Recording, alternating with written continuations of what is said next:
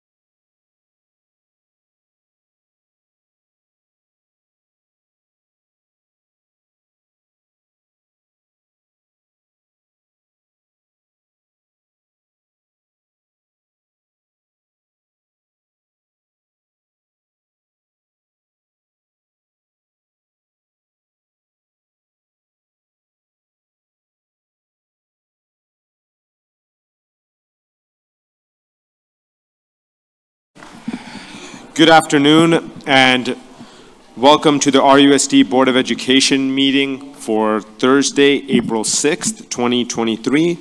This meeting will be live streamed on the RUSD YouTube channel and if you would like to view the meeting on our Spanish live stream, please follow the link provided on the agenda which can be found on our website at riversideunified.org.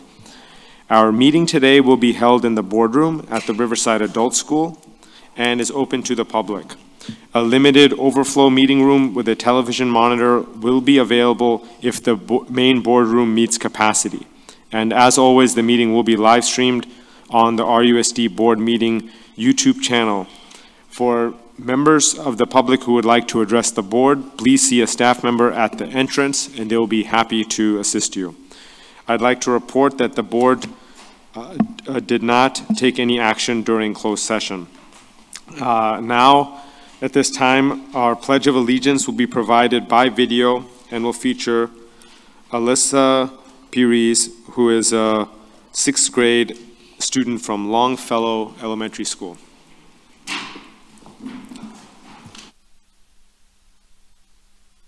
Hello, my name is Alyssa Pierce and I'm a sixth grade student here at Longfellow Elementary School in the DLI program. My incredible teacher is Ms. Hernandez and my fantastic principal is Mrs. Koss.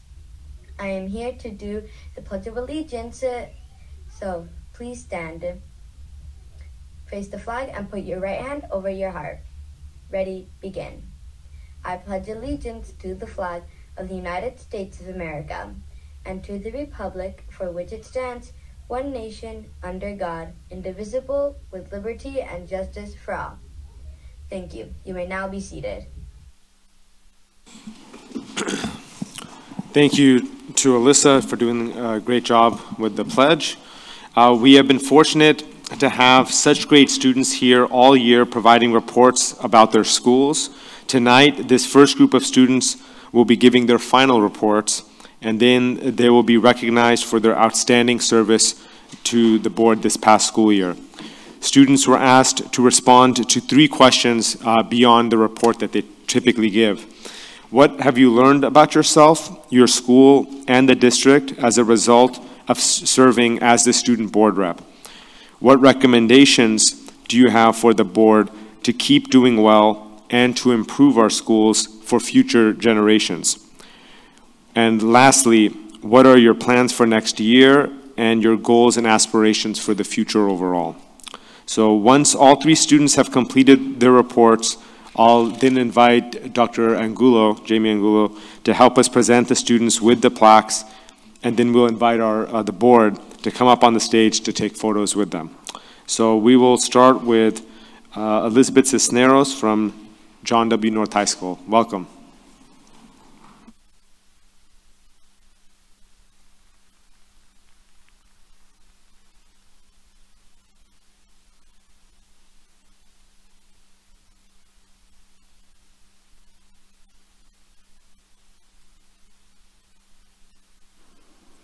Testing. Oh, okay.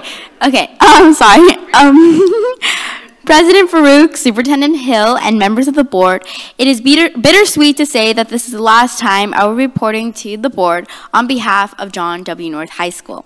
As the representative to the board, I had the opportunity to learn more about my school's activities, especially those that I have not been able to join. I also had the opportunity to learn about activities occurring at other schools that I had not been aware of, such as events at Poly, Ramona, and STEM.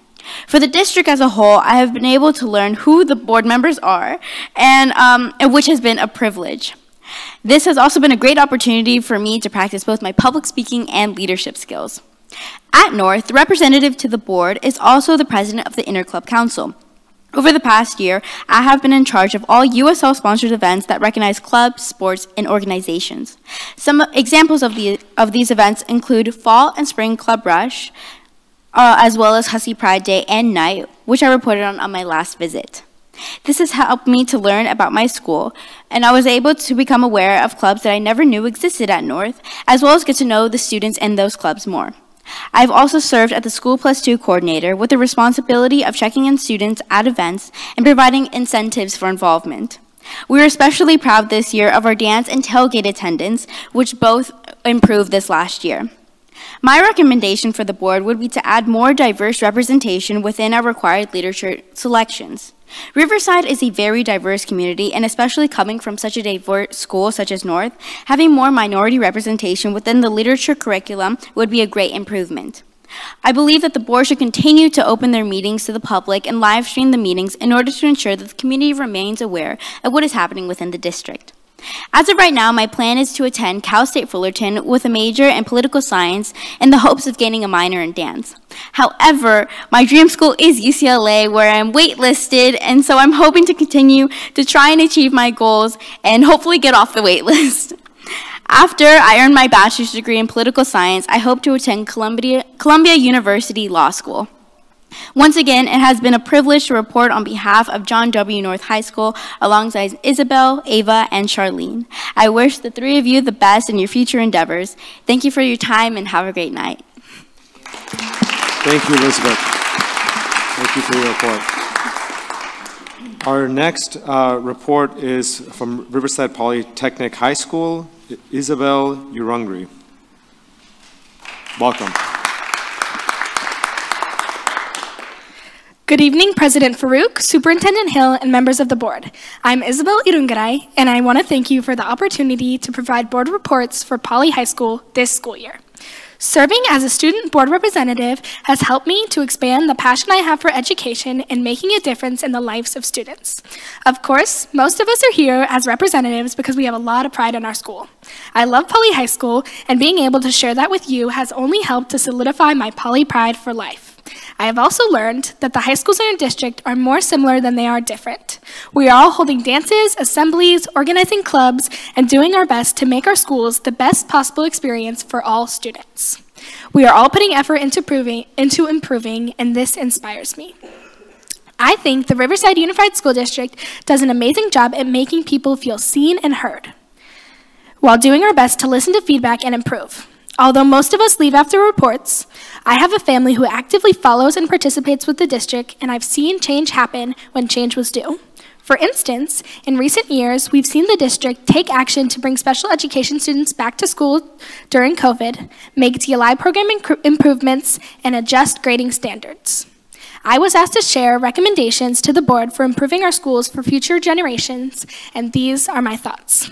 My father has always been an excellent example for me and has taught me the need to fail because ultimately, failure is what allows us to grow and become better.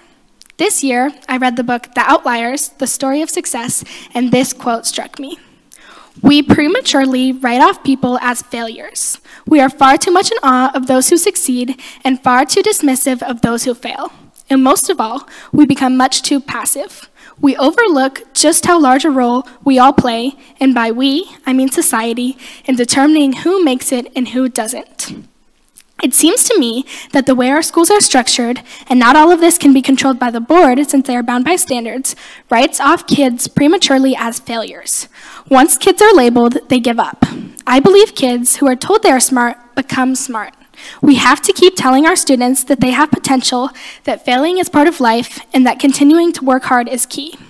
My favorite poly teachers allow us to improve upon our work so that we truly learn. Mr. Schiller, for instance, a popular chemistry teacher, allows test corrections for half of the points back. It's not about the points, it's about having a second chance to really learn the material. Mrs. Yana, my AP language teacher, has us write four versions of the same essay with corrections. Again, this method teaches us that failing is okay. We can always improve and learn. I hope that the Board of Education can make policies and decisions that encourage this type of learning, all the way from elementary school up to high school. I have had plenty of teachers who did not follow these methods, who focus on outcomes, box students in based on performance on one test or one essay, and do not provide opportunities for growth. This is especially detrimental for kids who already struggle with self confidence, have difficult backgrounds or home life, or don't tend to excel academically. We need school to be about learning, not about being perfect from the start. Next year, I will be a senior at Poly High School, and I look forward to serving as ASB president. I plan to continue swimming, playing water polo, and being an active member of Bear Pals. I wish to work towards creating a culture of inclusivity and service through my connections with others. Poly feels like home, and I am grateful for the people I've gotten to know. I cannot wait for more Friday night lights, balloon arches, and adventures with my favorite people. I will exude Poly pride in all that I do, and am blessed to say that I have had the best high school experience I could ask for. After high school, I wish to attend a four year university. I have been able to work as a synchronized swimming coach and tutored young students. Although I do not have a set career path, my experiences have led me to a, path and, a passion for education, which I will continue to explore and has only grown with experiences like these. Again, thank you for this opportunity. Thank you. Thank you, Isabel. Trustee Hunt has a comment or question? Thank you. Thank you for that very insightful and passionate speech. And I should have asked this of Elizabeth too, but tell me as a high school student, what's, what's the homework load like? That's a hard question for me. I think it just depends on the weeks. Um, I go through weeks where I have no homework, I have almost nothing to do, but then I'll have a week where I have a test in every class and I have a lot to do. Um, but for me, it's just a matter of balancing my schedule and trying to stay on top of things. I think that a lot of students who fall behind on homework aren't necessarily using their, their class time um, as well as they should be. But Well, Isabel, you might not have a uh, career path set out yet, but I believe you've got the, the smarts and the structure to do very well whenever you do. Thank you Thank for you. serving. thank you. Thank you, Trustee Hunt. Thank you.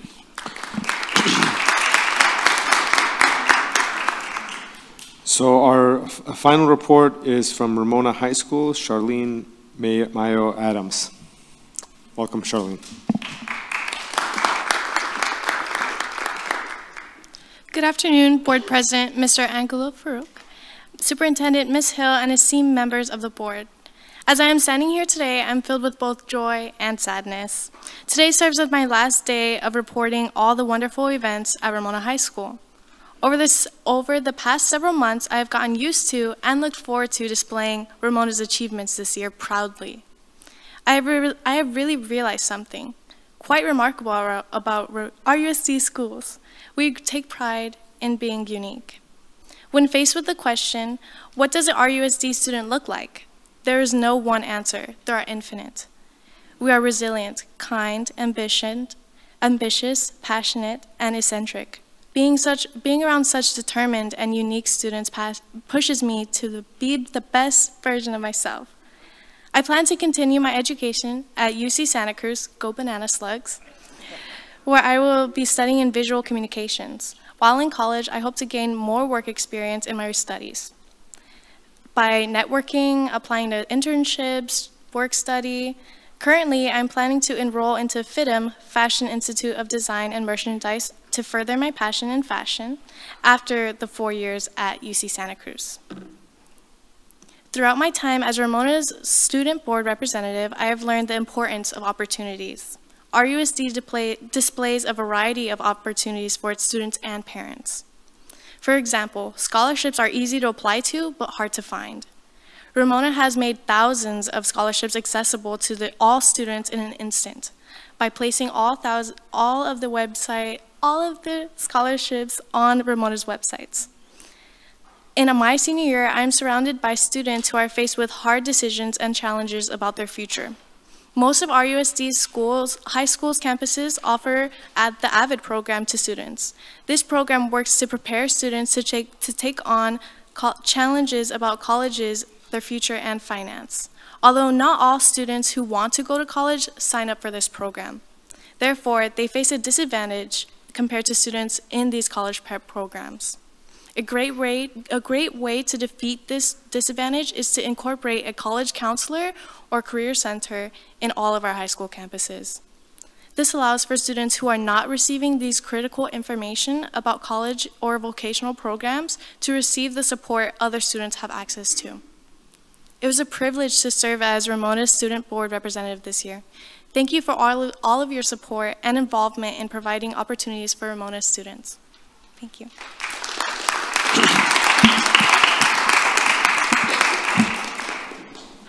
Good evening. So I'd once again like to thank and congratulate the students for a job well done in representing their school to the board.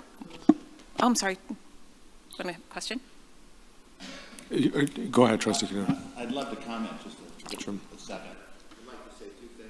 I know the, the board uh, as a whole appreciates our, our student reps and, and, uh, and what you tell us. I, I have to say that uh, I'm, I'm probably overly critical of, uh, of the things that student reps say, because I've, I've heard these reports for years and years and years, and I, I hear about dances and activities and sports scores, et cetera, et cetera, and it's all fine and informative, but you guys uh, stand up uh, out amongst all the, the reps that I've heard. Because when I hear about dances and those things, I, I'm, I'm hearing them in the, in the context of uh, student government goals. Uh, that each one of you uh, have, have talked about what you want your student governments and what you want your school to accomplish during the year. Uh, and when you speak about sports and when you speak about dances, you, you've you always talked about the broader goals, and uh, and that's very, very, very helpful for uh, for for me. Uh, nice job in what you what you've done this year. You've uh, you've taught me a lot, and I think you've set uh, a standard for future board reps that that uh, that that's very positive. So nice nice job. Thank you, Trustee Kinnear. Please proceed, Dr. Angulo. Oh, no, yes, so thank you. I concur with what he just said, and so congratulations and thank you for representing your school so very well this year. So I would like to bring you up and give you a plaque as our appreciation, and then I would like to invite them to go to the stage to take a picture with the board, if that's okay. So Charlene. There.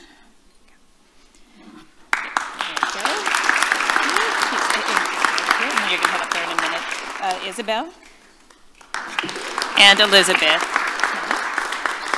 And then you're going to go around and go to the board. So I'd like to invite him to the stage.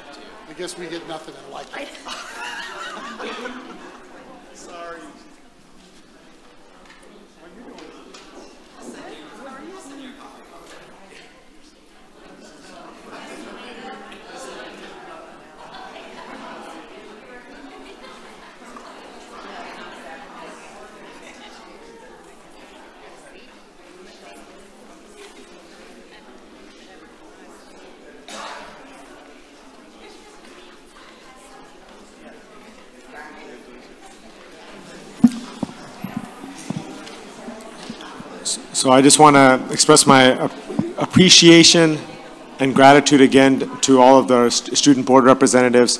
Uh, And, you know, as always, you're always welcome to attend. It's a public meeting, but uh, feel free to, to, you know, do whatever you need to do. So thank you again for all of your service, and we're looking forward to following all of your great success beyond RUSD.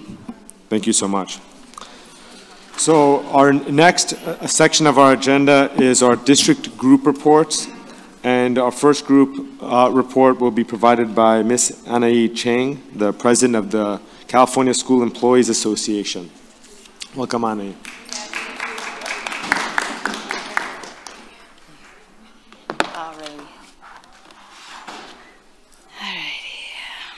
Good evening, Superintendent Renee Hill, uh, President Angelov Farooq, uh, distinguished board members, and everyone here tonight. Since February, Chapter 506 has nominated and elected a new team for negotiations. I'm happy to announce that our team will only change by one person this year. Okay.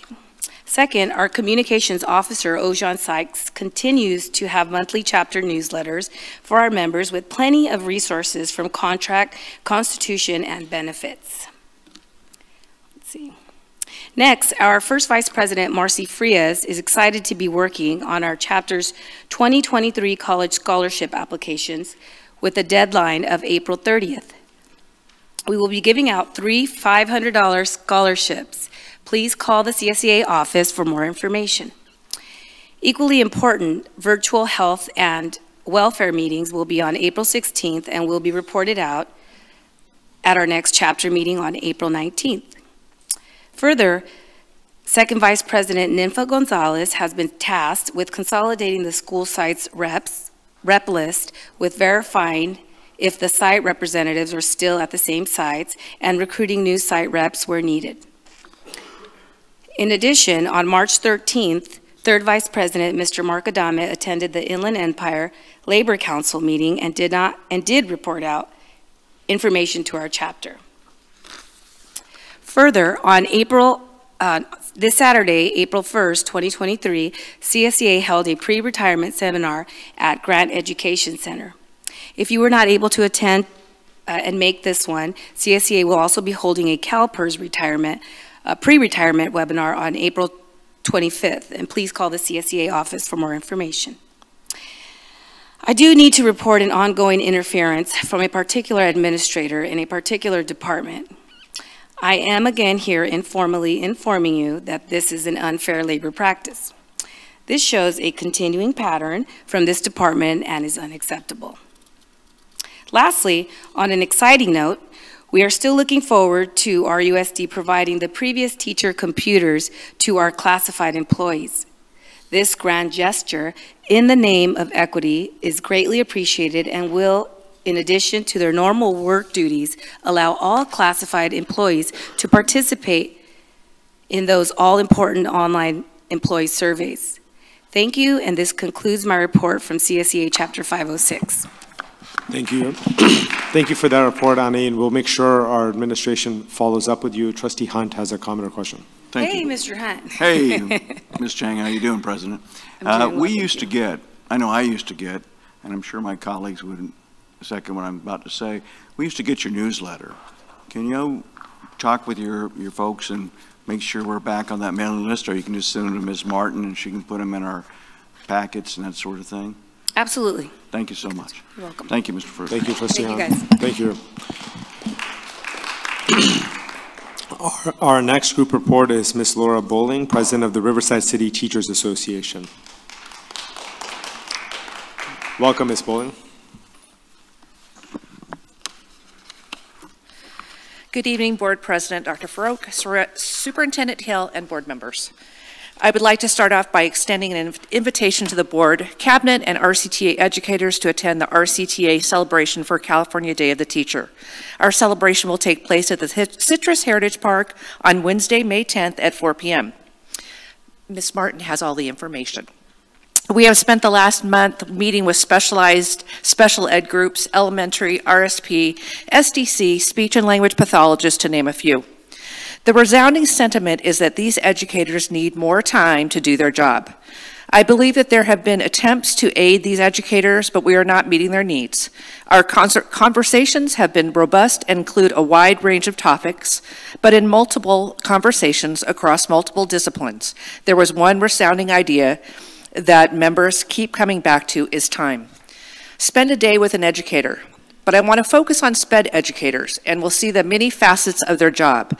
Testing, scheduling, organizing, inviting, teaching, changing diapers, containing, contacting parents, collaborating with general ed teachers, writing IEPs, holding IEPs, logging interventions, and min minutes spent with students.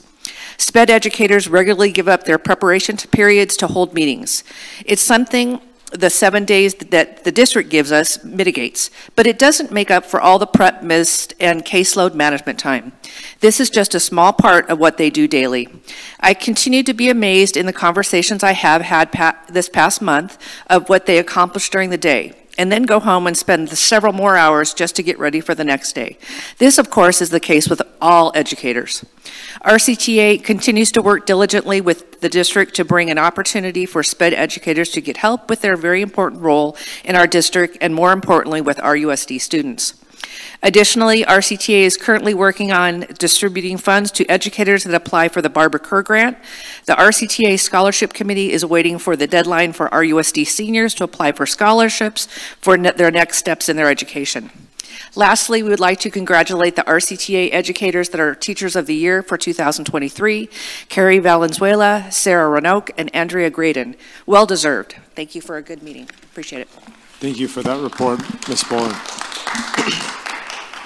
Our next uh, agenda item is our superintendent comments, so I'll turn it over to Superintendent Hill. Thank you, Dr. Farooq.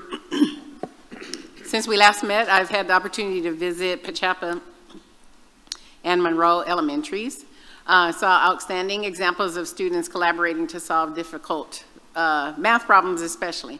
Um, their level of collaboration was great, and I saw a lot of evidence of our phonics-based phonics reading program implemented very well. Uh, last week, um, Laura just mentioned, I had an interesting bookending week. One was to congratulate Teachers of the Year, uh, two who I've known for 20 or 25 years, uh, one teacher who was new to me. So I saw the teachers with all that experience being congratulated, and on Saturday, we had a recruitment event that drew 600 candidates. So seeing fresh, brand new uh, people coming in into the classroom who haven't been there. It was a great contrast for the week. Um, and our, our students and families uh, continue to uh, do all the year-end events, uh, which is quite a, a pleasure to um, participate in. Before I conclude my report, I'd like to invite our community to the You Are Enough community event on Saturday, April 22nd from 9 to noon at Poly High. You'll see more information on the website or social media, and I will see you there. Thank you for that report, Superintendent Hill. At this time, members of the public may provide comments on any items of business to be transacted or discussed by the board that are not already listed on this evening's agenda. The board is limited to responses that they may wish to offer on topics that have not been agendized, yet they are permitted to ask clarifying questions as to a presenter's public comments. Also, I would like to note that public comments that are submitted via the electronic communication submission form are attached to the board agenda 24 hours prior to the meeting. But we did, did, we did have comments submitted, right? Mm -hmm. We did have. Um, it, it, They're attached to the agenda now. Right. I, am only saying because it's yeah. re reference. I'll now uh, have asked our board clerk, Trustee Hunt, who has shared with me the comment cards that have been submitted uh, with requests from members of the public, and uh, we we have nine comments, and so our first uh, public uh, comment is from Dave Everett followed by Jennifer Morris, followed by Alicia Ricks. Welcome, Mr. Everett. Thank you. You have three um, minutes. I wanted to talk a minute for about the uh, so-called community benefits agreement that was passed last week. Um, I'm with the Western Electrical Contractors Association, and I just wanted to remind this board that Under the deal you passed last week, or you started negotiations on last week, no union, no non-union apprentice uh, can work on these jobs, even the ones that live and work and go to school right here in Riverside. Secondly, um, I brought up the issue of Senate Bill 1439. It wasn't mentioned in the minutes and it wasn't addressed at all. It basically says, excuse me, if you've taken a contribution from somebody who is, uh, has business before the board, then you can't vote on those items. Uh, Trustee Farooq took $1,500 from the laborers pack on November 15th, 2002, or 2022, and uh, the Laborers International pack gave him $1,500 on October 21st, 2022, and so uh, according to my math, uh, he wouldn't be able to vote until November 15th, 2023 uh, on this discriminatory special interest deal. Uh, last but certainly not least, and I think this is the most important thing that was also not mentioned in the minutes, according to the National Black Chamber of Commerce, 98% of minority contractors are non-union. So this PLA will discriminate against black and Latino contractors in a district that's over 76% minority. Across the nation, members of the minority community have publicly opposed PLAs. Claims that, uh, this is a quote from the uh, CEO of the National Black Chamber of Commerce, Harry Alford, claims that a PLA could be a tool to ensure minority construction workers and businesses are used on a public project is a farce. Government mandated PLAs are opposed by the National Black Chamber of Commerce because almost all minority owned contracting firms are not affiliated with unions. African American owned contracting firms are typically small businesses and employ their own core workforce and skilled construction workers who are not unionized and are generally more diverse than the construction workers coming from union hiring halls. A lot of talk tonight about uh, diversity uh, and then, you know, a, four to one vote uh, against diversity last week, and, and, I'd like to thank Trustee Lee for being the only person to stand up against this kind of discrimination and be the only person to vote for every, everybody who is an apprentice or everyone who is a minority contractor in Riverside to be able to vote on these projects, I mean to work on these projects. Um, and I'd end by just uh, re reading the end of this, uh, the Black Chamber of Commerce um, CEO's quote. 98% of black and Hispanic construction companies are non-union shops. Thus, a project labor agreement or a community benefits agreement, it's the same thing, greatly limit the opportunity for black and Hispanic firms. The possibility of black and Hispanic labor is greatly suppressed. It is beyond disappointing when we see diversity clauses added to legislation that is fundamentally harmful to minority communities. I think when you guys do an audit of the PLA, you will see that Thank you for your comments. Our next co comments are from Jennifer Morris, followed by Alicia Ricks, followed by Matt Jude. Welcome, Jennifer. You have three minutes. Hi. Um, I'd like to speak on the importance of aides in your special education program. It's because of these aids that my son has been able to participate in a lot of extracurricular activities. When he went to prom, the aides were there dressed in their formal wear to make sure he was safe and had a good time. When, we went, when he went to Knott's Berry Farm for senior day, the aides were there riding Ghost Rider with him to make sure he was safe and had a good time. When he was in elementary school, he was able to attend the Hearts program. Uh, that was because the aides were there. The aides were there to make sure he was safe and had a good time. When he was in middle school, he was able to attend the prime time after school program. The aides were there to make sure he was safe and had a good time. These aides are important and vital. You must find a way to help retain them. Instructional aides is a classified part-time job. Without it being a full-time job, it will continue to have a high turnover.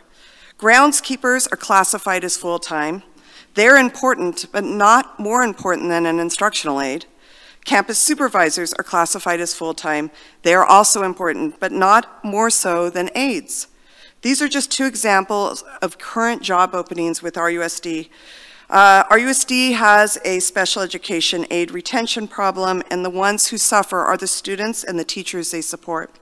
I also want to say, I want to thank the board for those of you that uh, attended the Special Education Spring Fling. The kids loved having you there. And I want to thank you for your support of the special education program. I've been speaking in front of this board for about five years, and the board has always taken it to their heart. our issues that we've brought here. I feel that we have been listened to. I feel that your heart is with our special education students. And I want to thank you for that. I'm going to continue to speak because my son is going to be continuing on. He's graduating this year. Um, and while I'm here, and I'm lucky enough, I want to say thank you to Lisa Murtaugh, who is my child's teacher. She's back there. She is the reason that he goes to school every day. His heart, he loves her. And she has taken him into her heart. And I'm a little emotional because she she has made a difference. She saw my son's abilities. All the teachers have always seen my son's ability, but she, he loves her. And I want to thank Mr. Hanson for all of his support that he has given our special education students. So this is just a, uh, a speech of thankfulness. But please remember the aides. We need more retention of the aides. They're very important. Thank you. Thank you, Jennifer. Our next public comment is Alicia Ricks, followed by Matt Jude, followed by Chris Vogt. Welcome, Alicia. You have three minutes. Good evening, uh, Superintendent Hill, President Farooq, and board members. At this time, I would like to express my gratitude to you and to also recognize Mr. Hanson for all he does uh, for Poly. He is consistently at functions on campus and off campus. He also comes to our monthly CAC meetings, which he allowed us to hold at Poly um, to show his support. And Mr. Hanson has always had time for me and the issues I bring to his attention. And I'm pretty sure he's glad that Mikey's last year at Poly is this year, because um, I'm calling him a lot. Uh, now on to special education. We need more aides, um, kind of piggybacking off of Ms. Morris, um, and we need more one-on-one -on -one aides. This is a district issue, not just a poly issue.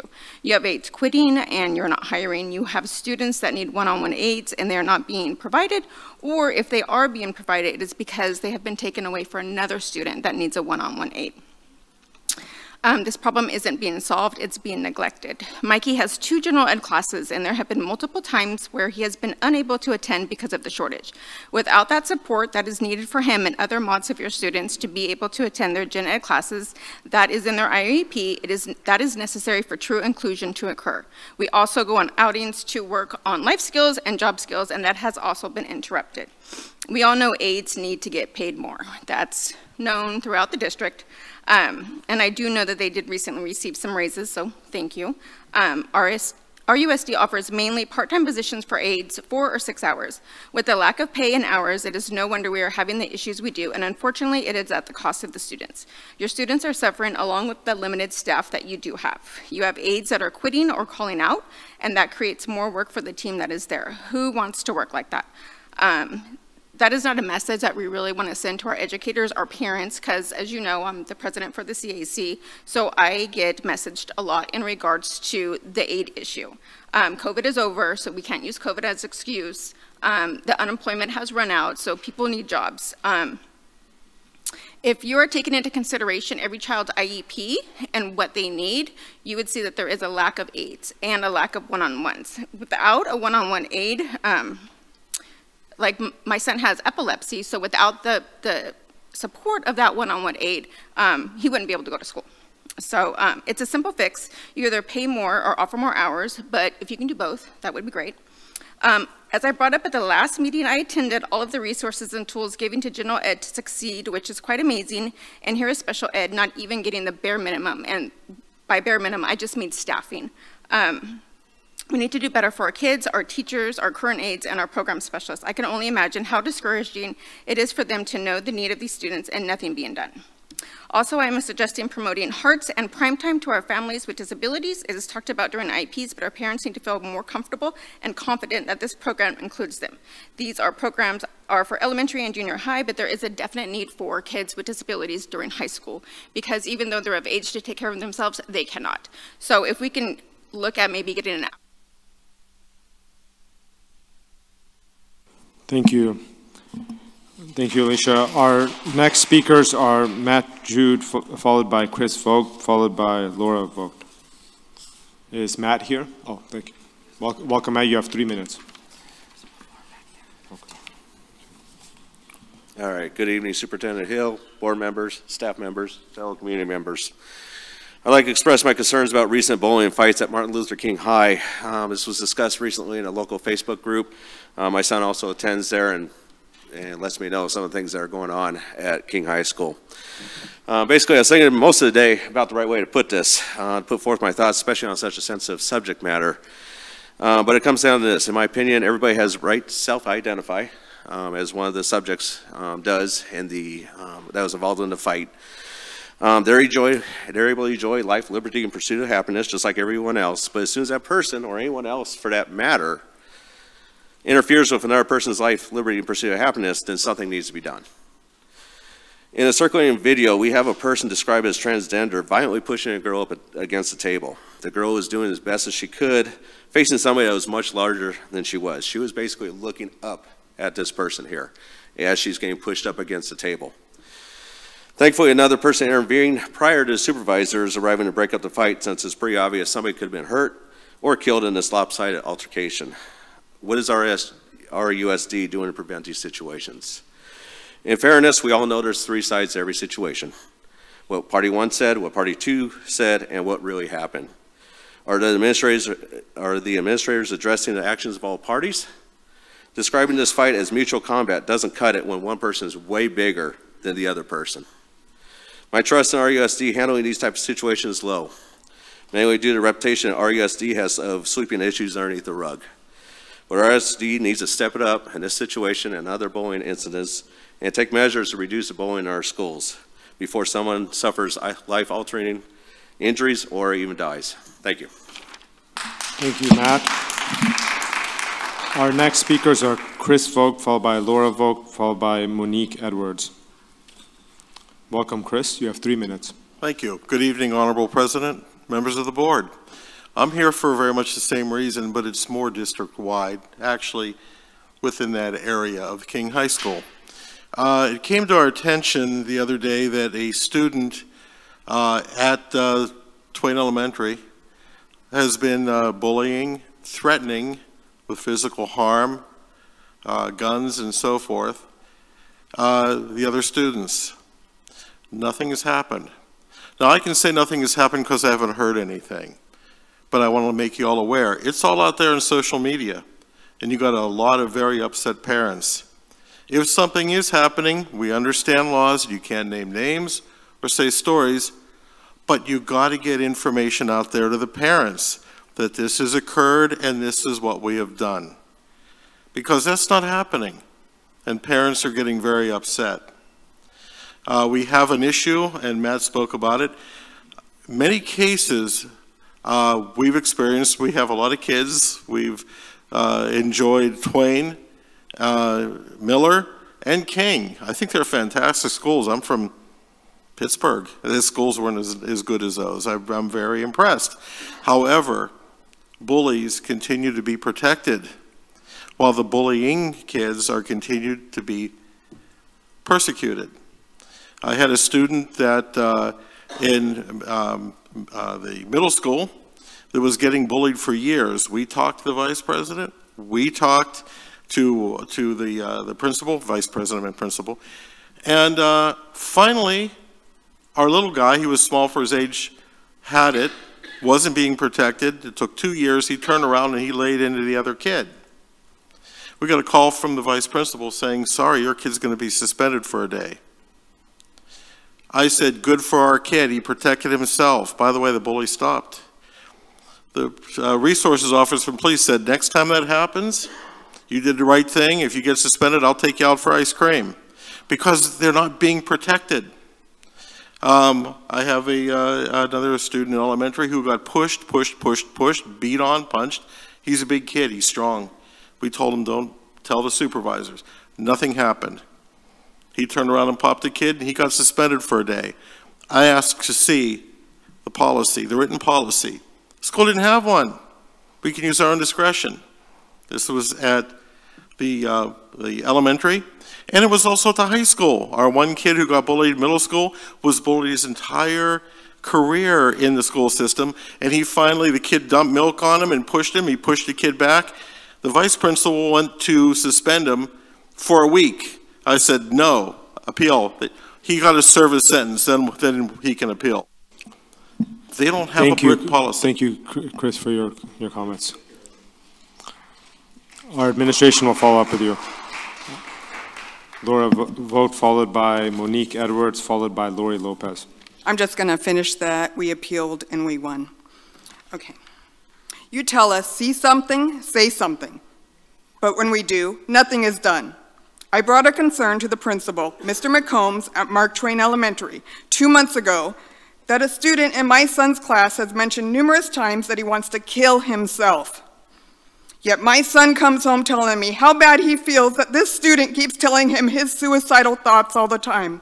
Why does my 11 year old child have to be the one telling this child how his life is worth living? Why is this student seemingly not getting help?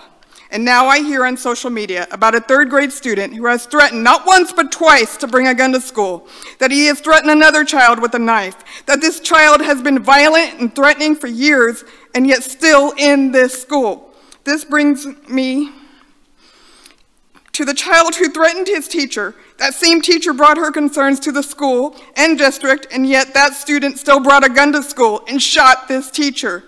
Don't let us be that school. Don't let us be that district that did nothing. My daughter is a fourth grade teacher at another district.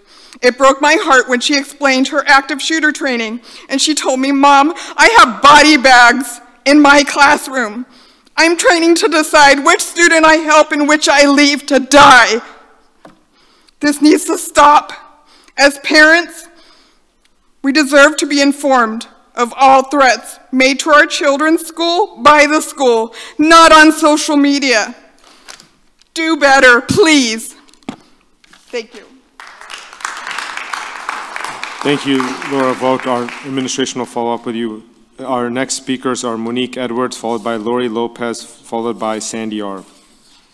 Welcome, Monique. You have three minutes. Hi. Thank you. Dr. Farooq, Superintendent Hill, and board members.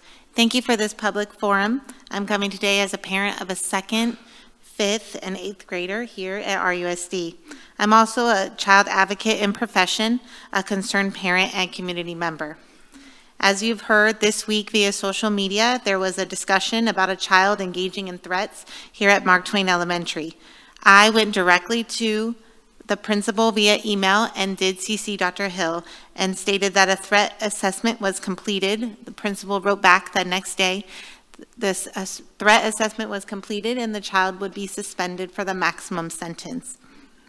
Unfortunately, this child has been having disciplinary concerns since kindergarten. My child is below the grade level of that child, and I still know who the child is. I am concerned about the safety of my children, all children, and of all the educators. In fact, according to educationweek.org, there have been 13 shootings on school property within this four months of this year alone. This does not include physical altercations or violence with other weapons. In reviewing the RUSD Threat Assessment Manual, unfortunately online I only found a July 2016 version.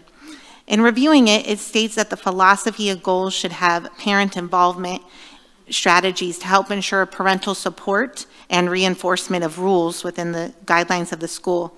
However, the policy does not discuss when other parents are notified of high-risk assessment based on Appendix B of the manual.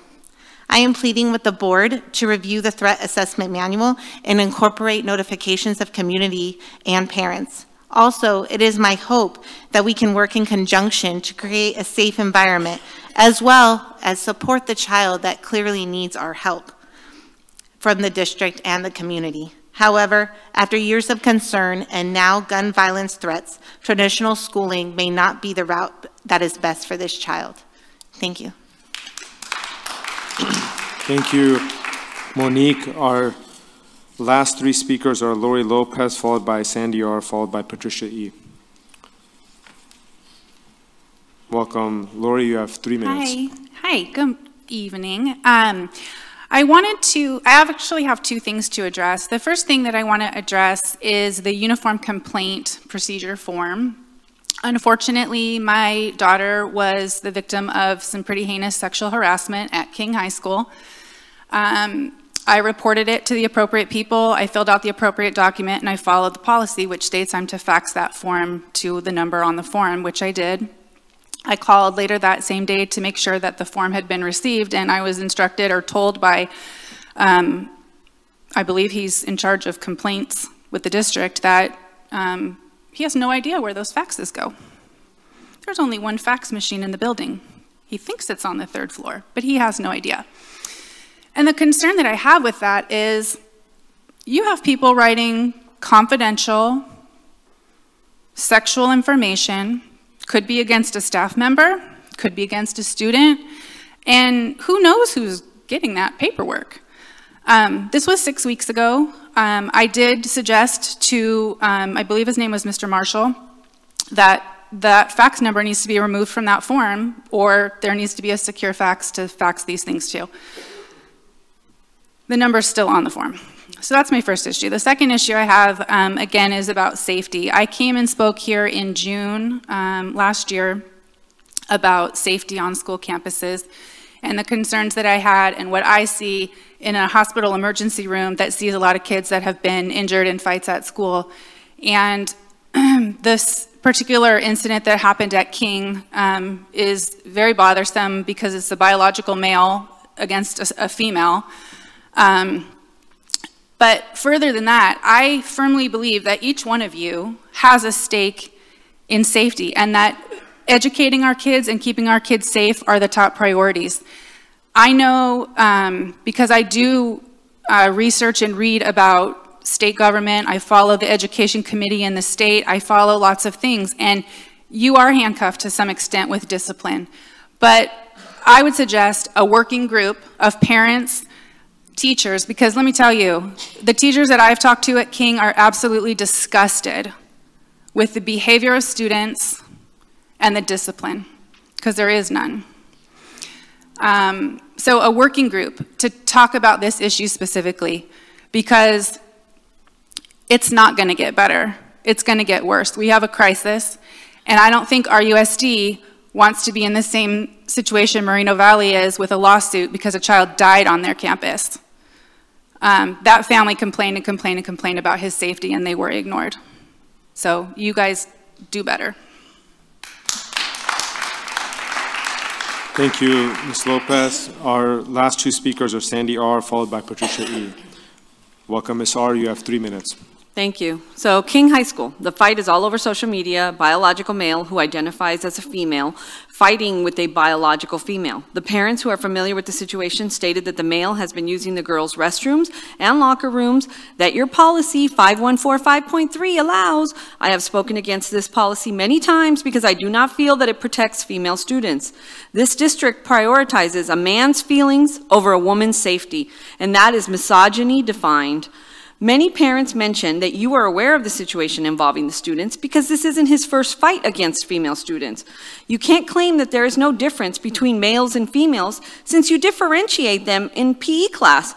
Um, you score them differently based on biological sex when it comes to running a mile, push-ups, and pull-ups. Your policies are very inconsistent. Most national sports organizations are walking back from allowing athletes to compete outside of their biological sex category and restoring Title IX protections. This district should lend their voice to writing a resolution regarding doing the same.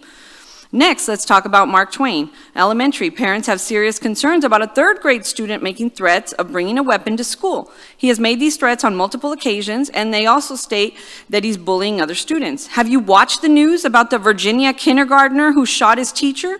She's now suing her district for $40 million due to their failure in handling a situation just like this one. I've read your policy. If he was a fourth grader, you would have more discipline options.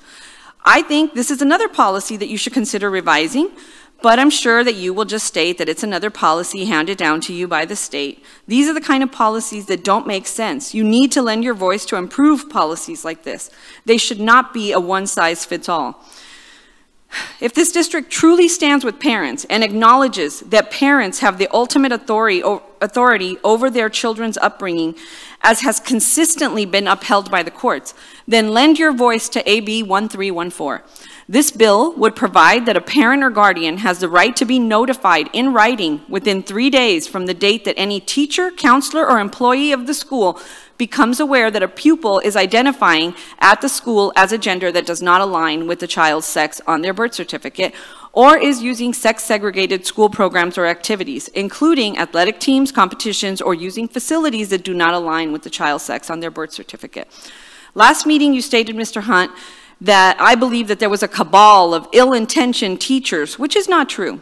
However, by keeping secrets from parents, it seems that this board thinks there is a cabal of ill-intentioned parents. Most parents love their children and would do anything for them.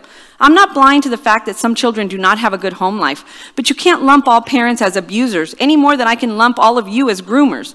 I hope that you realize that the more this district tries to come between parents and students, the more kids you're going to. Thank you, Ms. R. Our final public comment is from Patricia E. Welcome, Ms. E. You have three minutes. Okay, good evening. I hate the public speaking so much. I just have a couple of thoughts.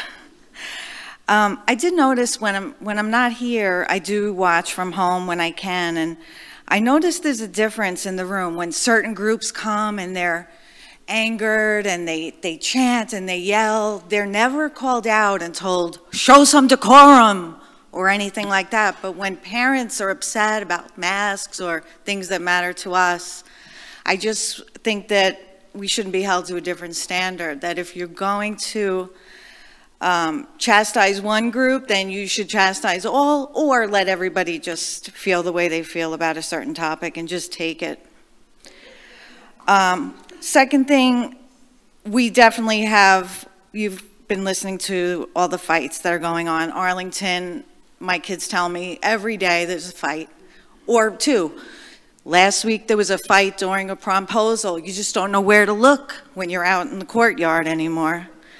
But you could build as many wellness centers as you want. There could be one in every area of the school. It's not going to be addressed. Um, these kids need help and it's not working, whatever, whatever's happening. They need to just focus on school and the grades. And then going on to now the grades. Um, if I looked at Aeries every day, my kids would be punished and they would be losing everything that they have. Because every time they come home and I say, what's going on to my normally A's and B's students, I'm seeing a D in math. What's happening? I'm getting concerned. Mom, Nothing's been entered. All my grades, they haven't been entered yet. We can't, like, you want us to be involved and stay on top of it, but, and, and I know the teachers have lives outside of school, but so do the students. But they're held to a standard where they still need to produce the work, even though they may have a job or homework or projects going on. So I just think there needs to be some type of a deadline because I think entering grades at the end of a quarter is not appropriate. A kid should know how they're doing. They should be able to look at it and feel good, like, oh, I just saw my grade go up, but they can't because the grades are not being entered until sometimes the very end. 28 seconds left.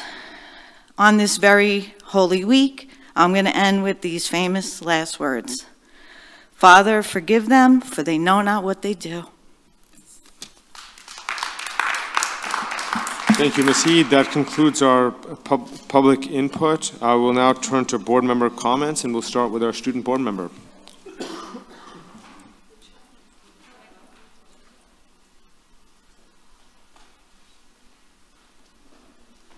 Oh, there it is. Hello. I'm so happy to be here. It's nice seeing so many faces and hearing so many comments. On a bright note, as many seniors have already experienced, a lot of college letters have come in. I'm very excited to announce that I'm committing to UC Berkeley under a political science major. And Really, I could not have done it without the teachers at Ramona, without the AVID department at Ramona, especially as a first generation student. And so I'd like to give thanks. Although the student representatives are no longer here, if they are watching this, any of them, I do have something to say. Student representatives, the work you're doing is impressive. You stand here and you give reports to some of the highest people in our district. Your passion, you speak with eloquence and you speak with passion. Know that what you're doing is important. You are USD. You are the voices of, the, of your schools, and you have a vital job of advocacy and representation. If anyone has the ability to make change, it is you. Thank you for all of your work. Another comment that I'd like to address is actually the situation at MLK. So I am now going to shed some light on the recent situation that has happened within our district. I first want to start off by saying that regardless of what the fight was about, a lot of students consider school to be their safe, safe place. And for one to feel the urge or need to commit an act of violence is extremely unfortunate, it is extremely heartbreaking, and it's hard to hear. No one should ever have to feel that way in any environment, especially at school. For those of you who are unaware, there was a fight that broke out between a student, however, that was already covered. We see in the fight a student who is transgender, a transgender girl, and two other girls who proceed to engage into a fight. Now, I have, excuse me, some of the comments that I've seen since the fight has become so pub publicized are extremely unsettling, and many consisted of parents dehumanizing and invalidating the girl who is transgender, refusing to respect her identity, refusing to acknowledge her as a woman, and refusing to see that at one point during the fight, two girls themselves were on her. I have heard many comments and many thoughts, and what I want to say is this. I urge students, and especially parents, not to allow this situation to shape your views on an entire group of people at once. I also encourage parents to embrace the different types of people in our schools rather than invalidate them. As one of our representatives said, RUSD looks like no specific person. There's, it's so diverse. And every child needs a support system. Every child needs to be respected, and every child needs to be loved. Every child has to be tolerated. This being said, the situation is not the first time something like this has happened. At my own personal school, we have seen students who are transgender and or LGBTQ be harassed, again invalidated, misgendered, and bullied. And today I want to be the voice of these students. And what I do know is that students need more support systems and resources and you, um, excuse me, when it comes to their identity. And the last thing that I want is for a fight to hinder our ability to make progress. I hear a lot of parents concerned about gender neutral bathrooms, about sports, and I just want you to know that the students that I'm with every day and the students that reach out to me from other schools need this option especially those who identify as neither man nor woman. They need a place where they can feel safe and not be harassed in a place of privacy. I'd also like to say that I'm more concerned of finding the root of the problem rather than analyzing a fight. I would like to see why the girls fought. But more importantly, I want to say that I am a woman. I go to a school in RUSD, and I acknowledge that there is nothing that a transgender woman can do that a cis woman cannot, fight or no fight.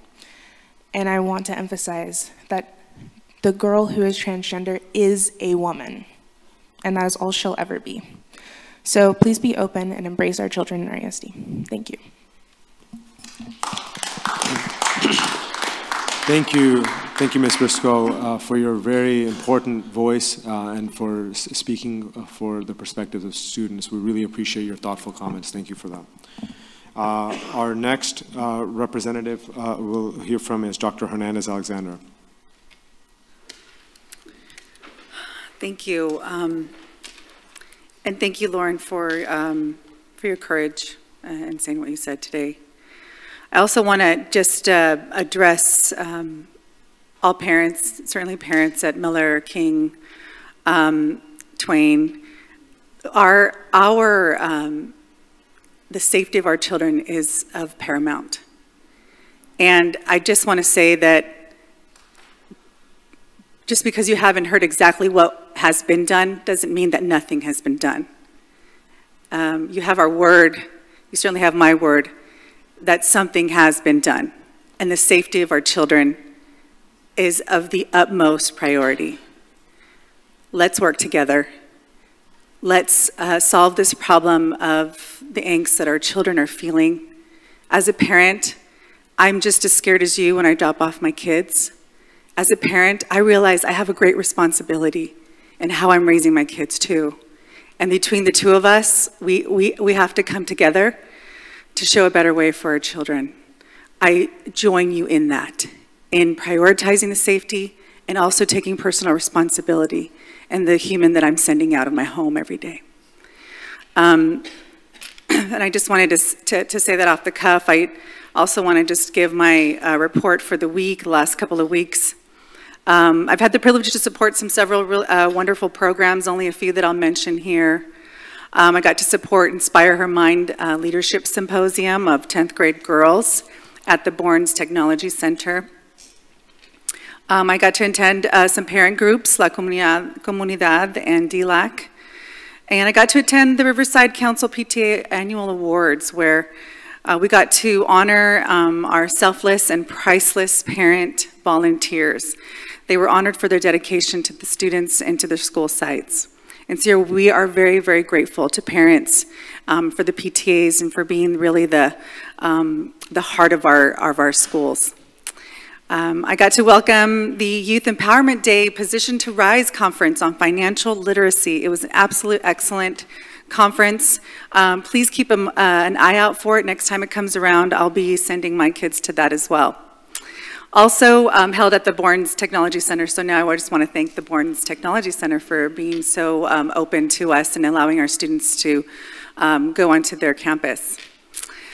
Um, and I just want to close with the last few minutes of my time, um, of my time I want to dedicate um, the rest of my public uh, comment time in memory of one of our beloved students, Chase Jarvis who attended Rivera and Earhart and King High School.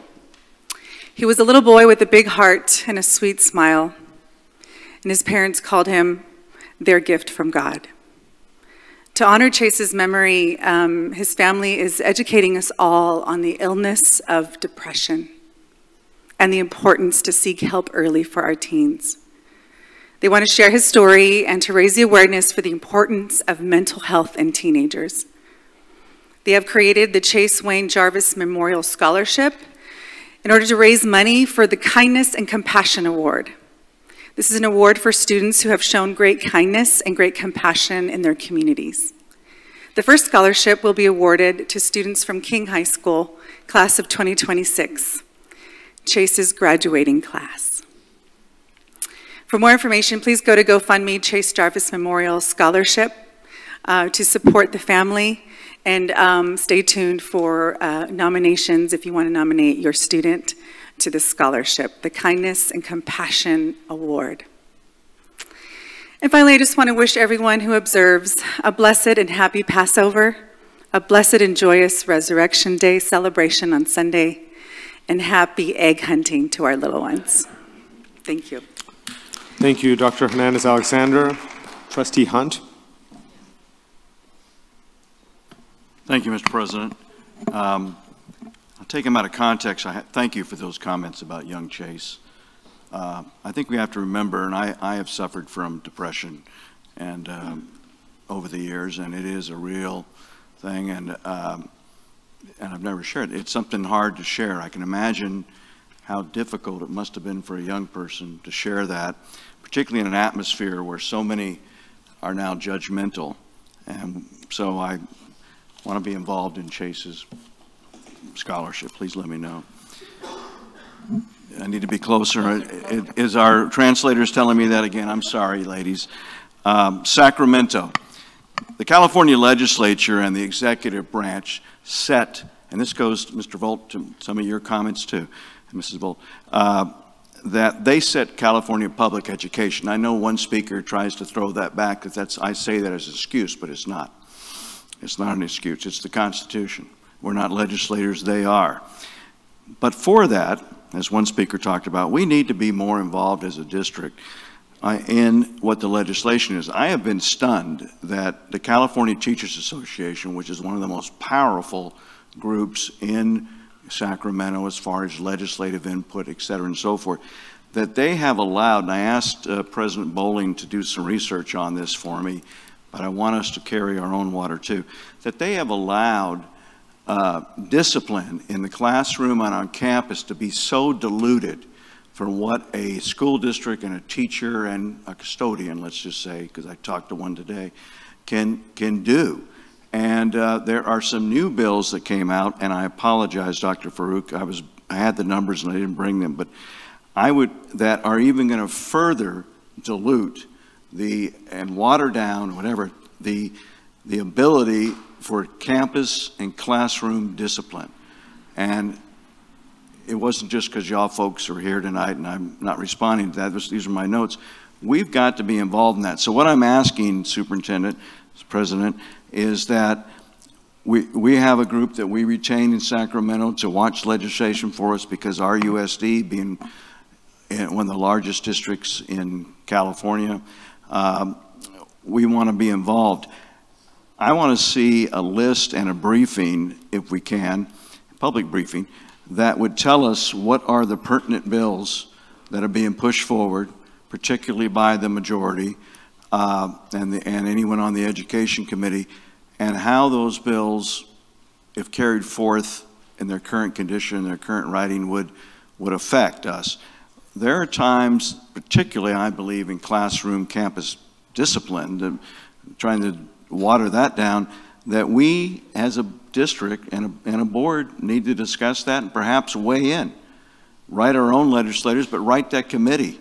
Uh, again, going back to CTA, legislators are making these rules, many of them which parents, and I don't blame you, feel have, have taken away their rights, uh, that they do it without parents there in the hearing rooms. They do it without teachers, apparently. They certainly do without school board members. It's, it's the uh, beltway mentality used in Washington, but it's we know best, and they don't. These people like to my left here know best. And so I want us to really, and then I want to see that, Superintendent, I'm asking colleagues, that that be on our website, just a box they can click on pertinent current legislation in, in Sacramento you may be interested in. And even if they would like to write us, that's fine, they do. But if they want to write Senator Roth or uh, Assemblywoman uh, Sabrina Cervantes, et cetera, uh, they, can, they can do so. So I, I hope that we'll do that. Information is the best weapon against ignorance that there is. And we don't want to be, as a community, certainly not as a board, ignorant. Let me say on safety, um, I asked our attorney to look into it a year or two ago constitutionally, the oath I took, the number one responsibility of a trustee of a public school district is safety, is campus safety. I thank my colleague, Dr. Alexander, for, uh, with the confidentiality she has to keep, uh, reporting that those, those items that we're all concerned about, and particularly the one at Twain, uh, are being handled, have been handled, and to the extent which can't be shared, and part of that is, well, it can't be shared, uh, is uh, extraordinary. I was, I was very impressed. Thank you, Deputy Superintendent Walker, for your leadership on that. So today, on an up note, uh, I was very pleased and, and just had a great time. I toured uh, Lake Matthews Elementary. I want to thank uh, Principal Rasputik and her staff and the teachers whose classrooms I invaded, uh, Greg, the custodian, who I spent time with, and very fine gentleman. And so, along with Dr. Sosha, our assistant uh, superintendent, I, we toured. And what I saw, well, let me say, I went into a third grade, I went into several third grade classrooms, and they were learning algebra. And I'm so, in, for someone who never really did very well in algebra, I'm so impressed I sat down with the little people. They were working together, they were collaborating. Uh, it was beautiful. I visited a fifth grade classroom and I love this, they were, and it's sort of a student-led classroom uh, by the teacher, and they had gone outside and in pairs, and they had, they had measured their shadow from their feet to their head, and then they, were, they came out an hour later to see what that had changed, and uh, I had guessed wrong. I thought it to be longer, but it was shorter. And uh, so now they're going to go back in and find out the rotation of the sun and why it is. Um, and Dr. I mean, uh, Superintendent Hill, I have been bringing this up for five or six years since I saw it at Lake Elsinore's board meeting. I'm going to bring it up one more time because I've been ignored on it. But we have a communications plan, which I hope we have an update soon.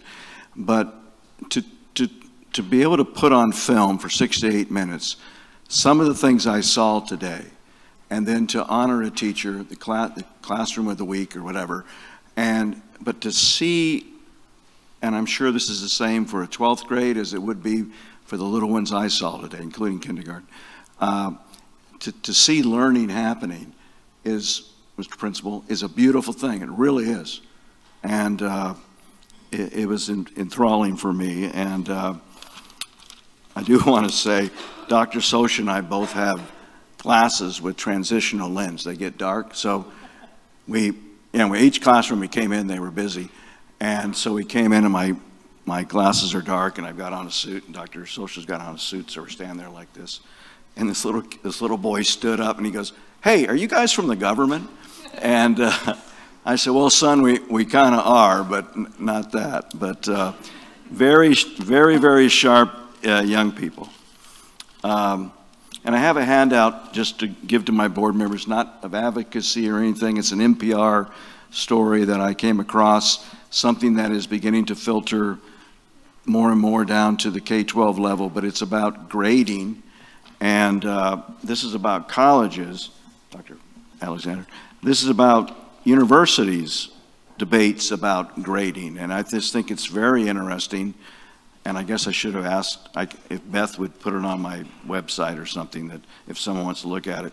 But schools like Texas, University of Texas, Notre Dame, University of Pittsburgh, they're all having this, this debate. And uh, it, was, it has a lot of pros and a lot of cons in it. Um, you know, at University of California, Santa Clara, our, the professor says uh, grades are terrible motivators for doing sustained and deep learning. Well, the other side is, is everybody get the same and, you know, the blue ribbon thing and all that. But uh, anyhow, I do, want, I do believe that we need to be more uh, informed and therefore informed our public what is happening on, on the different legislation. Uh, and things are changing rapidly. Today, the United States Supreme Court ruled against the state of West Virginia, who was, had passed a bill to deny transgender students, if they now identify as a female or vice versa. And it was about a young person who identifies as a female who wanted to be on their middle, her middle school uh, track and, and uh, cross-country teams, and this bill would have denied her.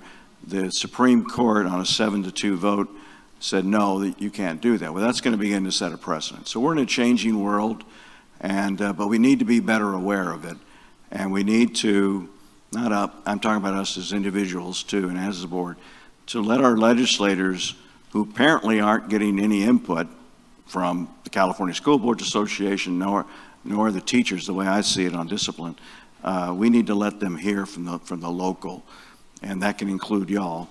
Uh, I'm not going to use the vaults, but uh, anyone one else. Uh, we're all alarmed about a second grader shooting someone. That's, that's it's unfathomable, and, uh, but it's a changing world. Thank you, Mr. President. Thank you, Trustee Hunt. Trustee Lee. Um, yeah, Mr. Hunt, it's fun to witness or see those kids what they're learning in third grade class in math, but until you actually have to help a third grader at home with their math and a fifth grader, sixth grader, yeah, it's a whole different ball game. Uh, our standards are no joke. Um, Want to just echo what several of my colleagues said regarding safety. Safety is paramount. Uh, I have three young kids. I want to thank all the parents out here this evening for, for sharing their concerns. Um, as a parent, as a board member, as a community member, uh, I, have the same concerns. you know, every day when I drop my kids off at school, I want to make sure I'm going to pick them up in the same condition. Um, so know that while we can't respond specifically to a lot of your questions from up here and your concerns, um, your questions are heard, they're felt, they're listened to, um, and know that we are doing something, even if, even if you don't see it. Uh, so thank you all for being here this evening. Also, as we approach the home stretch of the school year, I think we have about six weeks left. It's hard to believe. Um, it's not easy to be in the field of education these days, whether you're a teacher, an aide, or a custodian, or a nutrition services. So want to thank each and every one of our employees, no matter what chair they sit in for, serving our students and serving our community to the best that they can. Um, and also for, for challenging us um, through their proper channels to, to get better and do better. So providing that constructive feedback so that as a policymaking board, we can hopefully uh, make changes to make the experience for our employees better. So in, in, in essence, that makes uh, our students have a better experience because ultimately that's what we're all here, not only to keep our kids safe, but make sure that we fulfill our obligation to our students so that they can progress and, and be successful in whatever they do after us. So uh, thank you to all of our educators uh, throughout the district, um, and uh, good luck on the rest of the school year. Thank you, Dr. Farooq. Thank you, Trustee Lee. Trustee Kinnear. Thanks, President uh, Farooq. Uh, I too uh, express my thanks to, to people in their discussion on, on discipline issues from an old high school principal for many years during some challenging times.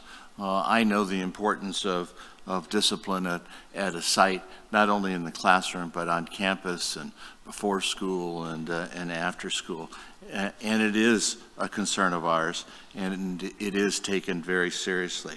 Uh, I also want to th uh, thank Mr. Hunt. I think it's a great idea, uh, at least for me, to uh, to, to place pertinent laws and, and uh, proposed legislation on our webpage and, and directly to board members. I, I don't have access to some of that. Uh, so if, uh, if, if we have folks that, that can help us with it, uh, I think it would be a great thing.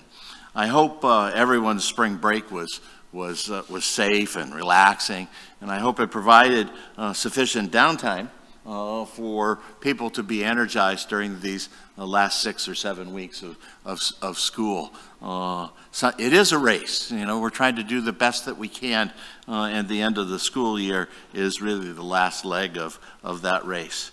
Uh, I know many staff members at Ramona uh, started or ended their spring break a day early on Sunday. Ramona just experienced their their uh, accreditation process with their visiting committee. It's a, it's a, a, a stressful time uh, for administration and teachers uh, because it, it's really a culmination of, of, of hard work. Uh, so I appreciate the, the work that Ramona staff did in preparing for uh, for that visitation. I appreciate the, the, the, visiting committee. I had a chance to, uh, to meet them. They represent a, a variety of, of uh, uh discipline areas, discipline areas in, uh, in education. Uh, they, they, they took their, their job with Ramona seriously. I look forward, and I know the visit was a successful visit.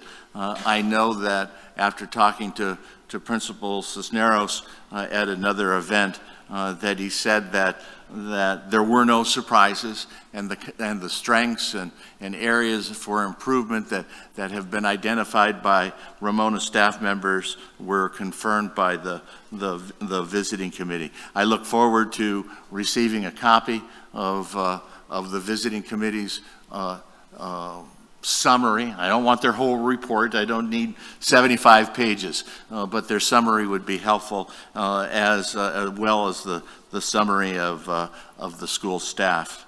Uh, you know, I saw uh, Principal Cisneros at the, at the Latino Network event, the, the breakfast the, the other morning, and it was a great event. I think I, I thanked our staff members uh, who work on that event, I think, a year ago. Uh, I would like to, to thank them again uh, because I think Riverside Unified School District staff uh, has played an important part of, uh, of the, uh, for the Latino network, and deservedly so.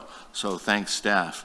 I also attended the, the PTA Council award celebration honoring staff and, and notable volunteers. And I tried to count back. Uh, uh, it's my 25th time attending that ceremony. That's, that's, uh, that's a lot of PTA ceremonies. And it was one of the best. I appreciated the, the international theme uh, that, uh, that they had for the event. I also appreciated the pace of the event. It went by very, very quickly for, for the large numbers of, uh, of folks that, uh, that they celebrated. Not only staff members, uh, but, uh, but also uh, volunteers that they, uh, they, they supported all those that, that, that work closely with, uh, with, with PTA. I do want to, to shout out a special appreciation to the, the PTA's Business of the Year, and that's Country Kitchen.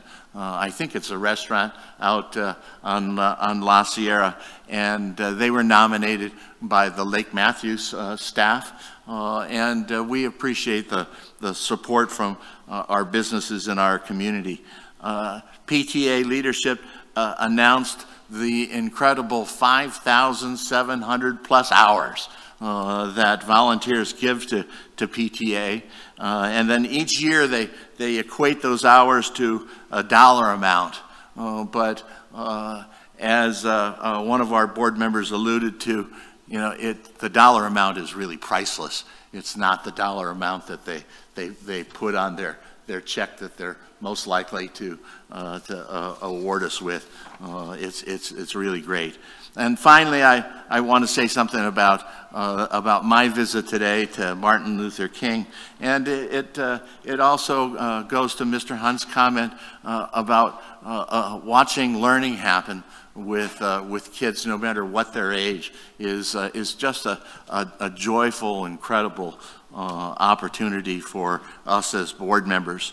MLK's project leadership, uh, or Project Lead the Way, uh, their seniors put on a spectacular showcase in engineering today. Uh, students were well prepared uh, in their projects.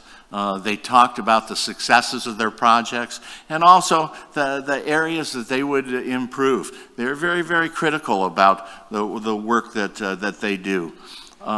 One such project designed, built, and tested a device that would utilize water drainage to provide power uh, to, uh, to, to operate a, a, device. And, and they concluded that, that Southern California was, was not a, a, a wonderful place to, uh, uh to or well suited uh, to, to their project uh, with, with the importance of water. But an, another project was a teddy bear, which announced blood sugar levels for children with, uh, with, with diabetes. An incredible project uh, by a, group of students.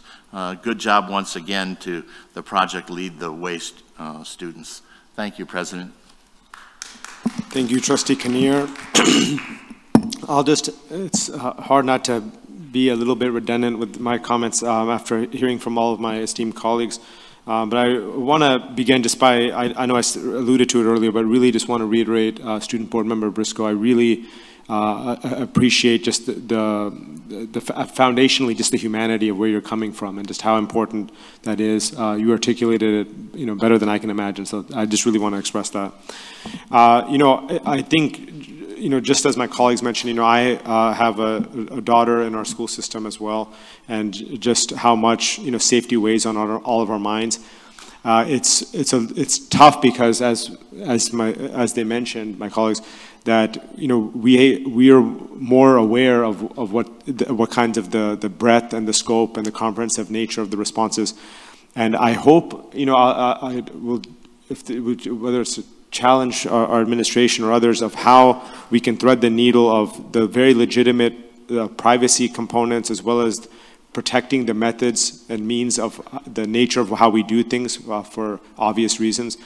Um, but at the same time, you know, making sure that uh, our, our community and our family can have the, the peace of mind knowing, you know, the, the again, the, the breadth of how we are responsive. So uh, um, I, it's not an enviable task on how we can thread that needle, but I, I hope that's something we can really make a uh, con continued effort to do that. Uh, and you know, to some of the other comments that were mentioned regarding our special needs, the aides, the need for uh, for more, um, the CSEA, the the concern uh, with the violation. Um, our, I'm sure our administration will be following up on all these things. Um, the last thing I'll, I'll just mention uh, at the, the, that I thought was well said at the P PTA meeting uh, with uh, Principal Shaw from uh, Miller Middle School was just about the spirit of finishing strong. You know, we're at that point of the school year where, you know, we're getting into the recognitions and uh, uh, acknowledgments for our student achievement, our employees, I mean, a variety of different areas. Um, and we still have uh, a, a, ways to go to um, before we get to the graduations and the end of the year ceremonies. And so, uh, to all of us uh, involved in uh, in public education, our, our, parents, our employees, our students, most first and foremost, uh, for us to finish the school year strong. So I really uh, want to implore that. So we'll now head to the consent calendar, which are considered to be uh, routine and be enacted by the board in one motion. There will be no discussion on these items prior to the board vote unless members of the board request to have specific items removed from the consent calendar. Trustee Hunt has provided me uh, comment cards uh regarding consent agenda items, and uh, we can start with Ms. R on item J6.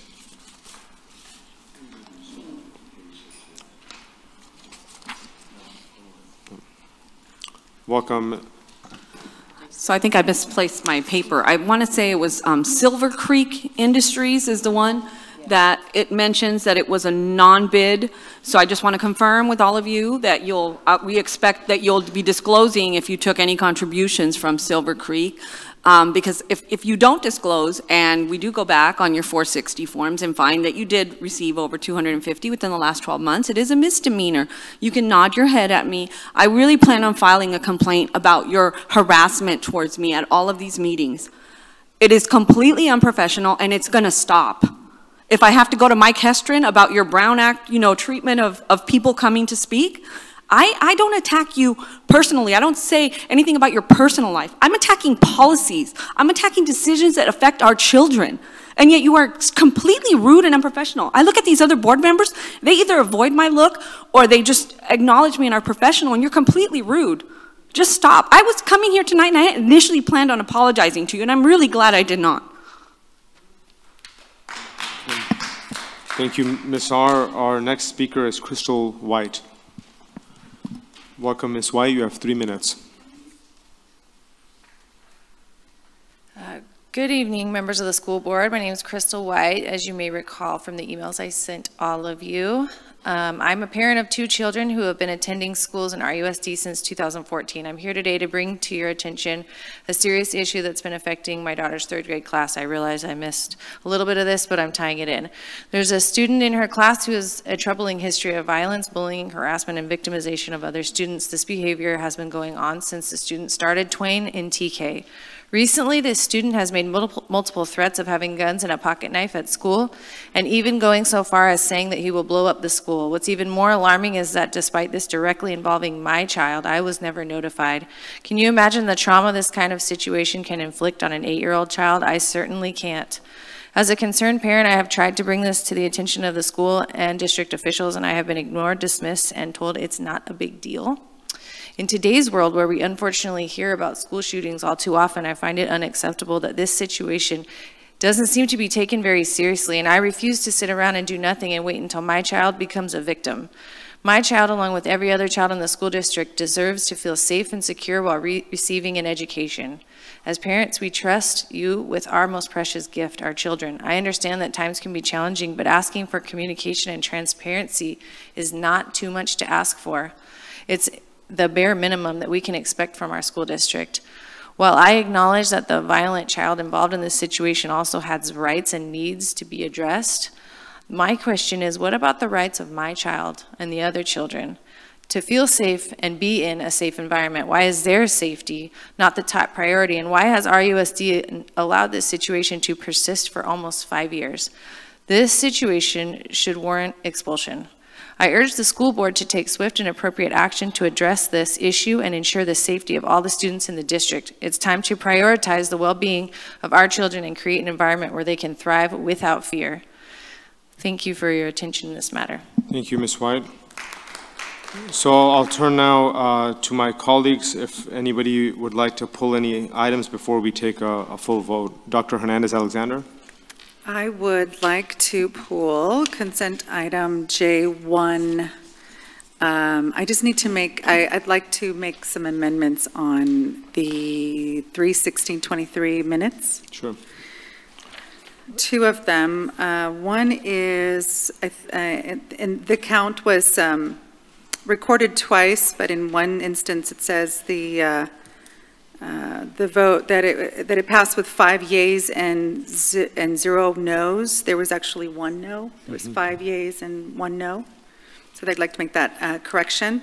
And the other one was in the original motion. The original motion, um, uh, I would like to make the correction to remove um, possible implementation, because I didn't say possible implementation. I uh, moved to enter into negotiations. Okay, thank you for that uh, clarification. Uh, Do you want to make a motion on that sp- specific item standalone then? Yes. Okay. Uh, Do we have a second? Second by trustee Hunt, please vote.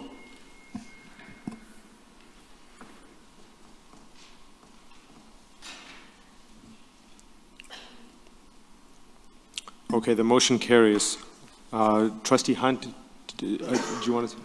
Thank you. I'd like to pull uh, item J6 uh, because it is confusing, not confusing enough that someone should make baseless allegations on, on something that would be illegal. But it is confusing uh, that we're, I mean, when you just read it, that we're going to have no bids. And the rush to do it is, uh, needs to be explained from the funding source. So I would appreciate pulling that and letting the staff and/or the superintendent, however she directs, respond. Okay, uh, we can pull J6. Are there any other uh, agenda, consent agenda items that anyone wants to pull? Okay, uh, um, Student Board Member Briscoe, would you want to consider a motion? You you don't have to.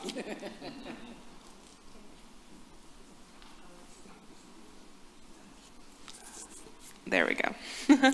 I would like to make a motion to approve consent calendar items J1 through J16 and omit items J17 and J18. Okay, and we would omit one since we already voted on it. Oh, yeah. And omit uh, six because trustee Hunt is pulling that. I- I- it- Are you okay with those amendments? Yes. Okay, uh, do we have a second? Second by trustee Lee, please vote.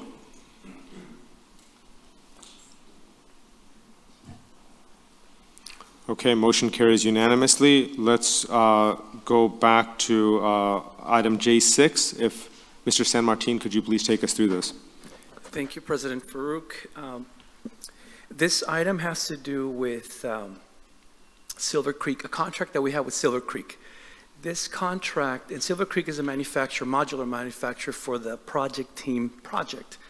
Um, This project, this contract was awarded and bidded in, in, on August 2022.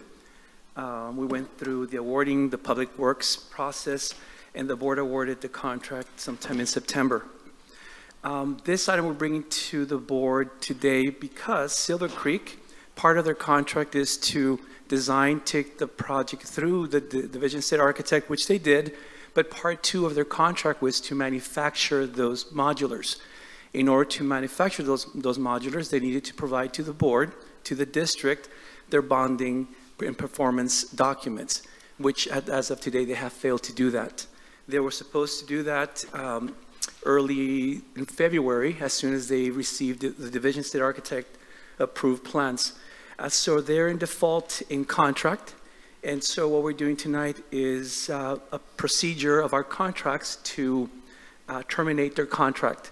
Uh, In doing that, we have the ability to award it to a different manufacturer um, without bidding, because we already have completed that and comply with state statutory requirements. Now, with us tonight is also our legal counsel, Hewley, who can answer specific questions on this process and on this contract. Any questions from the board, or we can have Mr. Hewley to... He's here right now. Yes, trustee Hunt. And I'm not, thank you, Assistant Superintendent, I'm not questioning your process, but wouldn't, in, a- in some jobs I've overseen, bonding is so critical.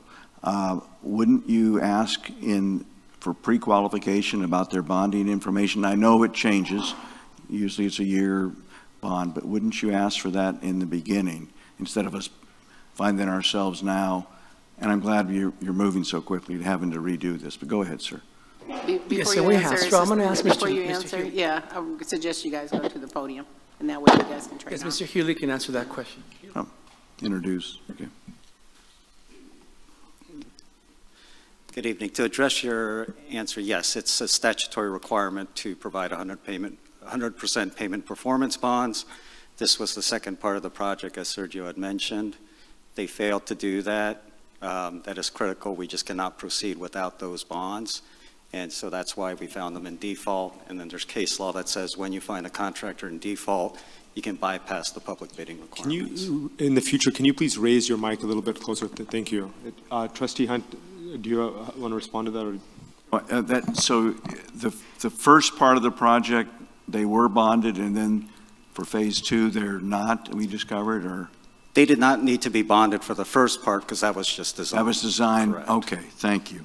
That's very, thank you for that action. Thank you, Mr. President. So, thank you. I I actually do have a question on, on this matter also. So, I understand that it says case law says that we, um, it's not required, that can be exempt from competitive bidding. My only question is why, why should we do that? Why shouldn't we do competitive bidding to get a better price? There are several factors. One is the project is subject, it's eligible for certain funding, including federal funding, and we have to meet certain deadlines. And we discussed it with the staff. We just could not make the timeline work to go out to competitive bid again.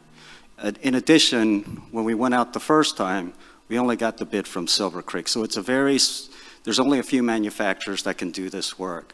And so there really is no advantage. It's a, a small group of contractors that can actually do this work. So we all decided, after talking with staff, that it was in the best interest for funding to keep the project on its course, to go ahead with this uh, uh, procedure. Thank you for providing that important context. Uh, Since we have no other comments, uh, we can entertain a motion on items J6. Oh, Dr. uh, Hernandez Alexander, do you have a question? One is clarifying and the other is um, just a question.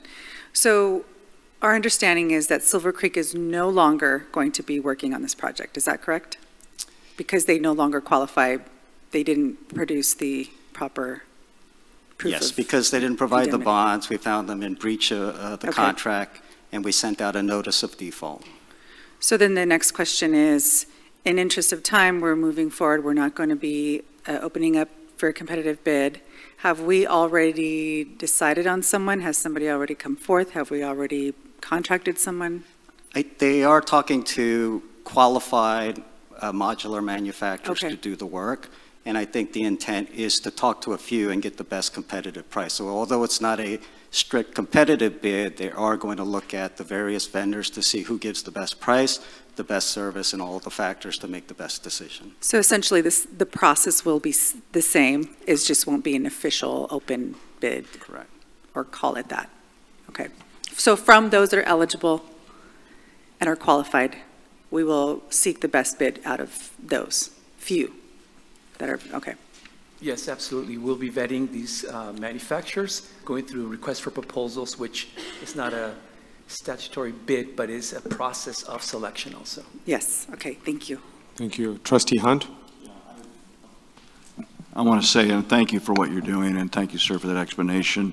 I know I oversaw, it's been a long time, but I oversaw the project at Cal Baptist, which is called the cottages, where they use modulars, uh, which was the first time it ever been used for non-single family, et cetera, and uh, in the state of California.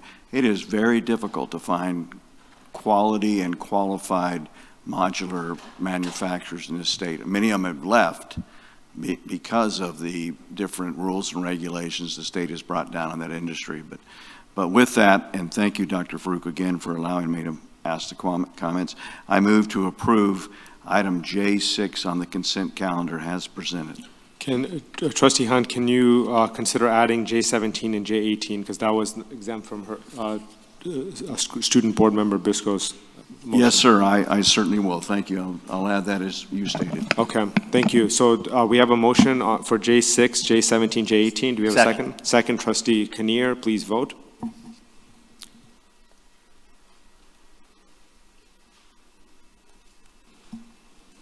Okay, the motion carries unanimously. Thank you, everyone.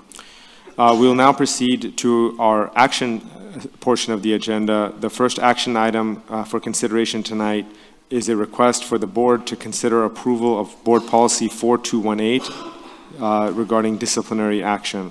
Uh, Super- uh, Assistant Superintendent Ibarra. Yes, good evening, President Farooq, Superintendent Hill, members of the board. I bring back to you tonight the second read, and it is recommended that the Board of Education consider approval of the new Board Policy 4218 dismissal suspension disciplinary action, which is being presented again for the second read. So that you remember, this simply formalizes the Ed Code, contract, and language that we already have, along with our practices that are in place and was also part of the CSBA recommendation for this board policy. We do currently have an AR, and it is parallels what we have in place for our certificated employees too. Thank you, Ms. Ibarra, and the AR refers to the administrative regulations. Uh, I'll I'll now turn to our board clerk, trustee Hunt. Do we have any uh, cards submitted for this item?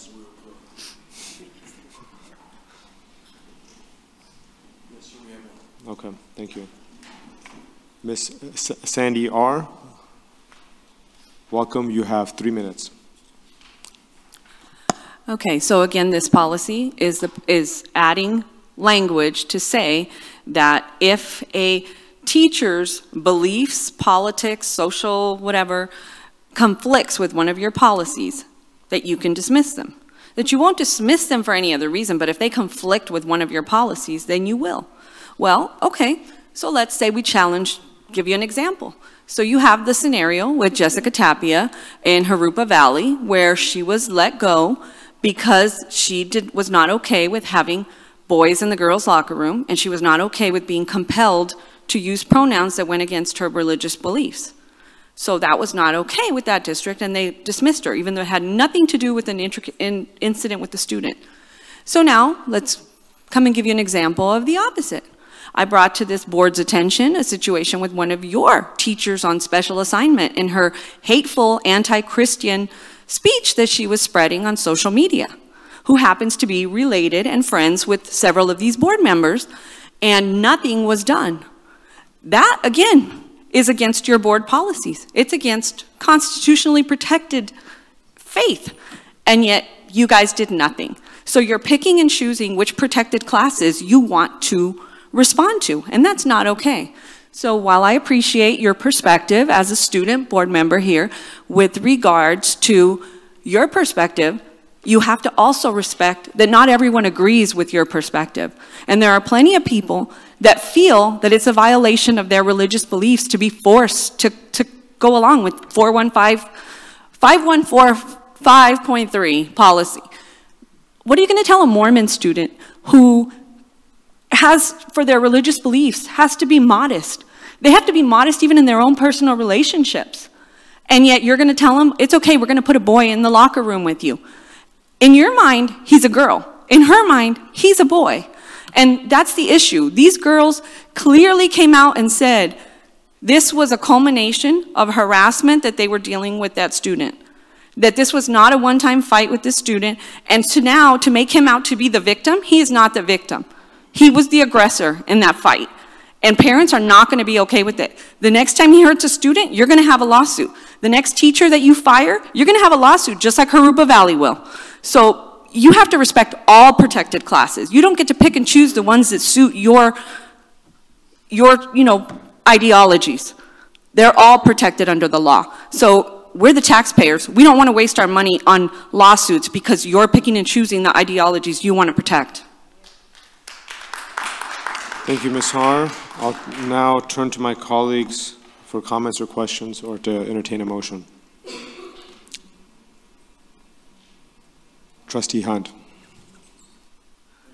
Thank you, Dr. Farooq.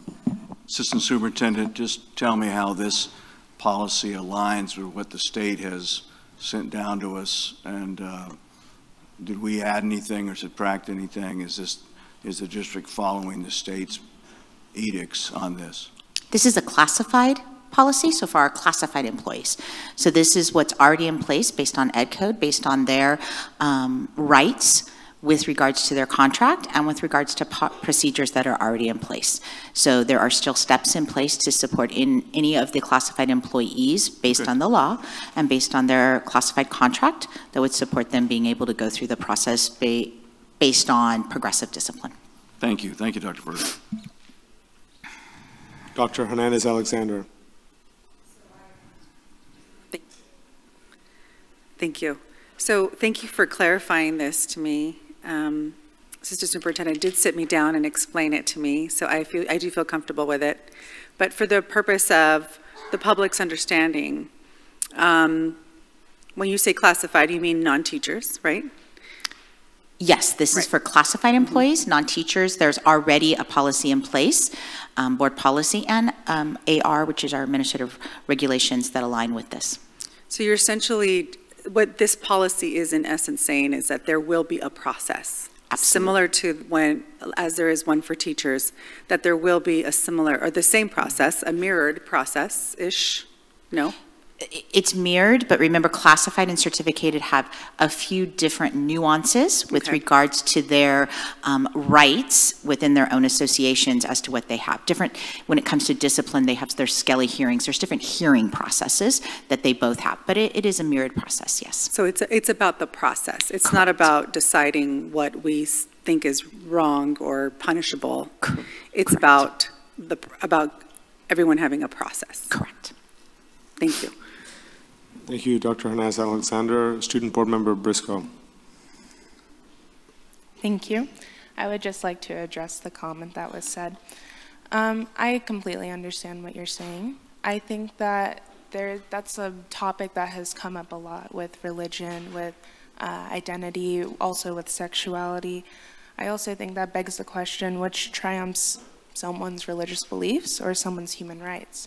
I think that people should be validated and they should be seen for who they are. I'm not sure if you're familiar with the process um, with what it takes to get a diagnosis for having gender dysphoria, but it's extensive. It goes through, people go through therapy. I personally know people who have gone through therapy to get that diagnosis, and it doesn't happen based off of a whim. Uh, cisgendered male does not suddenly identify as a woman. It is a process that happens throughout childhood. I would like to see if there's a way to find common ground between people who are religious and students who identify as something differently, but regardless, students are in our district that have identities that are unique, that need to be included. That's it. Thank you. Thank you, Student Board Member Briscoe. Uh, Do we have, um, oh, Tr- Trustee Kinnear, did you have something further? I was going to make a motion to approve. Okay, uh, we have a motion to approve, second by Trustee Hunt. Please vote. Remember our student board member to give the advisory vote first on all, all of our votes.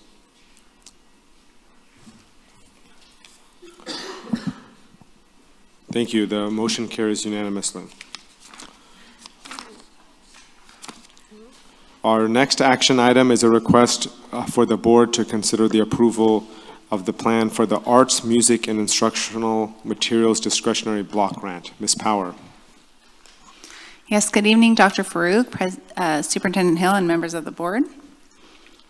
Tonight, the presentation is still coming up, but tonight we are seeking board approval of our plan to spend the Arts, Music, and Instructional Materials Discretionary Block Grant. Um, If you remember, the original allocation was for this year, and it was $24.3 million. Um, And in his January budget, the governor proposed a 34% reduction for this year, which would equate to about $16 million for RUSD. Now, we don't know if that will actually happen until the state budget is adopted. Um, but for now, we're planning on $16 million for that allocation. So for this plan, there is no prescribed format uh, or due date, but we, the board must approve our spending plan before we can spend the funds. So here you see the allowable uses of the funds. While the name of the funds include the words arts and music, um, you can see there are lots of different uses. Uh, we can spend the funds on professional development, instructional materials, developing diverse book collections, operational costs, including uh, retirement and healthcare costs, supplies related to the COVID-19 pandemic, and to support arts and music education programs. Now, these funds were part of the funding planning process that we went through as a district and a board throughout this fiscal year. And we looked at the uh, funding and the allowable uses. And we considered that the board has allocated uh, $4 million ongoing in the LCAP alone for VAPA, uh, Visual and Performing Arts, and the board has long supported visual and performing arts in doing that. Um, we also are looking forward to implementing Proposition 28 next year. That is different than this. This is a separate funding source than Proposition 28. Proposition 28 is specifically for arts and music education, and it is ongoing, and we will receive funds for that purpose. Uh, the preliminary estimate was $7 million for RUSD uh, starting next year, but it is based on a percentage of total Proposition 98 funding. So that could that will change, and it, it will likely go down uh, based on revenue estimates. But we still are receiving a good, uh, fairly large dollar amount for Proposition 28. In light of that, as, uh, to achieve the priorities that were decided on by the board and um, staff and all of our educational partners, um, the staff recommendation is to spend the funds on category four there, which is our state teachers retirement system and our public employees retirement system. What this will do will allow us to reallocate the dollars that are currently earmarked for those costs and spend them um, in an unrestricted manner on the priorities that were decided on.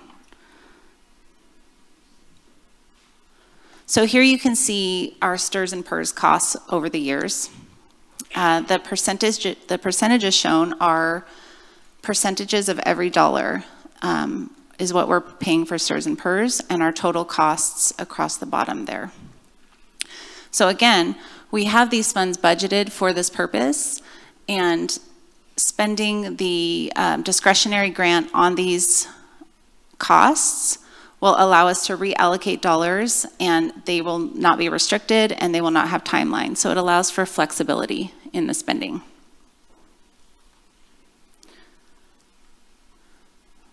So in summary, um, the plan for the funds would be to spend them on STRS and PERS, which is an authorized use of the restricted funds, and this would allow for the reallocation of those funds to support board priorities, uh, such as shade structures and safety and security enhancements, which were discussed at the funding planning workshop and throughout the year, and so this will allow us to achieve those priorities.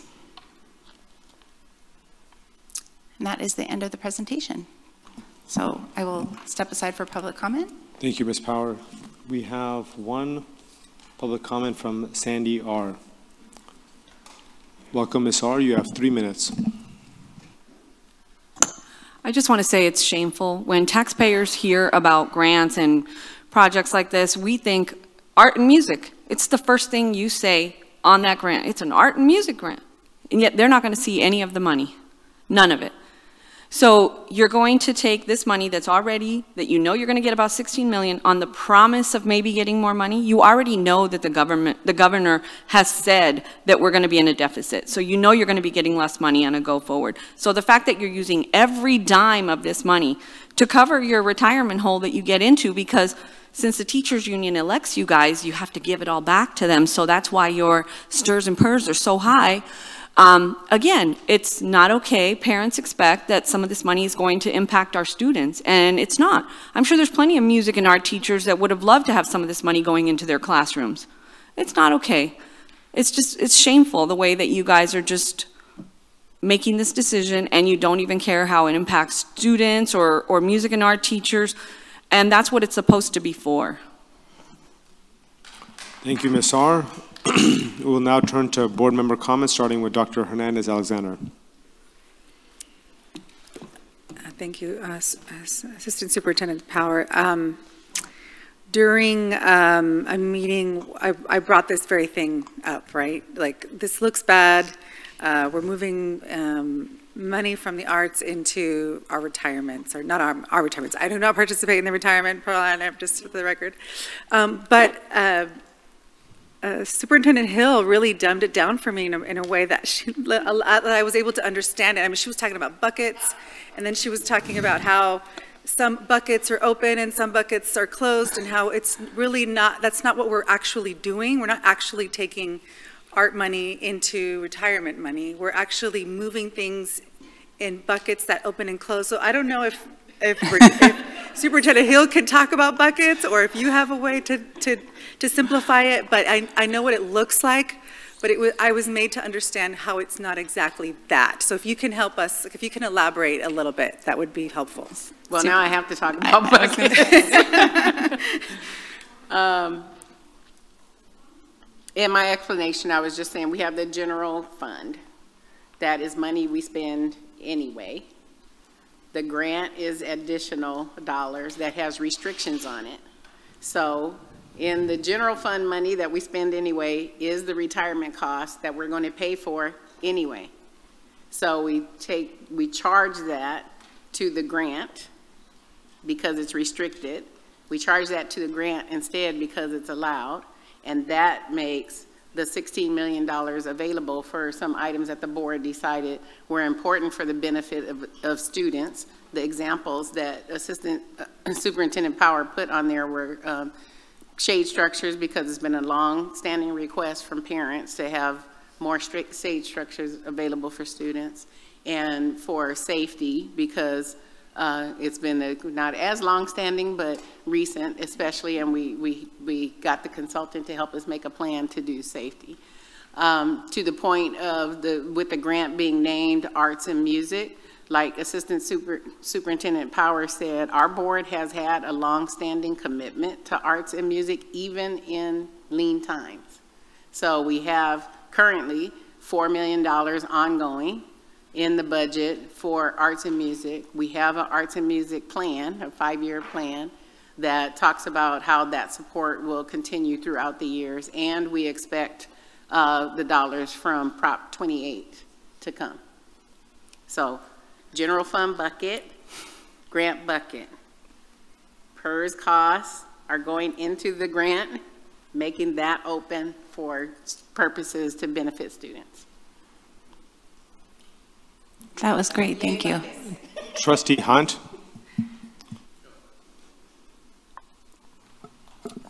Thank you, Assistant Superintendent Power, and thank you, Superintendent, for that explanation. I know that just to her point, going back to 2008 and 9 and 10, when we, when this district had to cut from a $430 million budget, 105 million, we never touched the arts. And I'm not thinking we're changing it now. Um, so how does, because you, you had me at shade structures, how does, uh, you're going to transfer this money, I'm fine with that. It, the legislature may call it the arts grant, but they, you know, they, I mean, they have four, five different items you can spend it on, including COVID and developing diverse book collections and culturally relevant texts. But, so you're going to get some of that money from 78? Is that, uh, I'm sorry, what, what? No, 98, I know it's, 1% has to be for the arts, right? So depending on, is that where it's all coming from, or do you have other buckets that you're going to be choosing that money from, which allows us to broader? All right, can you clarify? Yeah, Are you No, talking I mean, yes, for everything that we're going to use the 16, we're taking the 16.9 and putting it where we're allowed to, which is, uh, uh, it, it talks about those. The o- operational costs, yes. So where's the other, where's the replacement 16.9 coming from exactly? And when will it be here, and how do we buy shade structures with it? Yes, so the, I, I do want to clarify that the amount is 16 million estimated, but it could be 24 million. It could be somewhere in between 16 million and 24 million. I just want to, everyone to understand that this, approving this plan will be for whatever the total amount we end up getting for this uh, grant, because you saw we had $80 million in STRS and PERS costs, so we have uh, plenty of costs to spend these dollars on. Now, those funds will come from the state allocation. We already have received some of them because the allocation is for this year. Okay? Um, We will, it will be trued up once the budget is adopted for next year. And then we'll be able to spend those dollars on STRS and PERS, thus freeing up what we already have in the budget for 23, 24 um, for shade structures and safety and security. And that will be 23 and 24 in states, um, for the shade and the security? Yes, and then as long as it takes, if it's five years, we have those funds, it's now, it will now be unrestricted and no timelines. So the board can put it in the fund balance and then spend it on shade structures over the years as, as it, you know, as building the shade structures will take some time. Good. I, I know when I was at Lake Mathews today, even though they have two nice ones, uh, that was one of uh, the principal's concerns was about shade, and I know we're going to plant some trees there, but shade's very important and security. So I want to commend you for uh, your ingenuity here, uh, thinking outside the box, because school district funding, I've always been impressed, not with wow, but wow, how, do you operate a business like, like this? And so uh, I'm glad you went out there, and I appreciate Assistant Superintendent, and I'll be glad to do a motion when you're prepared, sir. Thank you. We have further, further comments before we get to that point, uh, starting with Student Board Member Briscoe. Hi, so I do have a question. So, kind of frank, but I know that we've, if I'm right, we recently expanded uh, musical groups to go into fourth grade, right? So, with this money, are we going to see anything physically different within our music programs? No. Okay, that's it. Okay, thank you, Student Board Member Briscoe. Uh, Trustee Lee. Uh, Thank you, Dr. Farooq. So this is a little bit repetitive, but um, I I- I had the same concerns as Dr. Alexander mentioned regarding, um, you know, are we finding a loophole? Are we operating, trying to find ways to circumvent the intentions or the spirit of of this grant? Um, But I think you just have to keep reading, right? It says arts, music, and instructional materials discretionary block grant, right? So it is a terrible name, no doubt Mhm. about it, it's a terrible name. Um, But it's, the intent, obviously, by the legislation, by listing these uses, uh, is that it was to provide discretion to districts to allocate the funds as best need possible. We're fortunate as a district that um, we've been committed to the arts, uh, so much so that we put an arts plan together a few years ago and have increased funding over the years towards that plan. So while, yes, it would be nice to have, I think we had a, I think we called it like silver, gold, and platinum, or one, two, and three, and we're at that middle tier plan. Um, would it be nice to have that, that third plan? Yeah, of course it would be nice. Um, but when we went through the process of talking to the community, talking to school sites, we identified the need for student safety, which we heard a bunch of parents out here tonight talking about student safety and making our campuses more secure, and also the shade. Right? That retirement has to get paid no matter what. And it has nothing to do with negotiations with our bargaining units. It has to do with what the state allocates, the percentage of, of uh, our, our commitment to the retirement system. So that's going to get paid at a sum bucket, no matter what. So to me, this makes the most sense, um, despite the terrible name for the grant. And I'm Mhm. just grateful that there's uh, extra funds that the state is distributing back to the communities that is going to allow us to keep our commitments uh, to our employee groups, but still providing um, some safety and a better physical environment for our students uh, to attend. So uh, I want to commend you, Ms. Power, and your team for, um, you know, presenting this in the way that you did, kind of sharing that and demonstrating that, that we are acting in the spirit of this grant um, and trying to make that clear despite the terrible name from Sacramento. So thank you Thank for you. that. Thank you, trustee Lee. Trustee Kinnear. Thanks.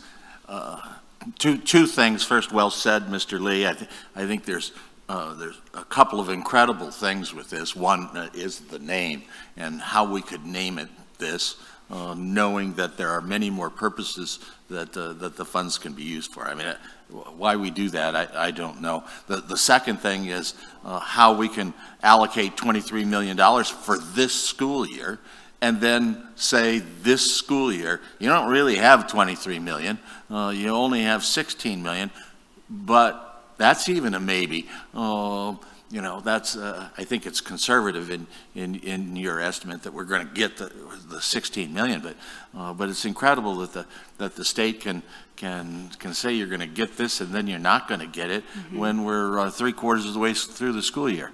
Uh, and I think my last point would be that if there is more money uh, that, that comes from this grant, then you're going to bring that back to us uh, when, uh, when, when, when that comes. That we're committing 16.1 million uh, to do the shade structures and the, and the, and the uh, uh, security.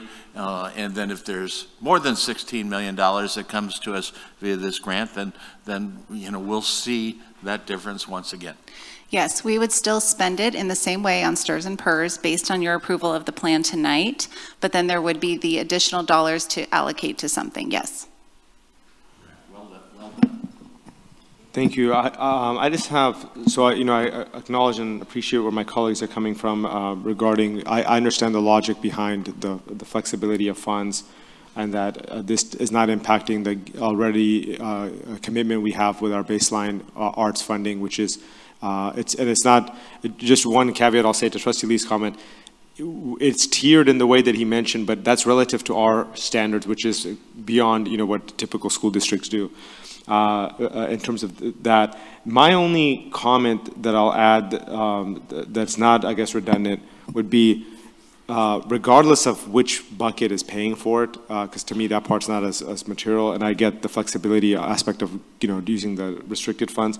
But um, if there is a scenario where we, when you're getting a, a, a grant that is that's being marketed and branded in this context of increasing whatever the overall baseline of arts funding for the district is. You said it's four million, right? Uh, and then uh, we're potentially anticipating seven million from that uh, state proposition. That's 11 million. If, if, if there's overall a net greater positive than what the, the existing baseline was, um, uh, you know, with this maneuverability, it, I, it, you know, I think that would be something good to explore. Is there something you want to say? Okay. Um, Yes, Dr. Farooq, thank you. Um, If there, if there were uh, additional dollars, then we would use a process similar to how we did with the, um, the funding workshop, because we got a lot of information from stakeholders and board. You took a lot of time to consider your priorities. um, And, you know, as Dr. Hansen used to say, we can do anything, we just can't do everything. So of course, there's a, a, a leftover list of, of other um, things that, that we could fund.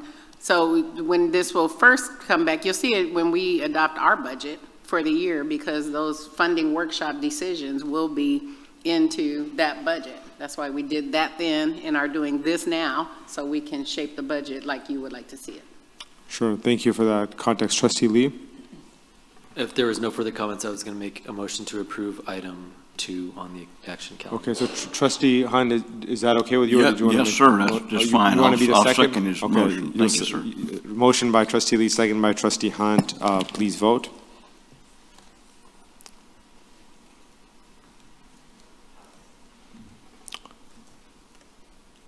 All right, uh, the motion carries unanimously, and uh, I've been requested for us to take a 10-minute recess, so we will re-adjourn at 7:53 PM.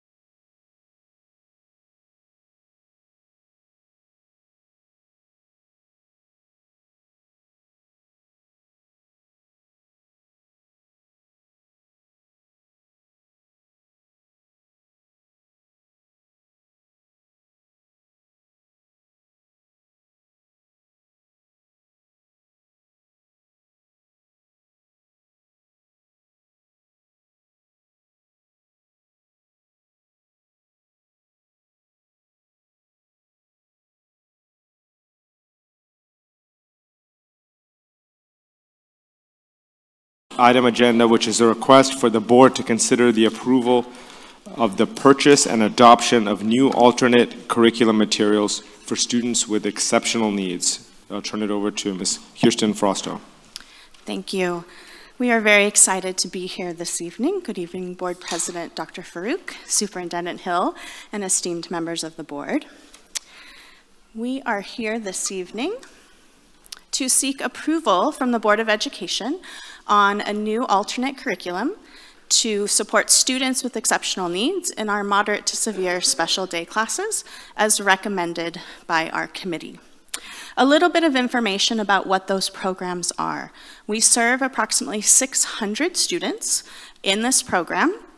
It serves students with varying abilities who have developmental, many have developmental delays, the programs provide increased intensive supports. What that looks like is some smaller class sizes with a reduced student to adult ratio, as well as a focus both on academics, as well as social skills and our functional life skills so that we can ensure we're preparing our students for that transition to adulthood and the workforce. In order to help you consider this recommendation this evening, we'll be covering three big buckets of items. One, a review of the process that we used and our committee, as well as hear from two amazing educators who participated as committee members and also piloted the materials, and then a review of the cost and fiscal impact of those materials. So as we looked at considering these materials and selections, it was very important for us to align to our district priority, specifically learning for every student every day, and also our four instructional focus areas as outlined by Superintendent Hill. We're very grateful for the support of our adoption committee. We have, as I said, two members here this evening, and I also want to express a special specific thank you to Ms. Kelly Sugden, who's joining us this evening. She is a staff development specialist for special education, and I want to really commend the value of her leadership and facilitation of this entire process. Our committee uh, consists or includes teachers, administrators and support staff from across the school sites and also uh, departments across the district. The adoption committee members were responsible to represent their school sites as well as the grade spans that they serve.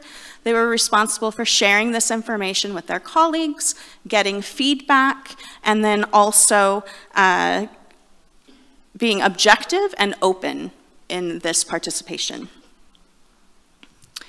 A brief overview of our adoption timeline. We began this work in early September, looking at uh, composing the, or collecting the uh, committee members and their interest, and also planning for the process. In October, they met to develop guiding principles for how they were going to evaluate the materials. Throughout November, they engaged in those activities, evaluated the materials, and narrowed that focus to consider two for piloting, which kicked off at the end of November. In February, the team reconvened and they went through some consensus activities to come up with the recommendation of Teach Towns Encore. From there, the materials went on public display beginning February 14th, and then pending board consideration and recommendation approval tonight, there will be professional development this summer and fall. To give just a few more details about each step, to determine the guiding principles, the team looked at the California state standards, as well as looking at research-based practices for supporting students with exceptional needs. They developed those guiding principles that included high quality instructional practices, that looked at increased access and equity for our students, the support of our students who are English learners, as well as support for functional life skills and the supports for transitioning to that adulthood and career and world readiness.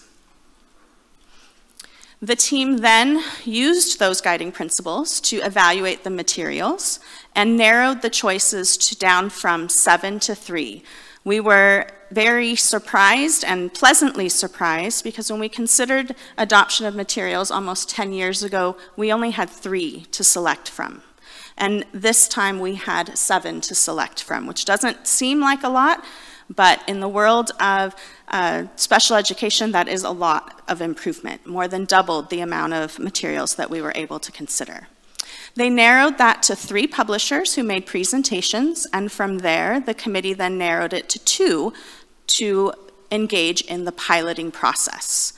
The end of November, those two publishers came and provided training to the staff or to the committee on how to access the uh, programs online, how to utilize the student and teacher materials, and then the pilot began with Teach Towns Encore and Unique Learning Systems and 2Y.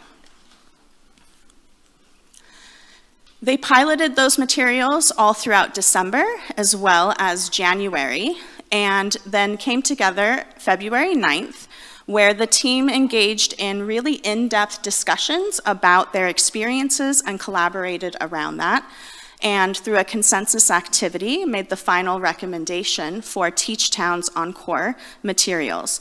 The things that were strengths that really stood out were one, the comprehensiveness of the materials that they included all subject areas, reading, language arts, math, as well as history, social science, and science.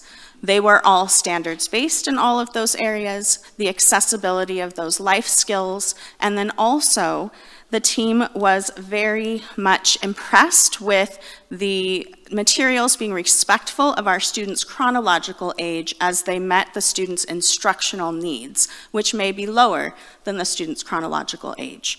It also, by doing that, allowed students to really be included more in general education environments. An example of that here is uh, the adapted literature that's provided from our middle school program in this program for Teach Town. You can see from those titles, those are titles that you would find in any general education class. And so our students, the material on the inside is adapted to their level and it's at three or four different levels so that students, no matter what that varying ability is, can engage with that. Another example is the transition to adulthood lessons. You see an example here that is looking at how to make a purchase with a credit card. So students will learn that skill in the classroom through videos and practicing that skill with the manipulatives and things. And then that's followed up by going into the community on community-based instructional trips and practicing that and generalizing it to other, to the real world. At this time, I would like to give an opportunity to our two amazing educators that joined us this evening. First, you'll have an opportunity to hear from Rimi Raman, who is a teacher of grades four through six at Emerson Elementary School. And then following her will be Lisa Murtaugh, as you heard, teaches ninth through 12th grade at Poly High School.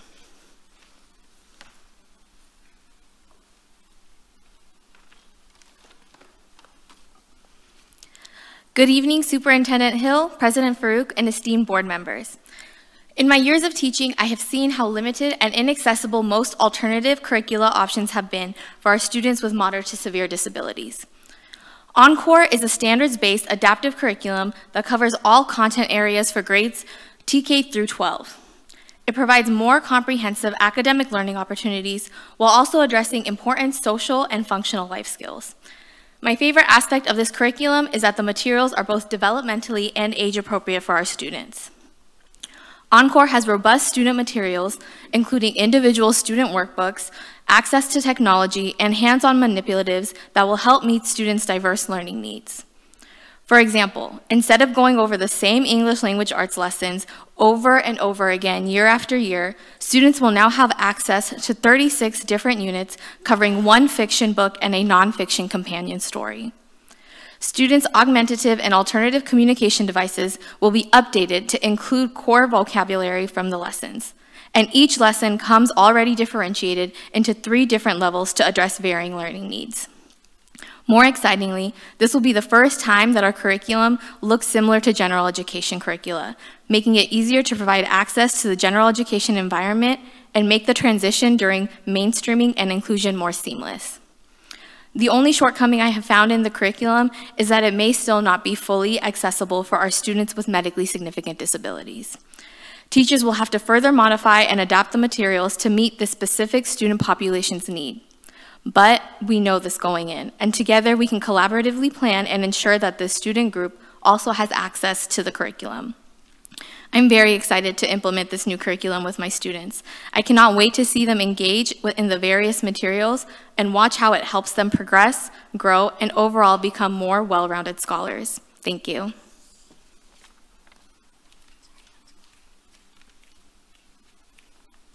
Good evening. Um, the first question people ask a teacher is, what do you teach, especially if you teach at a high school? My response is, I teach many things, but it's who I teach that's my favorite part. I teach students with a wide variety of abilities. What that looks like in my classroom is this. One student may have a goal of needing to find their name, and another student may have a goal of to answer comprehension questions after independently reading a third grade level text. You can imagine that it would take a very sophisticated curriculum to meet this range of needs. Encore holds many of those keys. Among the expanse of the Encore examples, the one that grabbed my attention the most was the ELA. This curriculum has explicit phonics instruction that's much stronger than our current curriculum. In the area of literature, over 100 titles are at our disposable, disposable, disposal. Um, 35 to 36 of them are actual novels, with authors such as Booker T. Washington, Jane Austen, Leo Tolstoy, and others will be able to give a more diverse and equitable perspective of our world to our students. The included functional skills part of the curriculum, as you saw up there, has explicit photo task analysis, including cooking, health, and life skills instruction. I'm eager to dive into these new tools and challenge our students to become as strong and included in their world as possible. Thank you.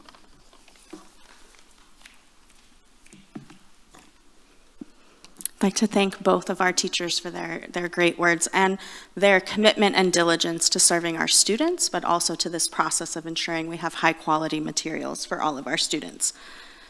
The next step in our process was to put the materials on public uh, display at our central registration center that began on February 14th, and in fact they are still there today if anyone would like to come and see them.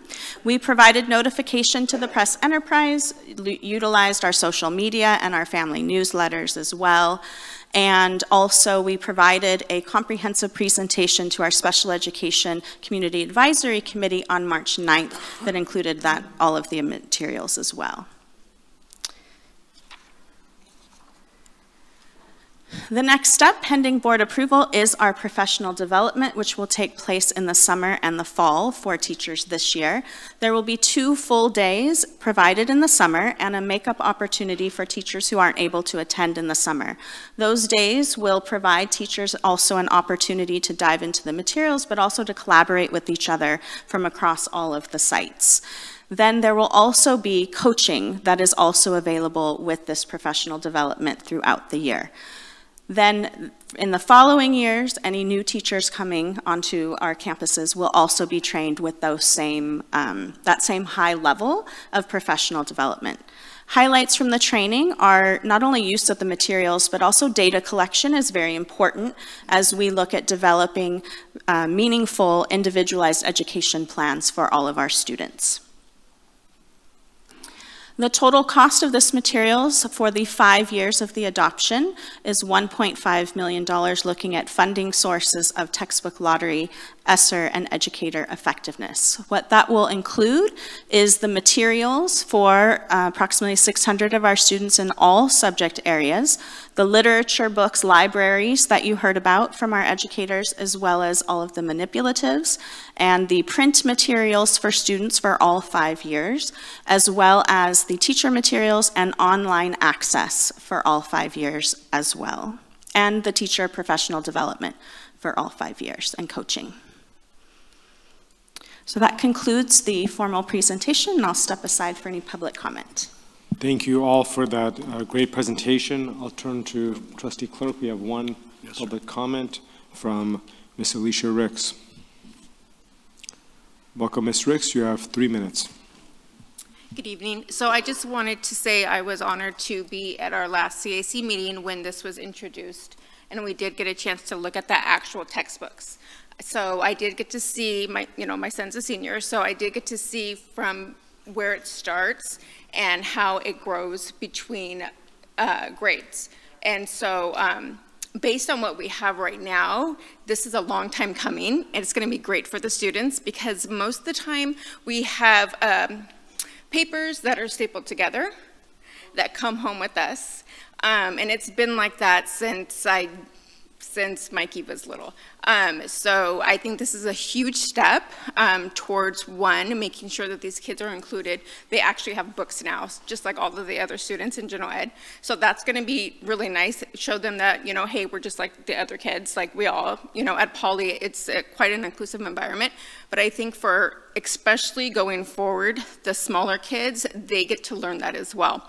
Um, so I just want to say thank you. And then, um, Thank you, Kristen. And then it was just really amazing to see like these books and how it's going to affect all their lives. Thank you. Thank you, Ms. Ricks. We'll now turn to our colleagues for comments and questions, starting with Dr. Hernandez Alexander. I, I, I want to first, um, I want to say thank you to Director Fausto for, uh, Fausto, sorry, for uh, bringing Encore, um, for the way that you um, brought it forth, the way that you shared it with the public, the way that you got engagement from teachers. Um, and I wanted to say thank you to um, Ms. Uh, Rahman and Ms. Murtaugh for your devotion to uh, our students and the love and the care um, and the way that you share that with our students. It's incredibly valuable. Um, I feel very comfortable with the fact that it's endorsed by a parent uh, of an exceptional student. And so I, uh, I just want to say thank you. I, I did review this, and I, and I think it's, it's incredibly helpful as it relates to life skills. Um, I love the fact that they're going to learn you know, how, to, how to do an ATM machine. I mean, we, we could all learn how to use a, a credit card and how to check out at the grocery store and that kind of stuff. I, I, I feel very comfortable and very happy that it's both um, you know, academically stimulating, but also provides very tangible life skills. And so I, um, you know, kudos for, uh, for asking, for bringing forth the Encore uh, curriculum, and I'm really happy to, to see it move forward. So thank you. Thank, thank you, you, Dr. Hernandez Alexander. Trustee Kinnear. My notes aren't particularly organized because I didn't have a chance to see the materials until today, but I did look at the materials. And first, I assume that not all the materials are there because I saw, yeah, uh, I saw like samples of the materials, which is, which is different than most adoptions. So I was a little surprised by that. Uh, I saw the, like the 15 pound work, workbook my gosh, that's the biggest workbook I, have ever I've ever seen in my in uh, in in my life. Uh, I tried to look at the manual, et cetera, et cetera. I, I was I looked more at math than I did at uh, at other things, and uh, although uh, in in some of the materials I saw a lot of functional, you know, life skills. there were you know, I also saw some of the, the standards-based things. And I know that in these classes there's a wide variety of, of, of, student ability levels, but some of it was worrisome to me. I mean, when we're looking at, uh, um, at, uh, at, you know, practicing uh, graphing of absolute equations, uh, you know, I, I get, and I got a little nervous, is, is this practical enough for what many of our, our, our, students need. I trust your judgment that you can adapt to that, and I assume that that's what you meant by uh, saying that it might not be fully accessible. Is that, is that, what, is that what you meant? Yes, so for example, I have students in my classroom, in my um, elementary classroom, who are nonverbal. A lot of the work right now, they need a lot of physical prompting. So in those types of situations, yes, but we do try our best to make it as accessible as possible. It is going to take some work on our part as teachers to try to make it as accessible as possible for those well, kiddos. I hope that we give you the support that you need in order to, uh, to make it more fully accessible, because I, I saw some real challenges uh, with some of the standards-based when I know that many of our, our, uh, our kids uh, need to, to, to, to, have functional skills like the credit cards, et cetera, et cetera. Uh, so uh, if, if you need other things, you, you, need to make sure that you, you let district staff know that. Thank I have you. one worry, and here's my worry. Okay. We're approving five years' worth of materials. And the last time we adopted materials was 10 years ago. Yes. That scares me, uh, that, that we're, uh, I mean, I mean, I know how money goes. Uh, it scares me that we're only adopting five years when, uh, when the last time we looked at this was, was 10 years ago. So how, how, do, how do we account for that?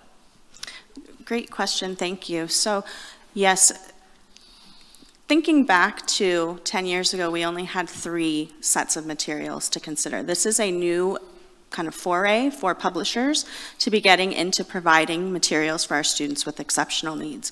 We're very excited now that there are seven.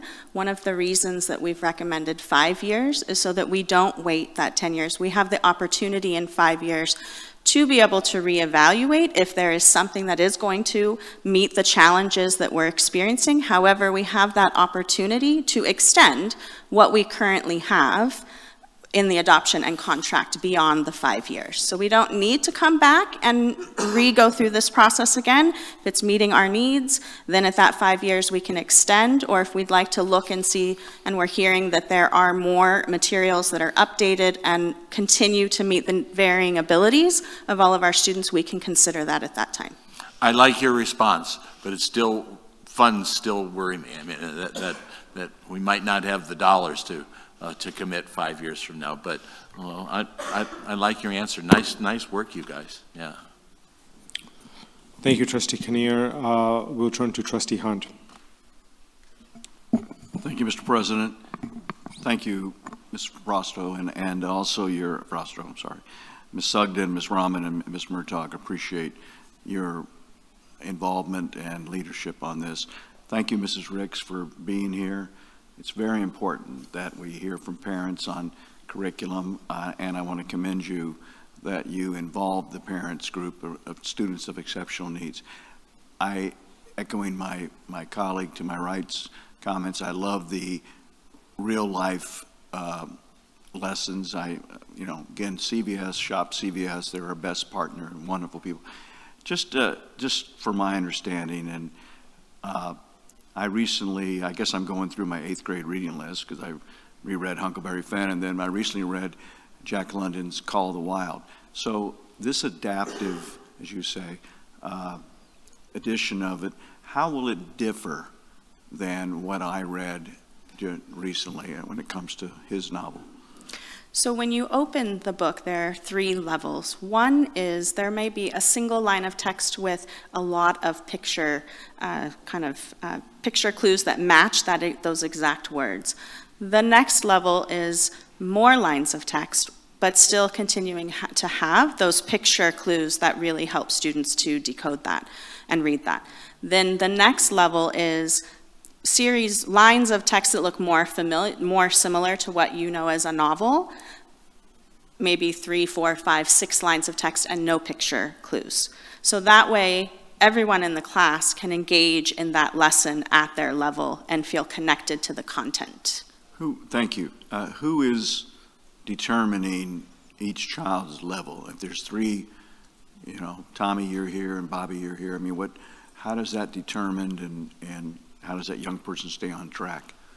In special education, we do a number of assessments, both formal and informal, of students' progress. So teachers do an excellent job of keeping track of students' progress towards, as Mrs. Murtaugh said, the goals and making sure that they're aligning those materials to the student needs and to those goals so they can continue to progress. And they continue to, I mean, uh, I might be starting on, on the one modular, but she or he or she might see that I can, okay, so I can transition up and, and go from there. Exactly, and I don't need to trade in my book. That's all within that same text as everyone else. As well, the, that 15-pound workbook has the pages for all of those levels in that book so that students, that level can be met. And we have students with varying abilities in math, that might be my strength. And so I am more approaching to grade level in math, whereas in reading, I might be far below grade level. And so the materials, considering they're in all subject areas in that book, the teachers can then make that transition and the students much more easily.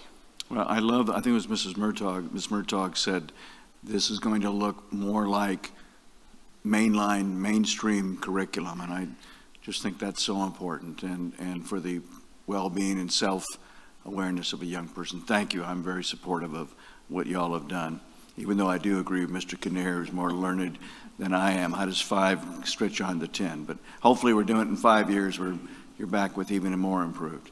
Thank you very much. Thank you. Thank you, Trustee Hunt. And I, I, I really want to emphasize, though, that I, the impression I got is the five years just gives us more options to, it, uh, committing $1.5 million is, is not going to be an issue uh, with, with that. Uh, Trustee Lee. Uh, thank you, Dr. Farooq. Um, yeah, thank you, Ms. Frausto and your whole team for this uh, thoughtful and thorough process. Um, obviously, we took some time to arrive at this decision, so glad that we found something that's going to work uh, well for our teachers and equip them to to do what they do best and support our kids with exceptional needs. Um, wanted to recognize Ms. Murtaugh since I think it was Ms. Morris at the beginning of the meeting mentioned that you know you're the reason why her son goes to school. So that's that's what the kind of things we like to hear as a, as a school board. Uh, those are the things that are exciting. It's great to hear these presentations and uh, and discuss policy and decision making, but the actual impact that our our teachers are making on students is what we want to hear. So thank you uh, for, for being his reason to show up, and I'm sure that goes the same with for you as well for many of your students. So thank you both for being here this evening and, and being part of this process and making impact on our students. Um, yeah, let's. Um, a couple questions I have. I mean, I'm supportive of this first and foremost, so I will be voting voting yes. Um, and I, I, recognize my my two colleagues' concerns about you know the ups and downs of education budgets, but um, I think you you invest in the things that are, are value, and you find the money that for things that are important. So, despite where we are five years from now, um, we're going to need some kind of a curriculum for for for students with special needs. So uh, we'll have to find the money to, to do something for them. Um, as far as uh, some of the shortcomings, right, there's no perfect solution for students with varying de degrees of abilities. Um, I'm glad that we're acknowledging that now. And then hopefully because we're acknowledging the shortcomings of this, we have a plan to fill those gaps ahead of time. We don't wait until the school year starts and we're like, oh wait, this doesn't work for these groups of students. Um, we start working on those, those now. And even if it's um, stapling papers together, which I know are not ideal, but whatever it is to, to, to address the needs that, that these, these, this curriculum doesn't uh, address, I hope we do that now, and I know that we have the staff that's capable of doing that. Um, uh, English learners were mentioned in one of the slides, but we don't really talk too much about how this curriculum uh, addresses the needs of some of our English learners. So can you talk a little bit about that? Uh, and is, is this is that another shortcoming, or does this have uh, the capacity to also address the needs of our students learning learning our language of English? I'll provide a brief response and then turn it over to um, both of our teachers who really dove in and piloted the materials. But that was one of the guiding principles that was important to the committee that they look at. We know that students who have disabilities and also English learners, that is a, a uh, student group that we really need to pay very particular attention to. So one of the things that they really looked at was the language support, even for students that maybe express language in different ways. As uh, Ms. Rahman pointed out, we have students who may not be verbalizing, but they have uh, picture exchange communication systems that they are able to communicate with. So looking at how we are supporting that language acquisition through those many means. And I'll turn it over to one of them to provide an experience. As they're coming up here, could I ask a question on that? So is that a best practice? I mean, I'm not a, I'm not a teacher, by, and I have no experience in special education, but is that a, an effective best practice to help move our students with that, that do have are identified as uh, need, needing extra special identified as special education um, and also English learners. That's, that's the best practice. Yes, and we have engaged in with uh, trainings and across the state in partnership with our curriculum and instruction team with learning about, there is a, a whole uh, guidance document on how we can support students who are identified as English learners and identified as having some kind of disability as well. So we engage in those conversations a lot from how students are identified for special education so that we are not misidentifying students that are really just needing more time to acquire language and it's not really a disability to how we provide those supports when they are identified from everywhere from the general education class to a class that's supporting students that may not have as many verbal skills and are looking at more of a functional life skills curriculum. Okay. I'm going to give an example. I think that's what I'm doing. How the materials Um, support how- English learning. Yeah, so in, in my class, I have a student who has an ASL interpreter. Um, Many of, many, four to five of my students have um, assistive technology like an iPad where you touch a, a button and it speaks for you, th- which they use with varying degrees of uh, proficiency. Um, So language is a constant instructional issue in, in our class. There's, I, I think we tested seven EL students. We do a rotation program on our site, and so I, I have 30 kids, there's 15 on my caseload, but we rotate them through. So in our program, I think we um, did the ELPAC test on seven. So everything we do is language. That's why I liked this curriculum, because the, the ELA component was very strong. Um, I love teaching phonics to my students. They, a lot of them pick up on it quickly, some of them not so much, but the ones who do can really advance and move forward.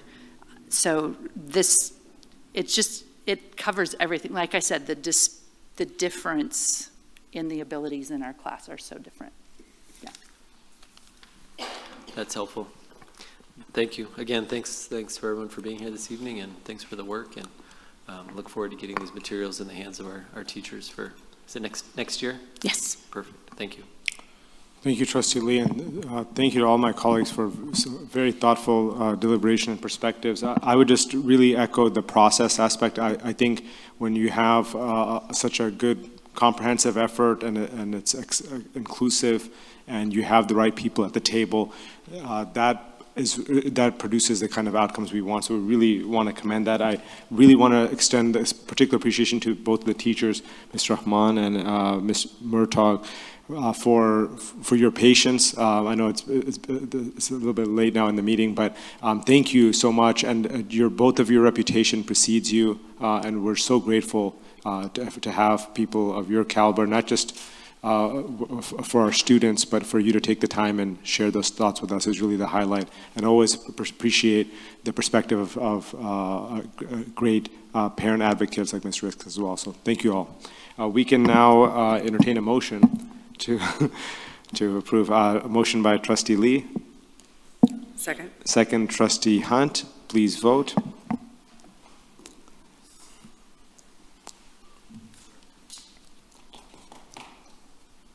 Okay, the motion carries unanimously. Thank you all. Okay, our next agenda item is uh, one that the board looks forward to, and that's the adopting resolution uh, 2022 s- d- slash 2023 dash 72 uh, regarding classified school employees week, May 15th through 19th. And I'll turn it over to Ms. Ibarra to lead us through this, this agenda item.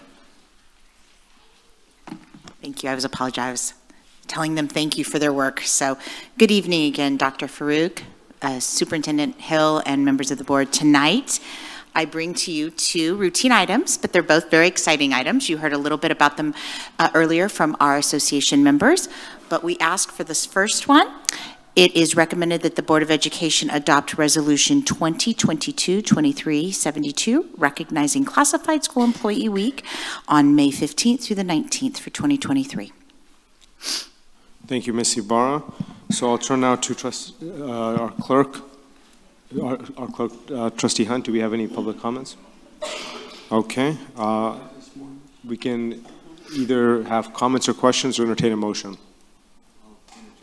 Motion by trustee Hunt, Second. second by trustee Kinnear. Please vote.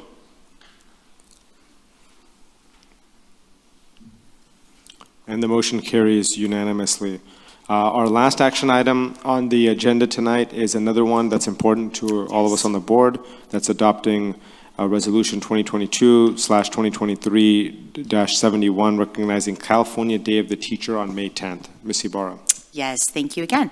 So this is, again, Ms. Bowling kind of gave away the, the big news, but it is the recommendation that, to the board, that we adopt Resolution 22, 2022-2023-71, recognizing California Day of the Teacher on May 10th for 2023. Thank you, Ms. Ibarra. We're very grateful for all of our 4,000 plus employees uh, in, in um, both capacities. No public comments. Uh, Clerk uh, Hunt, we can entertain a motion or questions. Motion by Second. trustee Lee, second by Dr. Hernandez Alexander. Please vote. And the motion carries unanimously.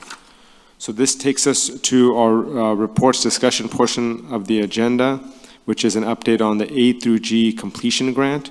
And I'll now turn it over to Dr. Jamie Angulo. Welcome, Dr. Angulo. Thank you. Good evening, President Farooq, Superintendent Hill, and members of the board. So I am excited to provide an update on the progress of our A through G improvement grant plan. So last year, the state allocated funds to all districts in the state with the purpose of providing additional support, uh, additional support to school districts to increase A through G readiness uh, for students who graduate. The plan was presented and approved by the board in, in April of 22. The purpose of tonight's presentation is just to report on those action items that have been completed so far this year. And this visual capture, captures our board priorities and how it aligns with our report this evening. The A through G improvement plan aligns to the priorities of student learning, A through G completion, and our ongoing work of preparing students to be college, career, and world ready. The 3.6 million in funds are specifically allocated to improve A through G eligibility, and it is through June of 2026. And this slide is a reminder of what A through G is. Um, there are 15 required courses for acceptance into the CSU UCs. The, it, the A through G aligns to the subject areas that you see listed on the slide. They are minimum requirements. Some areas recommend more. For example, you can see in science there, uh, line D, uh, the recommendation or the requirement is to have one year of a lab science in physical science as well as one year of a lab science in the biological science, but the recommendation is to have at least another year. Here we have the A through G uh, data for the last 11 years. Uh, last year we were at 52.3% district-wide. Uh, we did see a slight dip from 2021. And the overall actions for the grant include the six categories that are listed on the slide, and I'm actually going to go into detail on each one of those categories in the upcoming slides. So starting with the A through G awareness campaign. The campaign includes elementary, middle, and high school and is led by the high school principals, uh, working with their cluster of schools, which includes all of their feeder schools. Uh, the goal is to make A through G a part of the culture and expectations for students starting in TK. Uh, the plan includes culture building, early understanding of A through G, importance of a rigorous course of study, and just what it means to be college and career ready. And part of the campaign incl includes just one small component of it is uh, A through G gear. And I just want to show you some examples of what has already been started.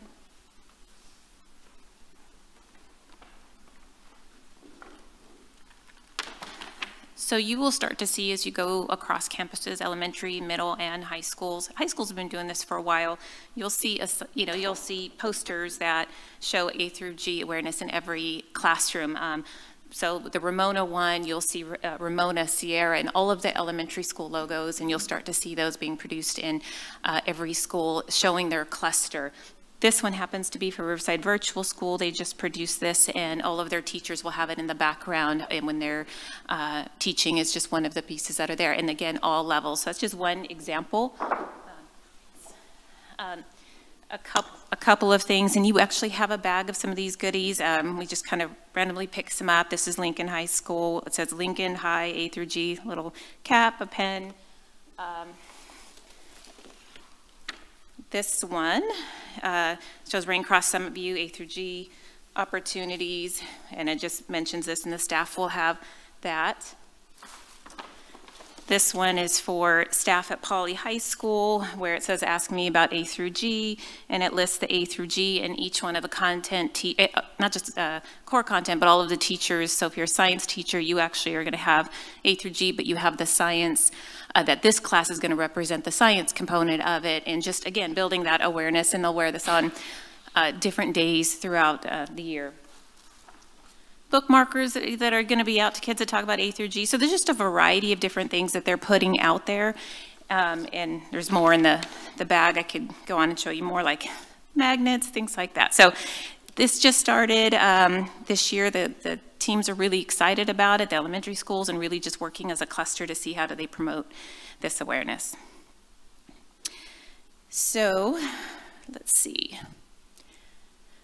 The next bucket item, and I want to spend a little bit of time on this one, uh, it's transcript analysis, and, and you know, we do transcript analysis for individual students and system-wide, and we look at, um, to determine individual, uh, where students individually can improve, but also system-wide where there might be some barriers and what we need to do to remove those barriers. It can tell us uh, if students are struggling with access or success, meaning that a student doesn't have access, isn't able to take the course for whatever reason, or maybe they are and they're not successful in it. So it's two different things that we're looking for in the transcript analysis. Um, we also, we do transcript analysis for, like I said, a variety of different lenses that we look through. We are, we have completed transcript analysis in middle schools, which is fairly new. We, that is not something we have typically done, but we look for uh, high school readiness um, when we do middle school analysis. And each of the sites participated in that. And I'm to give you some examples of what we, we found. Um, one site found that special ed courses had a disproportionate number of failing students. So the administration provided professional development on scaffolding strategies to special education education teachers so that we can have success for the students in the courses. The focus shifted to um, like mastery versus compliance. Another middle school reported that they identified African American students were disproportionately failing science. The counselors did a focus group with students who had failed the course to hear their reasons or their perspective of the course and what that, uh, why they believe they failed. And then that information was taken back to the teachers. The MTSS liaisons worked with the teachers on the feedback and how we can uh, support students in the classroom. Another middle school uh, took the high school readiness report and created that into their school plan goals and how they can improvement, improve. Another uh, piece that we take from our data, and this is another middle school example, when we were going through it, we realized that some sites were using different course codes for how, so it could be for ELA, just different course codes that weren't aligning with CalPADS. And so for us, it was a, a way to do some data cleanup. So it, it, it told us a lot of information. That is just middle school. 11th grade, we do uh, the analysis in the spring to make sure that we identify students that really we really need to target for to take summer so we can personally invite those students to go to summer school to let them know to make sure they're ready for graduation. We also do another round uh, right after summer school is done in July for our uh, seniors that took summer school.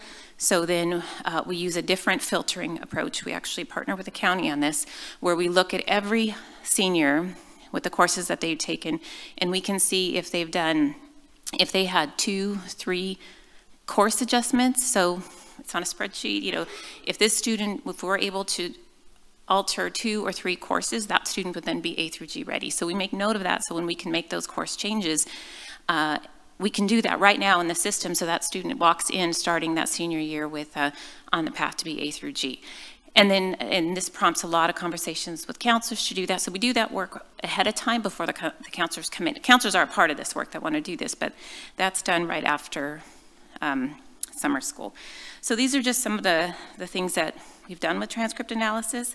We have been partnering with the County Office of Ed to assist us uh, because of the programming they, they use with uh, some of the transcript analysis. However, we have excellent programmers in the district, so we've invited them to be a part of our transcript analysis. And they have done such a fantastic job. They've duplicated the process, so we we um, are about 95% done, and we'll be able to do all of that work in-house uh, this fall. Our ninth and 10th grade have a, a variety of program monitoring, which includes academic plans, screener identification, and so on. All right, academic planning. So all students will have a four, um, have a four-year plan in Aeries. It's our student, uh, it's a four-year plan in our student information system that students are actively involved in, which gives them student agency. They can see as they plan the next four years what courses they need to take to, in it, to be A through G ready on that. Here's an example of that, and uh, last year this was presented here, but this is an academic plan and it shows how a student can say this, you know, what's in green they've completed, what they're currently enrolled in, and what they've planned. Parents can see this as they're planning because they're going to make changes, but when they go and make changes, they're not starting from scratch. Or, you know, they're they're modifying the plan. They're looking at it. They can see out on um, the next four years. Additionally, uh, middle school is um, also working on. Sorry, I'm going to go back here. Uh, middle school is also doing the the plan as well, but it's not a six-year plan. They're working on the two-year plan with the students for their incoming seventh grade and eighth grade. So by the time they get to high school, they've already seen this plan, they've already worked on this plan, and then they work on their four-year plan for that. Okay, moving on to the grading initiative. So this year we started our first pilot of the grading philosophy at the secondary level. We had a first cohort of 28 teachers that started first semester another cohort, that's uh, 14 teachers that began second semester, and we're currently recruiting for the 23-24. We intentionally were small in the cohort to really get feedback, to know where we needed to make those adjustments uh, from the teacher, just hearing from teachers and students. And so the, the grading philosophy, through the grading philosophy, our goal is to make sure that students know the content and skills specified in the standards and that the grade is a clear and accurate representation of their mastery, not necessarily just the things they've turned in, but really their mastery, not the extra credit, not uh, non-academic behaviors such as, um, you know, tardiness and those type of things. So we know that grading for mastery with clear guidelines and expectations provide consistency and clarity on what grades mean. And so we, we worked with the county office to gather feedback, to get independent feedback from our teachers and students. Um, one student, I'm quoting, said, being able to have a second chance at something you didn't understand at first is a relieving feeling. One teacher said, one success I'm seeing is that students are not asking me how to get more points, but are asking for teacher help on understanding a particular concept, skill, etc. Student anxiety about grades are dropping and engagement is increasing. Um, we also heard challenges too. It's not just all uh, wonderful. Um, some of the feedback we've heard from teachers is that um, because it is heavy on standards-based grading, we really need to, they needed more rubrics on standards-based uh, grading and mastery, and so that's a lot of the feedback that we've seen. So we need to provide that support and, and give them rubrics in the different content areas because we have them across the board, so in ELA and math, and, and so that's what we've heard from teachers. It would really be beneficial to work on that, so we do have a plan moving forward to help provide that support. A through G course review and update. So as we completed uh, transcript analysis, um, we might find, or we have found, that uh, courses and course pathways that need to be updated or training that needs to be provided, um, such as at a particular site or even across district-wide. Uh, so one thing we did find is that we needed to update our special education math and science courses, and we did that this year uh, to provide an accessible pathway for our students with IEPs to be A through G eligible. Uh, prior to this year, it was the pathway made it very challenging for students with IEPs to be A through G eligible because of the current math and science pathway. So that has been updated.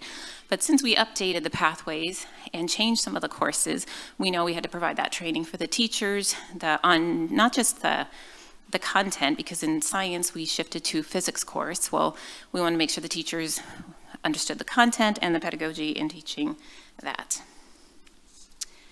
So we were able to, sorry, we were able to provide, let me get back one more, um, for teachers, for example, our 15 edu- uh, special education math teachers were provided a summer training, two pull-out days, two after-school opportunities. For our physics, eight special ed science teachers, we offered six after-school trainings, and those type of uh, supports are coming from this grant. A quote from one of the special education math teachers says, as a new teacher teaching in RUSD teaching math, this PD provided helpful tools and strategies to implement in the classroom.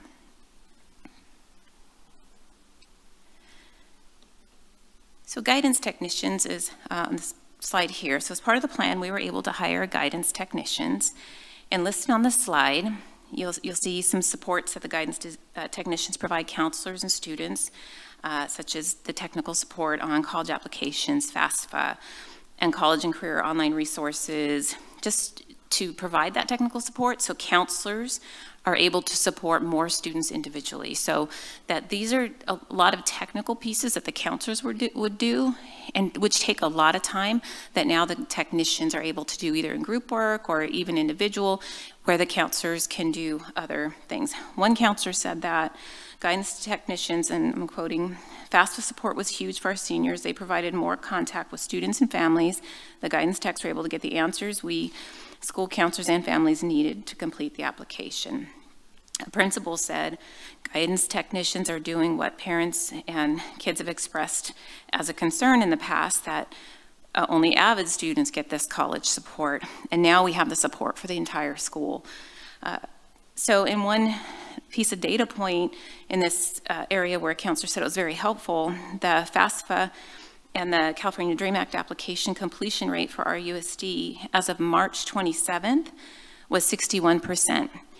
June 30th of 2022, we were at 55%. So we've already exceeded our last year's end um, total of 55%, and March 27th, we were at 61. So that just, it's an example of some of that support.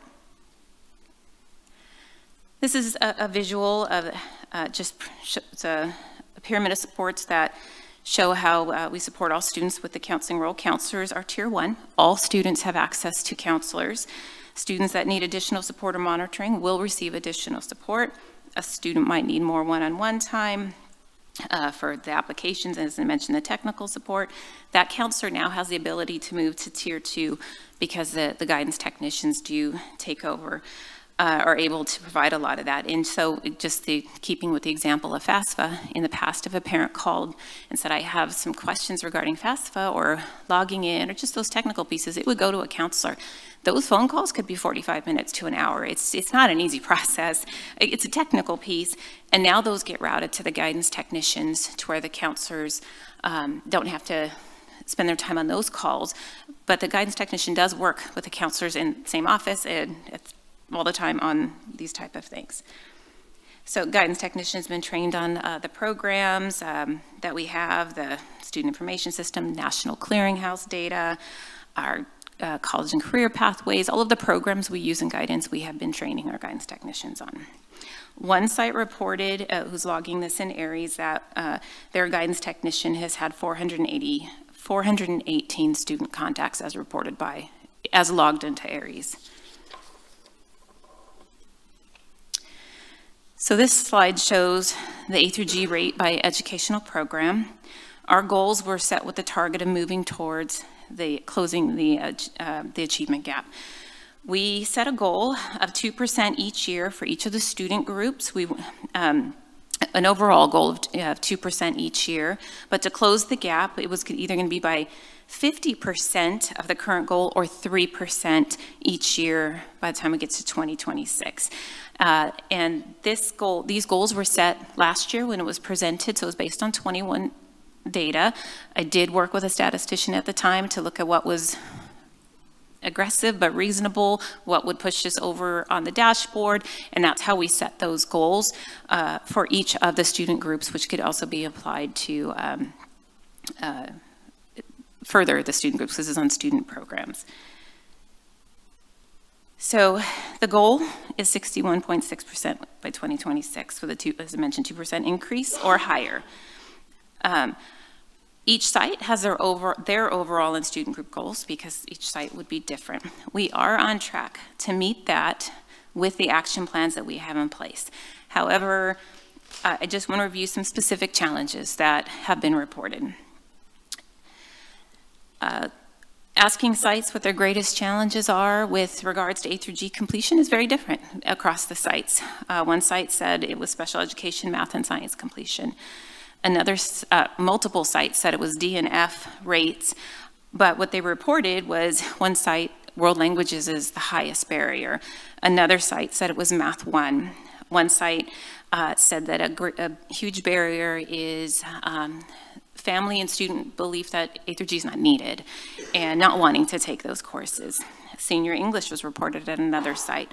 So um, also, uh, just providing services to our English learners um, that uh, just providing services to English learners that even though we might have newcomers that are ready and uh, academically prepared and will be A through G, we do have quite a few that aren't. And sites reported that it was difficult to provide those services needed to get them to be A through G ready. And so these are challenges that are reported by the sites. Uh, we do monitor a through G completion through a variety of ways, not just the end of the year, uh, what the state reports back. We have a number of ways to monitor it.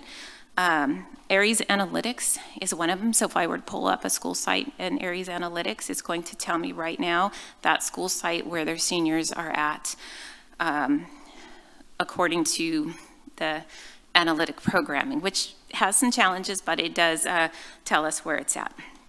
We have our academic plan. We have our internal college and career readiness dashboard that students have access to and we have access to, and it provides a little bit of a different lens. Our California Colleges Guidance Initiative, which we have students, uh, which we partner with them. All of our students are in the program, which it has a nice uh, four-year plan with them, and it does color code how, uh, what is A through G and what's not uh, for students and what they need to work on. We, as mentioned, we do our system-wide analysis, we do review of individual transcripts, we have programs that help support this, Heritage and Legacy. Uh, so we, we have a number of internal monitoring pieces on our data, not just the end of the year data. So another um, area, and I just wanted to make sure we mentioned it, that uh, math comes up um, frequently as a, as a barrier uh, in completing A through G. And as mentioned, that we did restructure our, our special education math uh, pathway. We've created um, uh, structured math one for special education and math two for special education. What I mean by structured, it's, it's just that it's a highly structured but core material it is core material. Uh, it's just a highly structured delivery plan of that. So um, all of those high yield strategies are uh, already set up ready for the teacher to deliver to be able to allow students to access uh, the curriculum. And we have we are developing, we have that in special education this year. We are developing uh, or planning to move that to general education for our students that are struggling in Math 1 to provide that highly structured Math 1 core level, grade level uh, mathematics for students. And then the following year, we are going to be developing our second level math and then also moving into middle school as a response to the data. We do have uh, uh, quite a, we have third year options that are in lieu of taking math three, uh, such as financial algebra and probability and statistics that will meet A through G. That is another option for our students to complete math. Uh, we have numerous fourth year options, but that third year is uh, a key component there. And then, of course, the UCs and CSUs do validate math courses if they complete uh, a second year or even the second semester or the later year that will validate the year before. So we definitely make sure uh, our counselors are in tune with that because we might be able to work with the students to get that A through, A through G completion through validation. So the grant has contributed greatly to our, our actions for the goals of increasing A through G. There's been uh, many successes and challenges that I've actually already reviewed some of those. I just wanted to point out a couple because um, some have already been mentioned. Uh, you know, the training, the transcript analysis has been great. Um, one of our challenges was that we really wanted to expand to include a lot more teachers for awareness and understanding. Uh, you know, substitute availability was difficult across the board, so we weren't be able to we weren't able to train as many, but that was uh, definitely a challenge. Um, guidance technicians, we didn't actually get them all hired and trained, which is extensive training on board, ready to go until November. So we actually haven't had them for very long. Uh, but those are just uh, a few. When I say expanding to middle and elementary, or as you mentioned, our A through G, or as I mentioned, A through G campaign's going well. We still have a lot more work to do in elementary and middle school. We just kind of got kicked off on that. And so those are just uh, some of the pieces there. And so I uh, definitely want to end on a, you know, on a positive note. Um, that I think it was mentioned by our student board member that we're in the we're in the notification season of college acceptances and it's a real exciting time for our students and it's not just for colleges it's for the military for the you know just knowing the next step is coming it's a very exciting time for our seniors regardless of if they're going into college career wherever they're headed but uh, we are hearing about many different scholarships and we just heard UC Merced accepted 61 of our students. UCR reported that 390 of our students were admitted, and we just got that information last week. So it's a lot of exciting things that are happening, and this is just one piece of that whole uh, puzzle there. But uh, I do want to uh, open up to public comments, but I also wanted to mention that Dr. Iacone is here, who uh, works extremely close with our counselor. She is the trainer of our guidance techs, works with our registrars, and has a lot of detailed knowledge on this as well. So we will be happy to answer any questions that you have after public comment. Thank you, doc thank you, Dr. Angulo. I just want to say that was a very excellent and a very comprehensive, thoughtful report. Really appreciate that. I'll turn to my uh, colleague, uh, our clerk, Trustee Hunt, uh, Sandy R.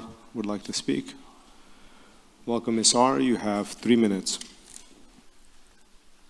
Great presentation. So um, I, I got to be part of that um, parent um, grading for equity um, program, so I kind of got a lot of the information about that. And there's a lot of that that I support. But one of the things that I have a concern with that I've said before is I want to see the follow through. So that was a great presentation, had a lot of information, but I think that we have to look at all the pieces of the puzzle. So we need to look at the A through G preparedness, but we need to look at. Um, I apologize. The timer hasn't been moving. Uh, that's okay. I probably won't use the full three minutes. But um, I just wanted to say that, you know, we need to look at all aspects. So we need to look at the A through G um, completion. We need to look at the, um, oh my gosh, the word is they're, they're um, know whether they're uh, proficient. They're profi we want to see if they're proficient in terms of the state testing along with the A through G and along with the graduation. Because to me, your numbers are all over the place. Like you have a really low proficiency, you're middle of the road for A through G, and then you're really high for graduation. So I think that as parents, we need to understand where's that disconnect. How do these numbers correlate? Why is our proficiency so low on testing versus, you know, are we just graduating the kids? Are we making sure that the kids, when they actually get to these universities, that they're prepared? You know, are we following up with these universities and saying, what's, what's the completion rate of our students? So you accepted 300 of our students. How many of them graduated? How many of them were prepared? Because I think that's the real important thing. We don't just want to say, okay, yeah, we graduated this kid. He went to this college. He got in debt and he didn't finish. We, you know, we have a responsibility to make sure the kids are prepared. And I just think parents need to see this information. Parents need to know this. How are you sharing this with parents?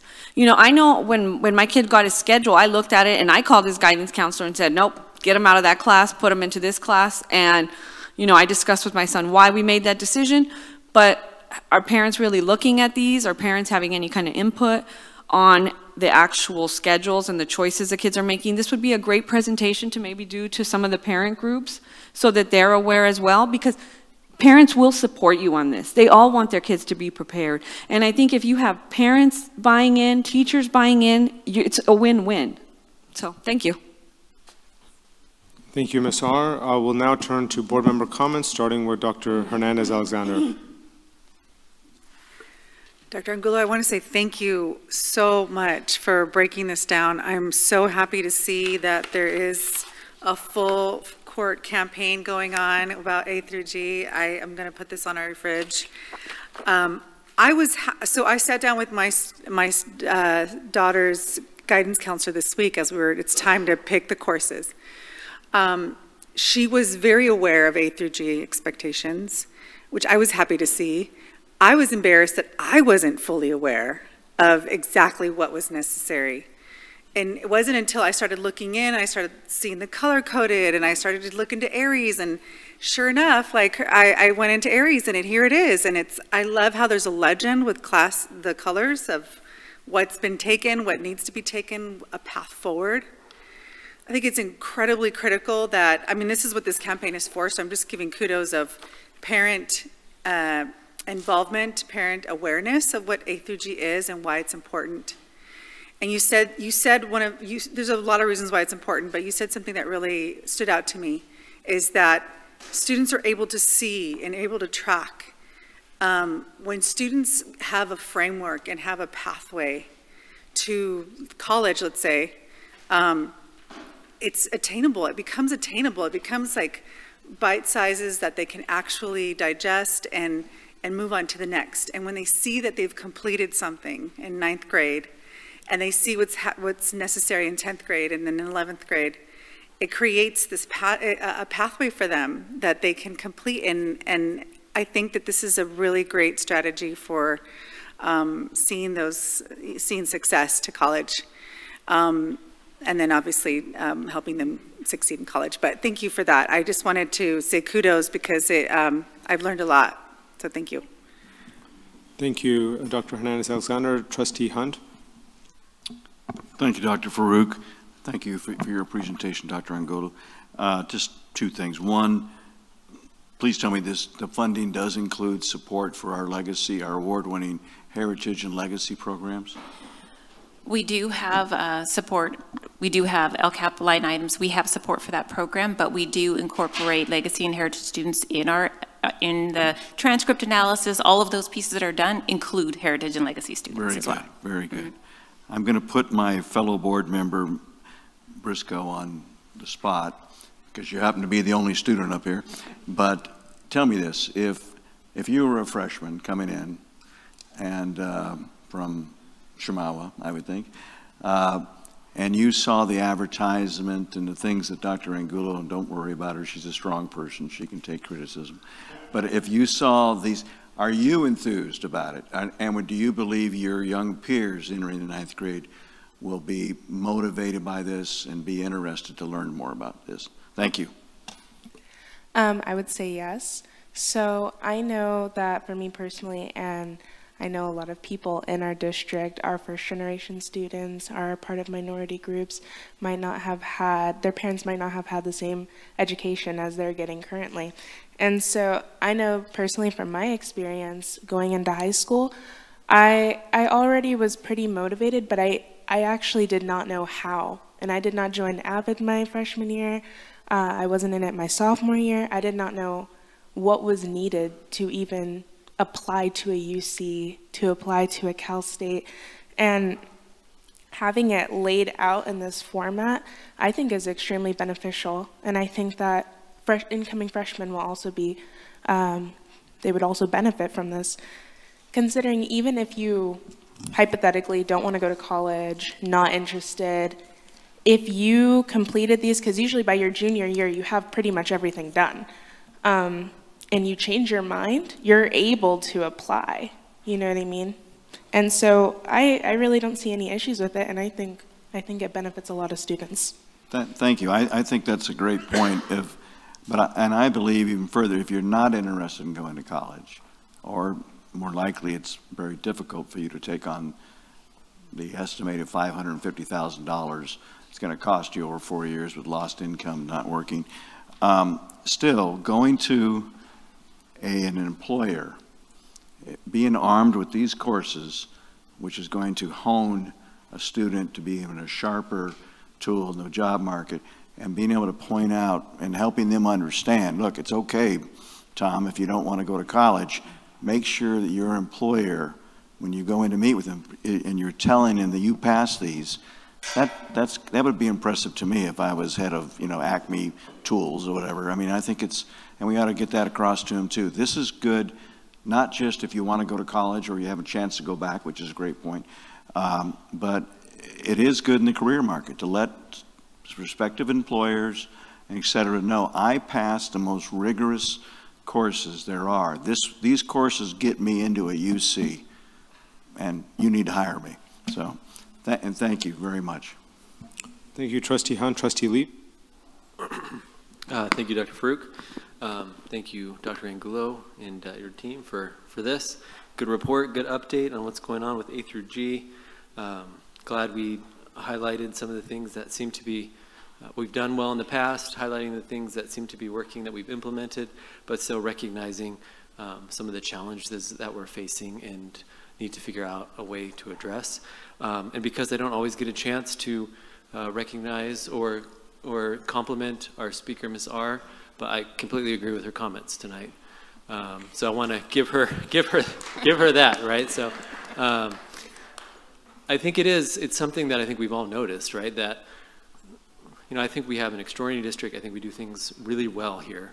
But it is a little bit hard to explain how we do a good job graduating students, um, do a, you know, above average job getting kids A through G. Um, where is that? But are they proficient, right? We have these standards that are difficult. So why isn't there an alignment? I'm sure there's good reasons for it. Um, but to be able to communicate that out to our parents uh, and to our community, I think is really important. So um, if we haven't already shared this presentation uh, or an update on, on A through G with our parent groups, I mean, I think they can be our best advocates to help disseminate this information um, out uh, to help get them on board with our, our campaign. Uh, I think it's one thing to bring our students on board so that they understand. So Lauren knows when she comes to Ramona that she has to complete these courses and that if she doesn't know how to do it, maybe AVID's the way to do it. Uh, if not, seeking out couns- a counselor that can help her get on. on the, luckily, she, she's a quick learner and she figured it out um, despite not being in those courses. Um, especially if we're starting to push this message, which I think is a great idea, down into the middle school, um, so that it just becomes part of your DNA as a student. Uh, and again, whether you're going to college or not, it definitely can't hurt you to take these courses. If anything, it's going to prepare you no matter what it is you decide to do after you graduate uh, from RUSD. Um, so I'm on board with that. I do have some questions. Um, I think Aeries, uh, that was brought up, I think, by a, a speaker today about Aeries and just the consistency. I, I don't have a high schooler yet, so I'm not sure how consistent um, uh, schools are, teachers are. I realize it's extra work to put that in, um, but I know my middle schooler, uh, his school site uses Aeries, and I've mentioned it before in these meetings. It is the game changer for me. I can look in there anytime, and I know it's not a surprise when he gets his report card. Right? I'm never mm-hmm. surprised. I know exactly what to expect every quarter or semester when when his report card comes. So then I can prepare him. So you know, check probably once a week. Like, well, okay, good, good. A, B, A, B, A, A, zero. What's that? Right. So get home, son. What's this zero? Oh, I forgot to turn it in. Mm-hmm. It's in my backpack. I did it right? So it, it allows me to be connected to what he's doing in the school day, because I don't know about all of you parents with kids, but if I ask my kid how school was, fine, right? Did you have any homework today? Yes. Did you do it? Yes. Can I see it? right? So it's a challenge to try to get information, at least specific. So being able to use tools like Aeries, uh, I like the tool for the four-year plan, making sure parents know how to access that, guardians know how to access that, and teaching them um, through our, our, our, groups, our LCAP meetings, open house, back to school night, whatever it is, uh, I think could be really beneficial. Because if we can have parents as our accountability partners for their students and we teach them how to be uh, good accountability partners, I think we're going to have uh, good success. Uh, so the more we can use those those systems, I think um, the better. Uh, The other question, and it's not directly related to this report, but it is related to um, A through G in general, is we have so much data on how kids are doing um, in their courses. Have we identified any patterns where if a kid struggles with math, math one, then they struggle with, say, chemistry? But if they um, struggle, but at the same time, those kids that struggle with math one do really well in biology or environmental science, so that we can target those kids to set them up for success? Do we, do we go that deep in our analysis? We do go deep in the analysis and really uh, it becomes very site specific and um, and it becomes site specific because sometimes there's as I mentioned maybe grading practices in a department or um, just differences across the school site. So in some cases you could take math one uh, and not do well but do perfectly fine in biology um, because it's not so math heavy uh, but you probably wouldn't do very well in chemistry as you go through that. So there's there's certain logical things that you would see but sometimes you'll you'll find that it's uh, like site specific. I think I mentioned one site, their highest DNF rate is in world languages. It's not in a math-based program. So it's working with what, trying to work with the teachers. How do you, what, what are the obstacles that you're seeing? How can I support the teachers and the students to make sure they can be successful. So it really uh, becomes site specific. Overall, district wide, we definitely see a trend in math. Um, which is why we started, uh, we're really looking at what we can do differently in math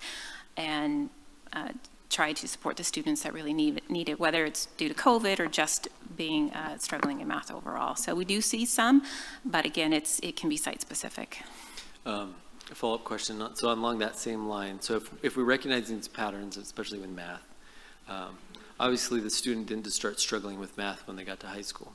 So um, what kind of changes are we making in middle school or elementary school so we're trying to better prepare those students when they when they get to math one that they're they're successful so uh, math one the the structure component started in general ed, or in special education this year uh, very similar to how we have a, a, structured ELA. We started in special education, got feedback, and, and did that. So that is, we are moving it to Gen Ed for Math 1 at the high schools. Next year, we are going to be preparing uh, and working on the curriculum for Math 7, and Math 8, and Math 2. Uh, but it's that's a heavy lift, and so that's the, our focus for next year to be able to do that. Because when we talk about what that looks like, it is um, it, it's core material, it is core standards, but it is the method of teaching and delivery using those high yield strategies very highly structured and scaffolded, meaning that you know not every student needs highly scaffolded type of instruction, but if we've identified students that need that, those type of scaffolds will be provided to the teachers so they'll be able to kind of just go with that and not have to create it and it look different in different classrooms. So that is the work of next year for middle school. We are still going to continue with our training, so it's not like next year doesn't count. We still support our math teachers, our special education teachers. We'll provide the PD. We work with our course leads. All of that work will still continue, but that is one of the things that we are working on intentionally next year. Okay, thank you. A um, couple more questions. You mentioned um, that like grade validation um, and kind of the, the, pilot program that we're doing. Uh, I know during the pandemic, so, so, sorry, so, so, sorry, let me back up. So what courses are we doing grade validation for? So we don't do technical grade validation in our grading system. The CSUs and the UCs validate uh, math and world languages. So uh, you math two is going to validate math one, or second semester will validate uh, math one. So that is done by the UCs. So you, uh, as they do their acceptance, they have their processes saying, well, you know what, you may have failed math one, but you did math two. We're giving you credit. We as as a system, we don't go in and issue the credit here. So we don't do the validation for credit purposes here. But if we know a student got a D and a C, I, as a counselor, I'm not going to have that student repeat math one uh, because I know that it would be validated unless the student wants to, the family wants to, but it doesn't need to be for A through G purposes. And it's, it's leveraging that because it could be that the student did know the standards, does know the concept, it got the D for a different reason. And so it's just recognizing that and uh, in making sure we leverage the validation option. So a student who got, let's say, a D in Math 1, but then took Math 2 and got a, a B, um, they would be part of uh, A through G. Yes. They're part, of the successful A through G completion rate. That's correct. All right. And, um, okay, that's helpful. Um, and I think the last thing I noticed, but, uh, is just the, the graph about the, over the years, uh, how we've, uh, what our A through G completion rate is. And we kind of plateaued since 2017. So even like pre-pandemic, uh, we haven't made much, much progress. Um, and then we have some pretty ambitious goals, uh, even though honestly I wish they were more ambitious, but I get it, we gotta be, we gotta be realistic. Um, why do we think that, like since 2017 to even pre-pandemic, we had not much growth? So I, I do think we have to uh, address the, the concerns that have been reported by the principals and that have come out of the transcript analysis because until we, and we're really being aggressive about those transcript analyses and we, we have not in the past, we've done them. Like counselors always do them, so that's, but they don't necessarily look system-wide, they look individual. And so as a system, when we do that for the whole school, and usually it's counselors, we try to get as many teachers in there just to kind of see, you really do see patterns at that school. It becomes very evident. And then that allows um, that teacher or that principal to say, you know, okay, now I need to, clearly our students are struggling in you know, chemistry or biology or world languages, that we take a proactive approach and see what we need to do to support students and, and or support the teachers. And you really have to go after those you have to know where your, your roadblocks are to be able to address it. And I think we're really, I, I can't say that we we were very aggressive about transcript analysis as a system then. I mean, just what I mentioned with middle school. We have not, I think we did a middle school transcript analysis once prior to the pandemic. It was more to help them understand. We did it again this year. Every school identified something that was a roadblock for them. Every one of them and said like, oh my gosh, and was able to then take action on that. Um, and so I think those type of things have to be very intentional and uh, actionable. And then some of the things a school site can't address, it really is up to the district to address, such as the special education math and science pathways.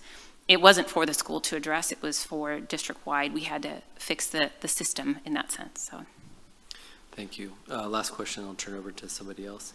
Um, specifically regarding our, our English learners, um, I mean, they're struggling with A through G completion rate. So specifically, what kind of supports are we going to have in place to try to realize a you know, 15% gain over the next four years? So it, we, we have to look at the individual students as they, uh, you know, depending on their, their when they, were they here at ninth grade, what they have when they're coming in. So every counselor is going to look at through the lens that we're going to get the student A through G qualified. we're going to get the student where they want to be with their goals. At some point, you have to look at maybe you know, they fail too many classes or you know don't have enough credits that you really have to say, okay, right now I, my goal is to get the student a diploma. That you kind of have to shift, okay, now I'm going to go in this direction here. It is always the goal of getting our students A through G, but you have to look then at what point, we don't, we don't want them to be non-A through G and a non-graduate either. So we have to look at that and, and do that. So the, the counselors really do, uh, they work with the, if they can get a student A through G, they, they will, or put the students in there. But we might have scenarios where we just, we really have to focus on other courses and get the student where they need to be to then, you know, then do a handoff to RCC or wherever it might be to do that. So it will depend on every individual student and uh, where, uh, what they need. And I do think the structured math is uh, going to help with that. But. So um, most of our English learners are starting with us in kindergarten, right? Mm -hmm. A mm-hmm. vast, a vast majority. So I get that. We want our students, if, if nothing else, to to get a diploma so they can go out into the workforce at, at, at least. But to me, that's like the that's like the floor, right? So, yes. um, mm -hmm. are we trying to target? I mean, if we have these specific groups that are disproportionately um, underperforming compared to other student groups, it seems like we should be doing something specific that we're not doing. You know, I mean, if we're going to do transcript analysis for everybody, but we should be doing something more specific for the groups that are, are, are having more, more, more struggles. Yeah, no, absolutely. Um, so our long-term English learners, because if they've been here since kindergarten yeah. and they're in our high schools, they are long-term English learners. Right. Uh, our legacy program includes all of our long-term English learners. We do uh, analysis on those students far more frequently than we do overall on the individual students. We do have our EL contact that works with the students. We have a number of different supports, or additional supports, I should say, for our English learners, and then identifying what is needed and what's the next step as we do that. So we do far more progress monitoring with our long-term English learners, as well as um, our English learners that are not long-term. Okay. May I add just a little bit to that, Mr. Lee? Sure. Also, another way that we need to do this is we also need to be utilizing different instructional strategies in the classrooms that target the language needs of our kids. Uh, we've been working towards that over the last few years, um, but I think as we've shared with this board and through your guys' uh, wisdom and support, we have um, now a plan to put more resources into schools to be able to directly support English learners. Uh, starting next year, we're going to be having English learner TOSAs or coaches come in to help support our teachers to increase their knowledge and skills with how to support English learners. We are better utilizing um, interim assessments to give us progress throughout the year on how our uh, English learners are progressing with their language development. We've began a targeted professional development campaign that just started this year with looking at what we call um, integrated English language development, having a set of very strategic, systematic, and simple strategies that are used across the curriculum to help give English learners support.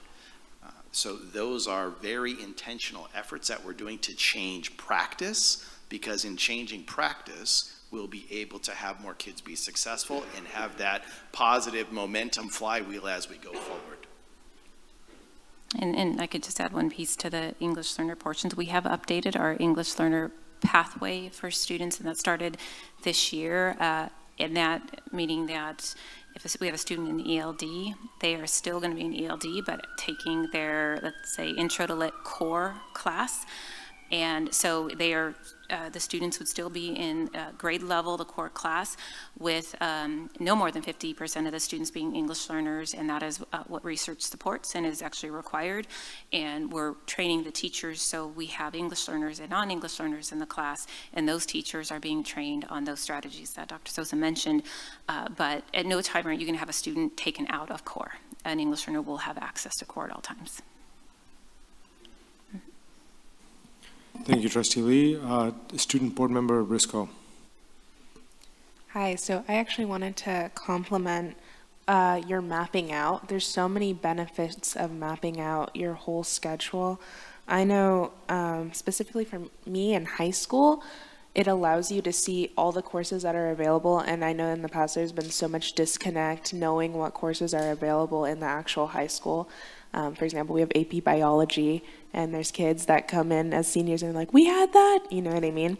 And so I think it really provides a nice platform for students to kind of see what type of options they have.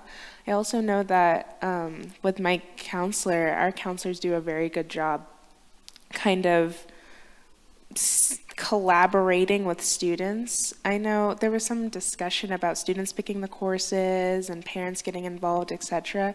I know at least that um, at my school, there's a lot of collaboration when needed. So I know students initially, especially uh, it's during school, during a specific period where they actually um, map out and pick their courses. And then some teachers may come around and validate it and say, okay, you got what you need to do and go on. Um, but also, I know that there's um, some students that need some specific guidance. Um, do you take a college class? Do you take a regular class? Do you take an honors class? And I know that for example, uh, someone who's going to a UC or a Cal State may need that uh, three plus years of math, um, that two plus years of science. I also know that um, I know a lot of, of my counselors that will still validate someone's schedule, even if they're going to a private school and uh, say an A through G course is not something that they need, like they're majoring in musical theater. They don't, they no longer need that. Um, so I just want to applaud.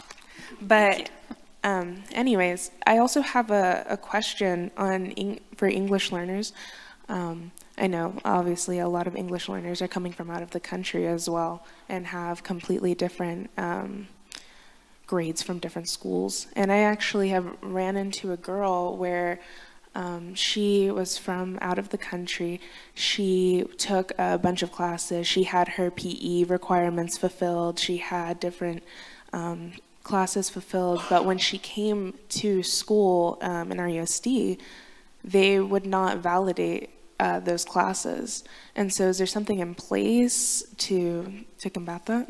Yes. Uh, so when we get students that uh, had a from another country, and uh, many countries have different educational systems, and it's it's hard to be an expert at at all of that. And so, so for example, someone might say their high school's two years. So we need to recognize that their what they would call their intermediate would actually be part of high school. And so there's a we do partner with a a company, and I cannot think of the name, but we do partner with um, a company that is that does have that sort of expertise and actually does translation of a lot of different transcripts and that. So we're able to take that because we can't just say it's four years of high school uh, so we're only going to recognize that. We have to recognize the system that that uh, that they were in and be able to equate it to what we would have. And it is it, it sometimes takes a little bit to do that. So i don't know in that particular example of how that uh, where there might have been a miss, or maybe according to the company we work with, that actually wouldn't have been considered high school and they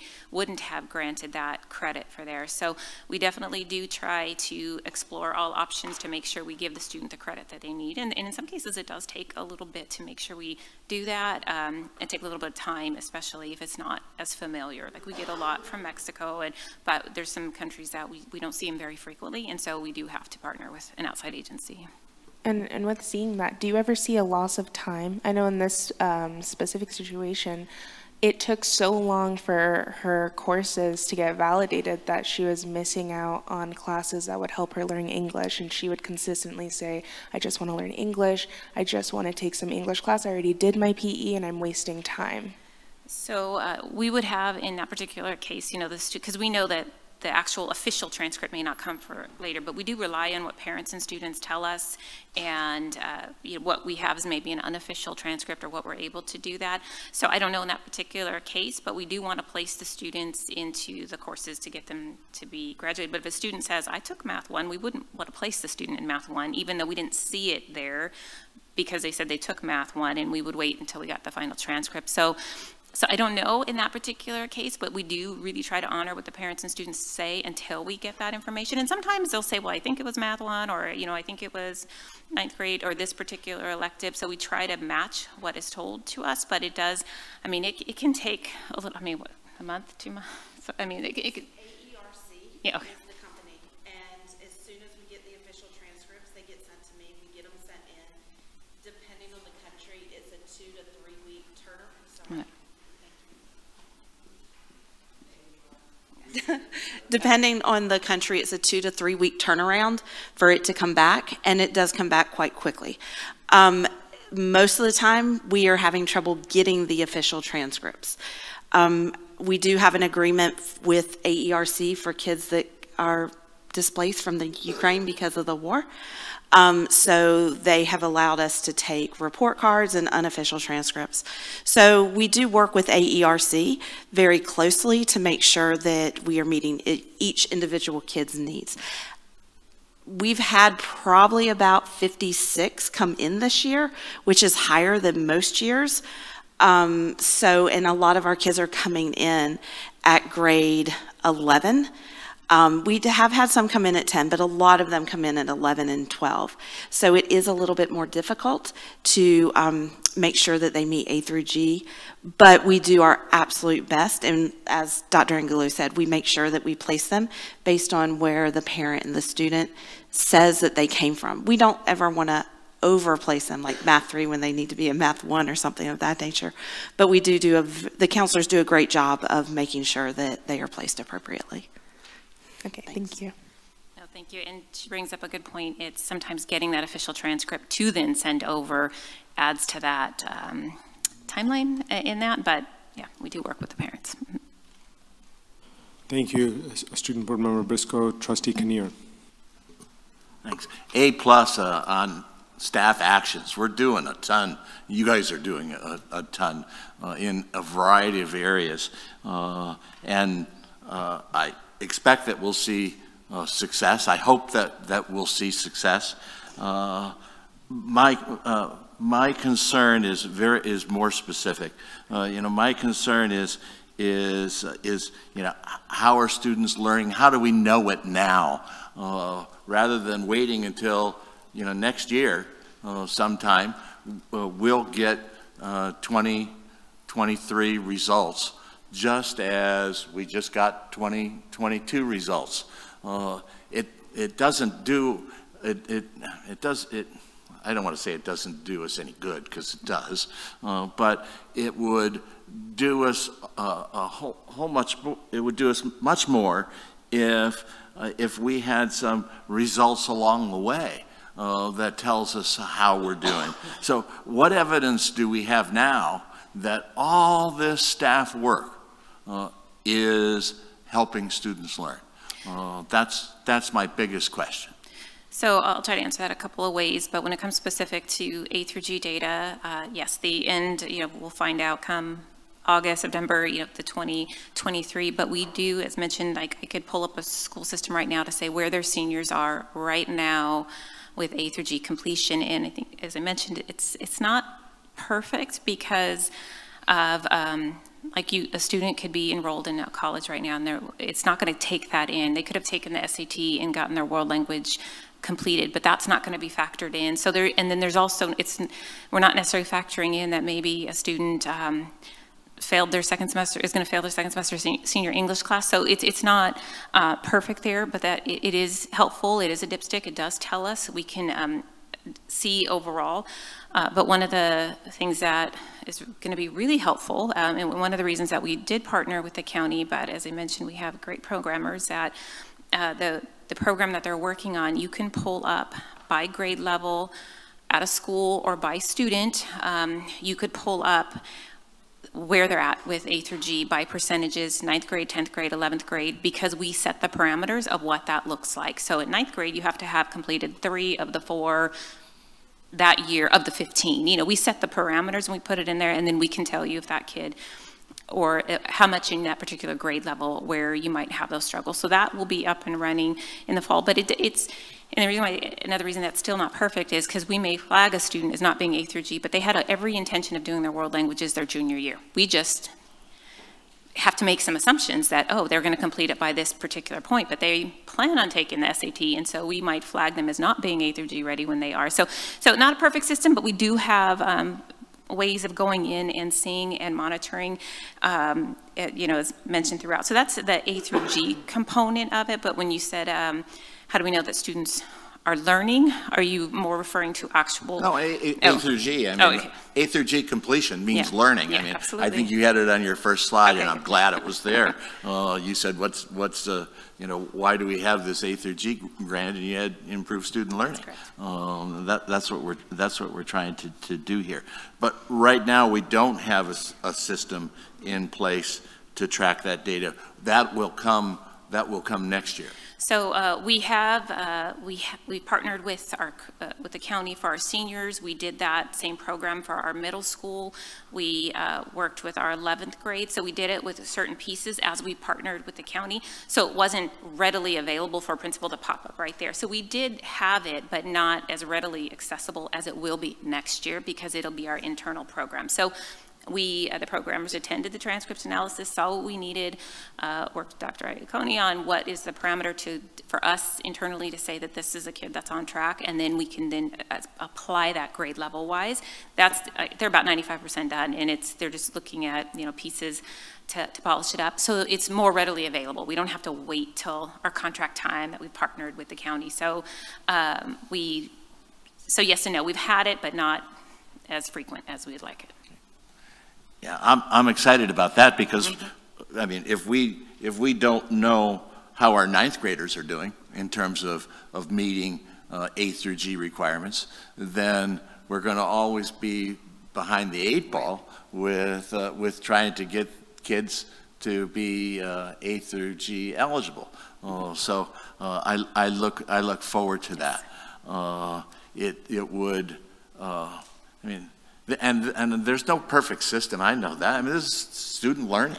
Um, I don't, I don't know a perfect system anywhere uh, with, with, with this, uh, but to have some kind of evidence uh, now about whether or not this year's seniors are going to meet the goals that we set. Are we going to improve 2% uh, th th this coming year? What evidence do we have that we are or that we're not uh, besides all the work we're doing? So I, I asked that question to all the principals prior to this, you know, where are we at in, you know, with your school's data? And the first place they're going to look is the Aeries Analytics. And it, that's where I would pull it up saying, okay, this is where you're at. And then they would be able to then say, and that's for their seniors, but it's not going to tell me for their ninth graders, their 10th graders, but it is going to tell me for their seniors. And then they know where their goals are. And you can filter it uh, by student group so they know where their goals are and they could probably say, well, I'm going to make it because it's, or I'm not going to make it based on what that tells me, because again, you got to give or take some percentages up or down. And uh, a majority of the sites said yes. One site, you know, said, uh, you know, a little worried, uh, but they were able to identify some barriers that they're going after right now that could fix that. So it's the action plan from knowing that data and then identifying where it might be an issue and what we're putting in place to remedy that before you get to the end of the year. So and they have that data to say, well, oh my gosh, I, my, our, if it's senior English, what are we doing right now to make sure that those kids don't fail senior English? And they're putting in place to save that. So they have that data readily available. They are responding to it. Um, and as I said, the, the transcript analysis told them a lot that they did already put into place, but they, but it's current data when they look at it right now for their seniors as of right now where they're at. Yeah. Mm -hmm in, uh, in, this, uh, in this presentation, I would have appreciated uh, having some of that.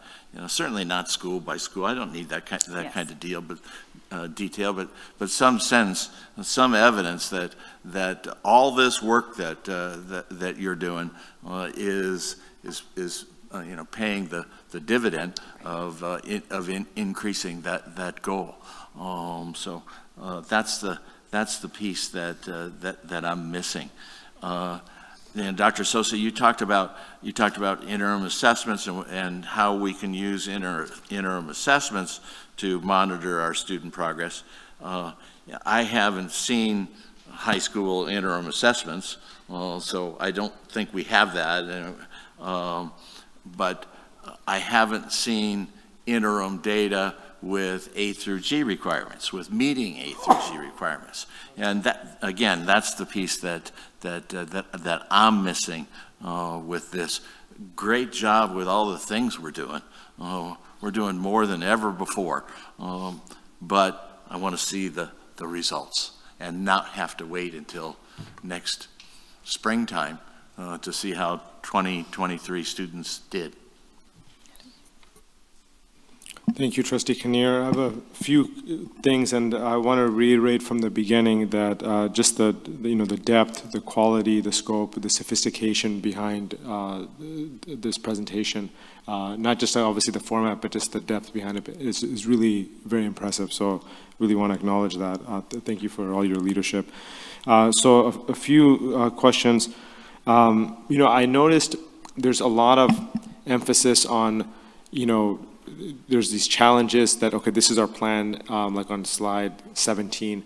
Uh, these are the areas like, you know, substitute availability and those kinds of things. Then there's aspects around, um, you know, when you're doing transcript analysis, certain patterns and things will emerge that, you know, we need to address. These are the gaps to getting the A through G.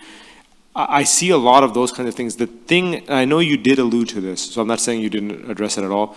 The thing I'm curious about is from the student's perspective, why do they feel from their perspective why they're not getting meeting the A through G? Um, I know you did some focus groups on some targeted groups, which uh, which I think is really good that you did that. But I'm curious, besides the fact of, is it, you know, if a class is just too difficult, you know, from their vantage point, they just didn't put, or they didn't put in the effort, obviously that creates the outcome, you know, for itself. But how would you answer that? So last year when we were uh, creating the plan, working with principals and counselors, uh, I, I, did talk to student groups about A through G, uh, just awareness overall, and it, it did come up that they knew it was a poster or they knew information about it, but not so much what courses does that mean? What does it look like? What, how does it fit into my plan? You know, I know I need to have, like, how does the 15 work out? Where does it, where does PE fit into that? Like, it, it- wasn't, they knew it was there. I mean, she said, do you know A through G? Yeah, you know, but they didn't have intense understanding of it. And there, there was a lack of ownership of the four-year plan on that.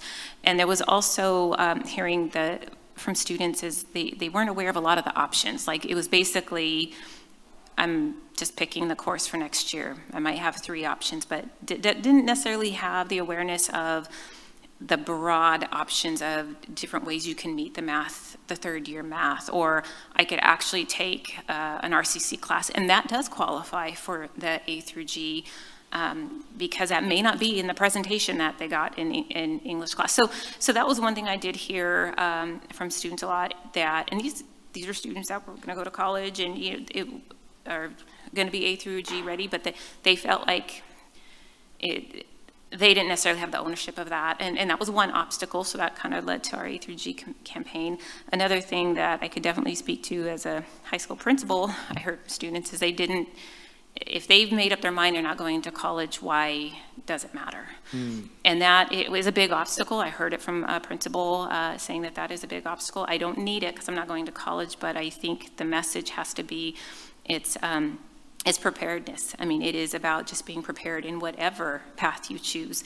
And uh, even, you know, when when we say if, if, if this is where your, you know, formal academic education is going to head, wouldn't you want to be the most prepared? I mean, you would want to be the most prepared because you're, you're now going into the workforce and all of that. So it, it's sending that message that it's, it's not about just if you go into college. And, you know, I heard that a lot as a principal, that that's just not for me, but it, it's reshaping that message. Um, and I'm sure that that is still prevalent. I hear that.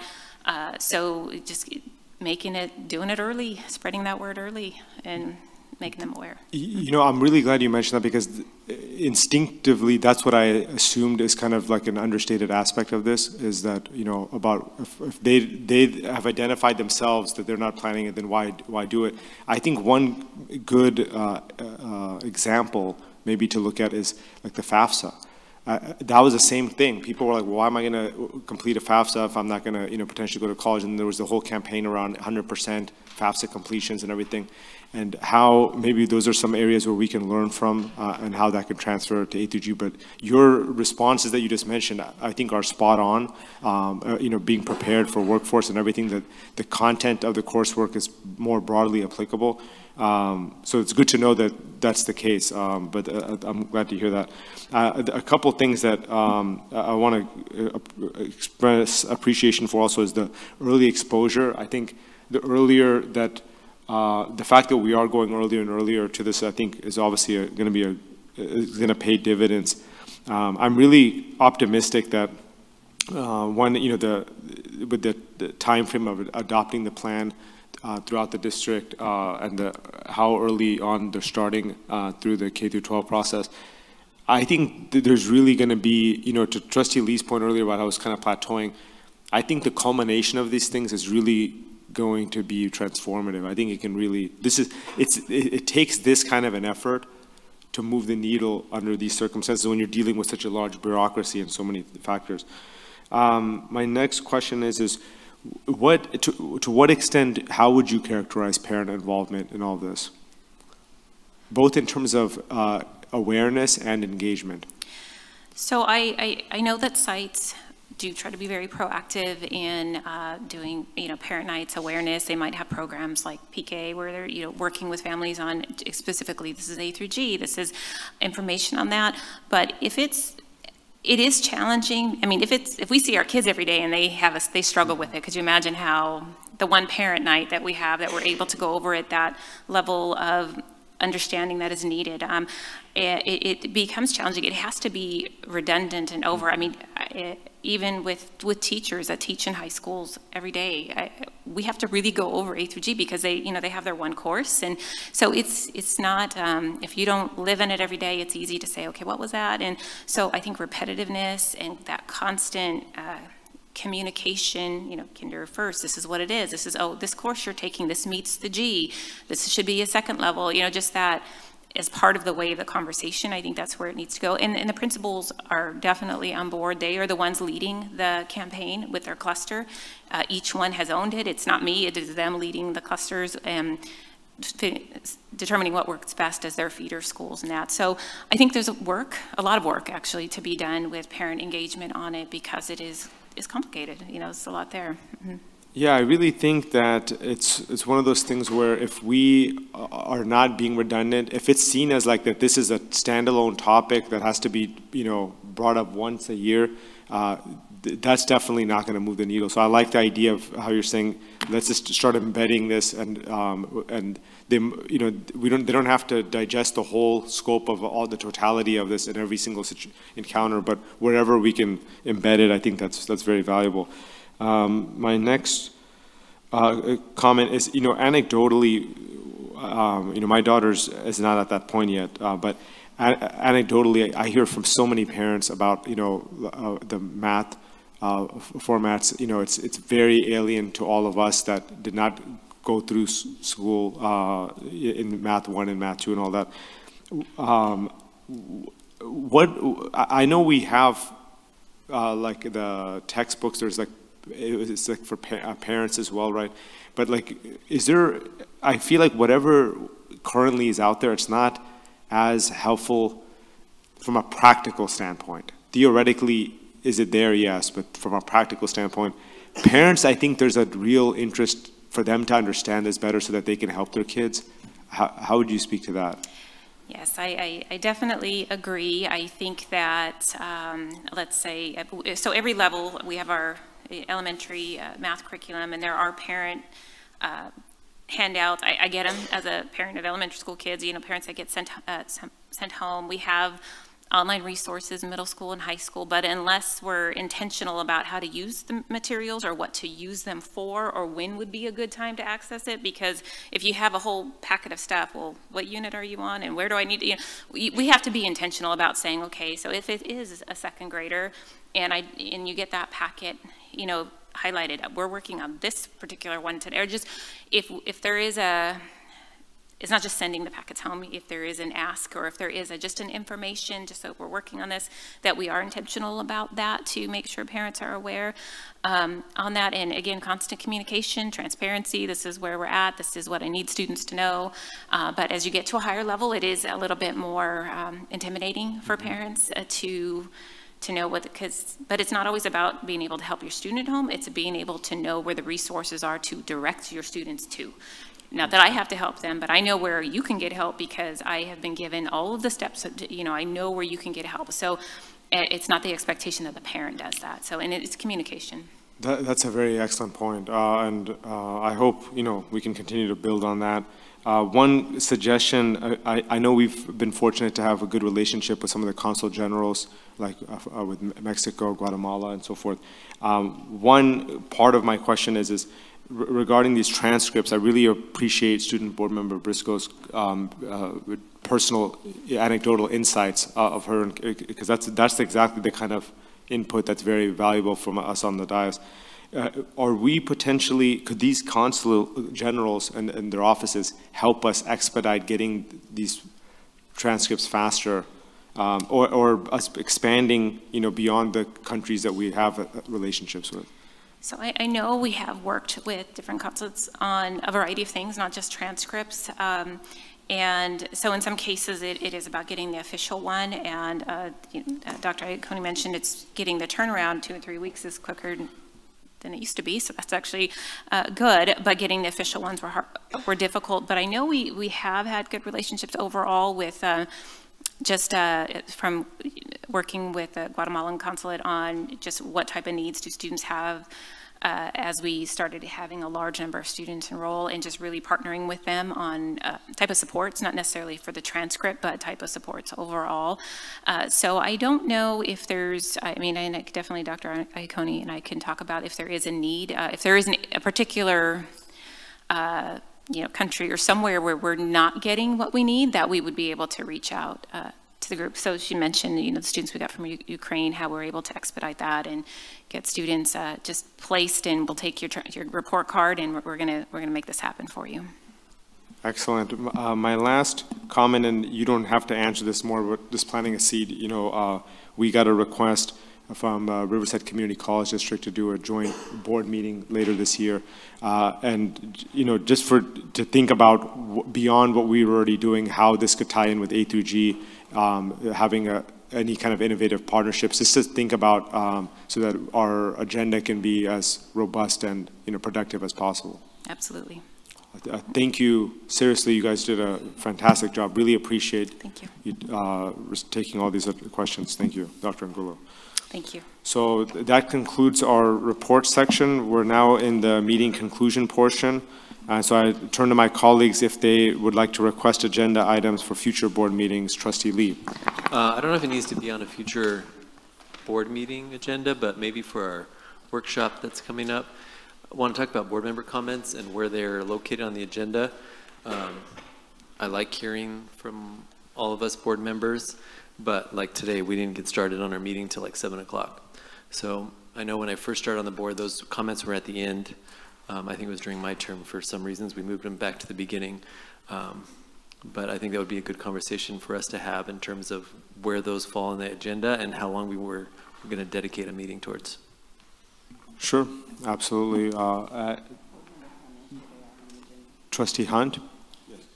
Thank you, sir. Um, Pursuant somewhat to, but I'm asking what, to my comments on the legislative me- measures and understanding them, I would like to have the staff uh, look at and report um, in the next few, three to four meetings at the worst, uh, AB 278, which is, the author is uh, the speaker, Reyes, I believe. And I heard um, Assembly member Sabrina Cervantes, who is head of the, uh, the Hispanic, Hispanic caucus, interviewed on NPR the other day about this bill. It's about dream centers. And what I heard was very impressive. What I'd like to find out more about it is uh, if that's something that would be welcomed by this district, and if so, that we, we play a little politics. We offer a resolution in support. We offer for Dr. Farooq, uh, President Farooq, and uh, uh, the superintendent to testify if necessary there, but uh, if, but what we want is if they're going to invest, invest here first. So that is AB 278. Thank you. Thank you, Trustee Hunt. Uh, So that, uh, that's noted, uh, and that concludes our future meetings. I uh, now will say, you know, I, we adjourn this meeting in memory of a very dear uh, community leader and uh, personal friend of mine, our uh, Riverside Fire Captain Tim Strack, who's a very respected member of the Riverside Fire Department, served the community with honor uh, for 28 years. And we also adjourn in memory of Robert and Catherine Porter, parents of Becky Porter at North High School. Uh, Becky's parents were also RUSD staff members for many years. Catherine was an elementary school teacher, and Robert was an athletic director and coach at Ramona High School. So we adjourn the meeting at 9:52 PM. Thank you.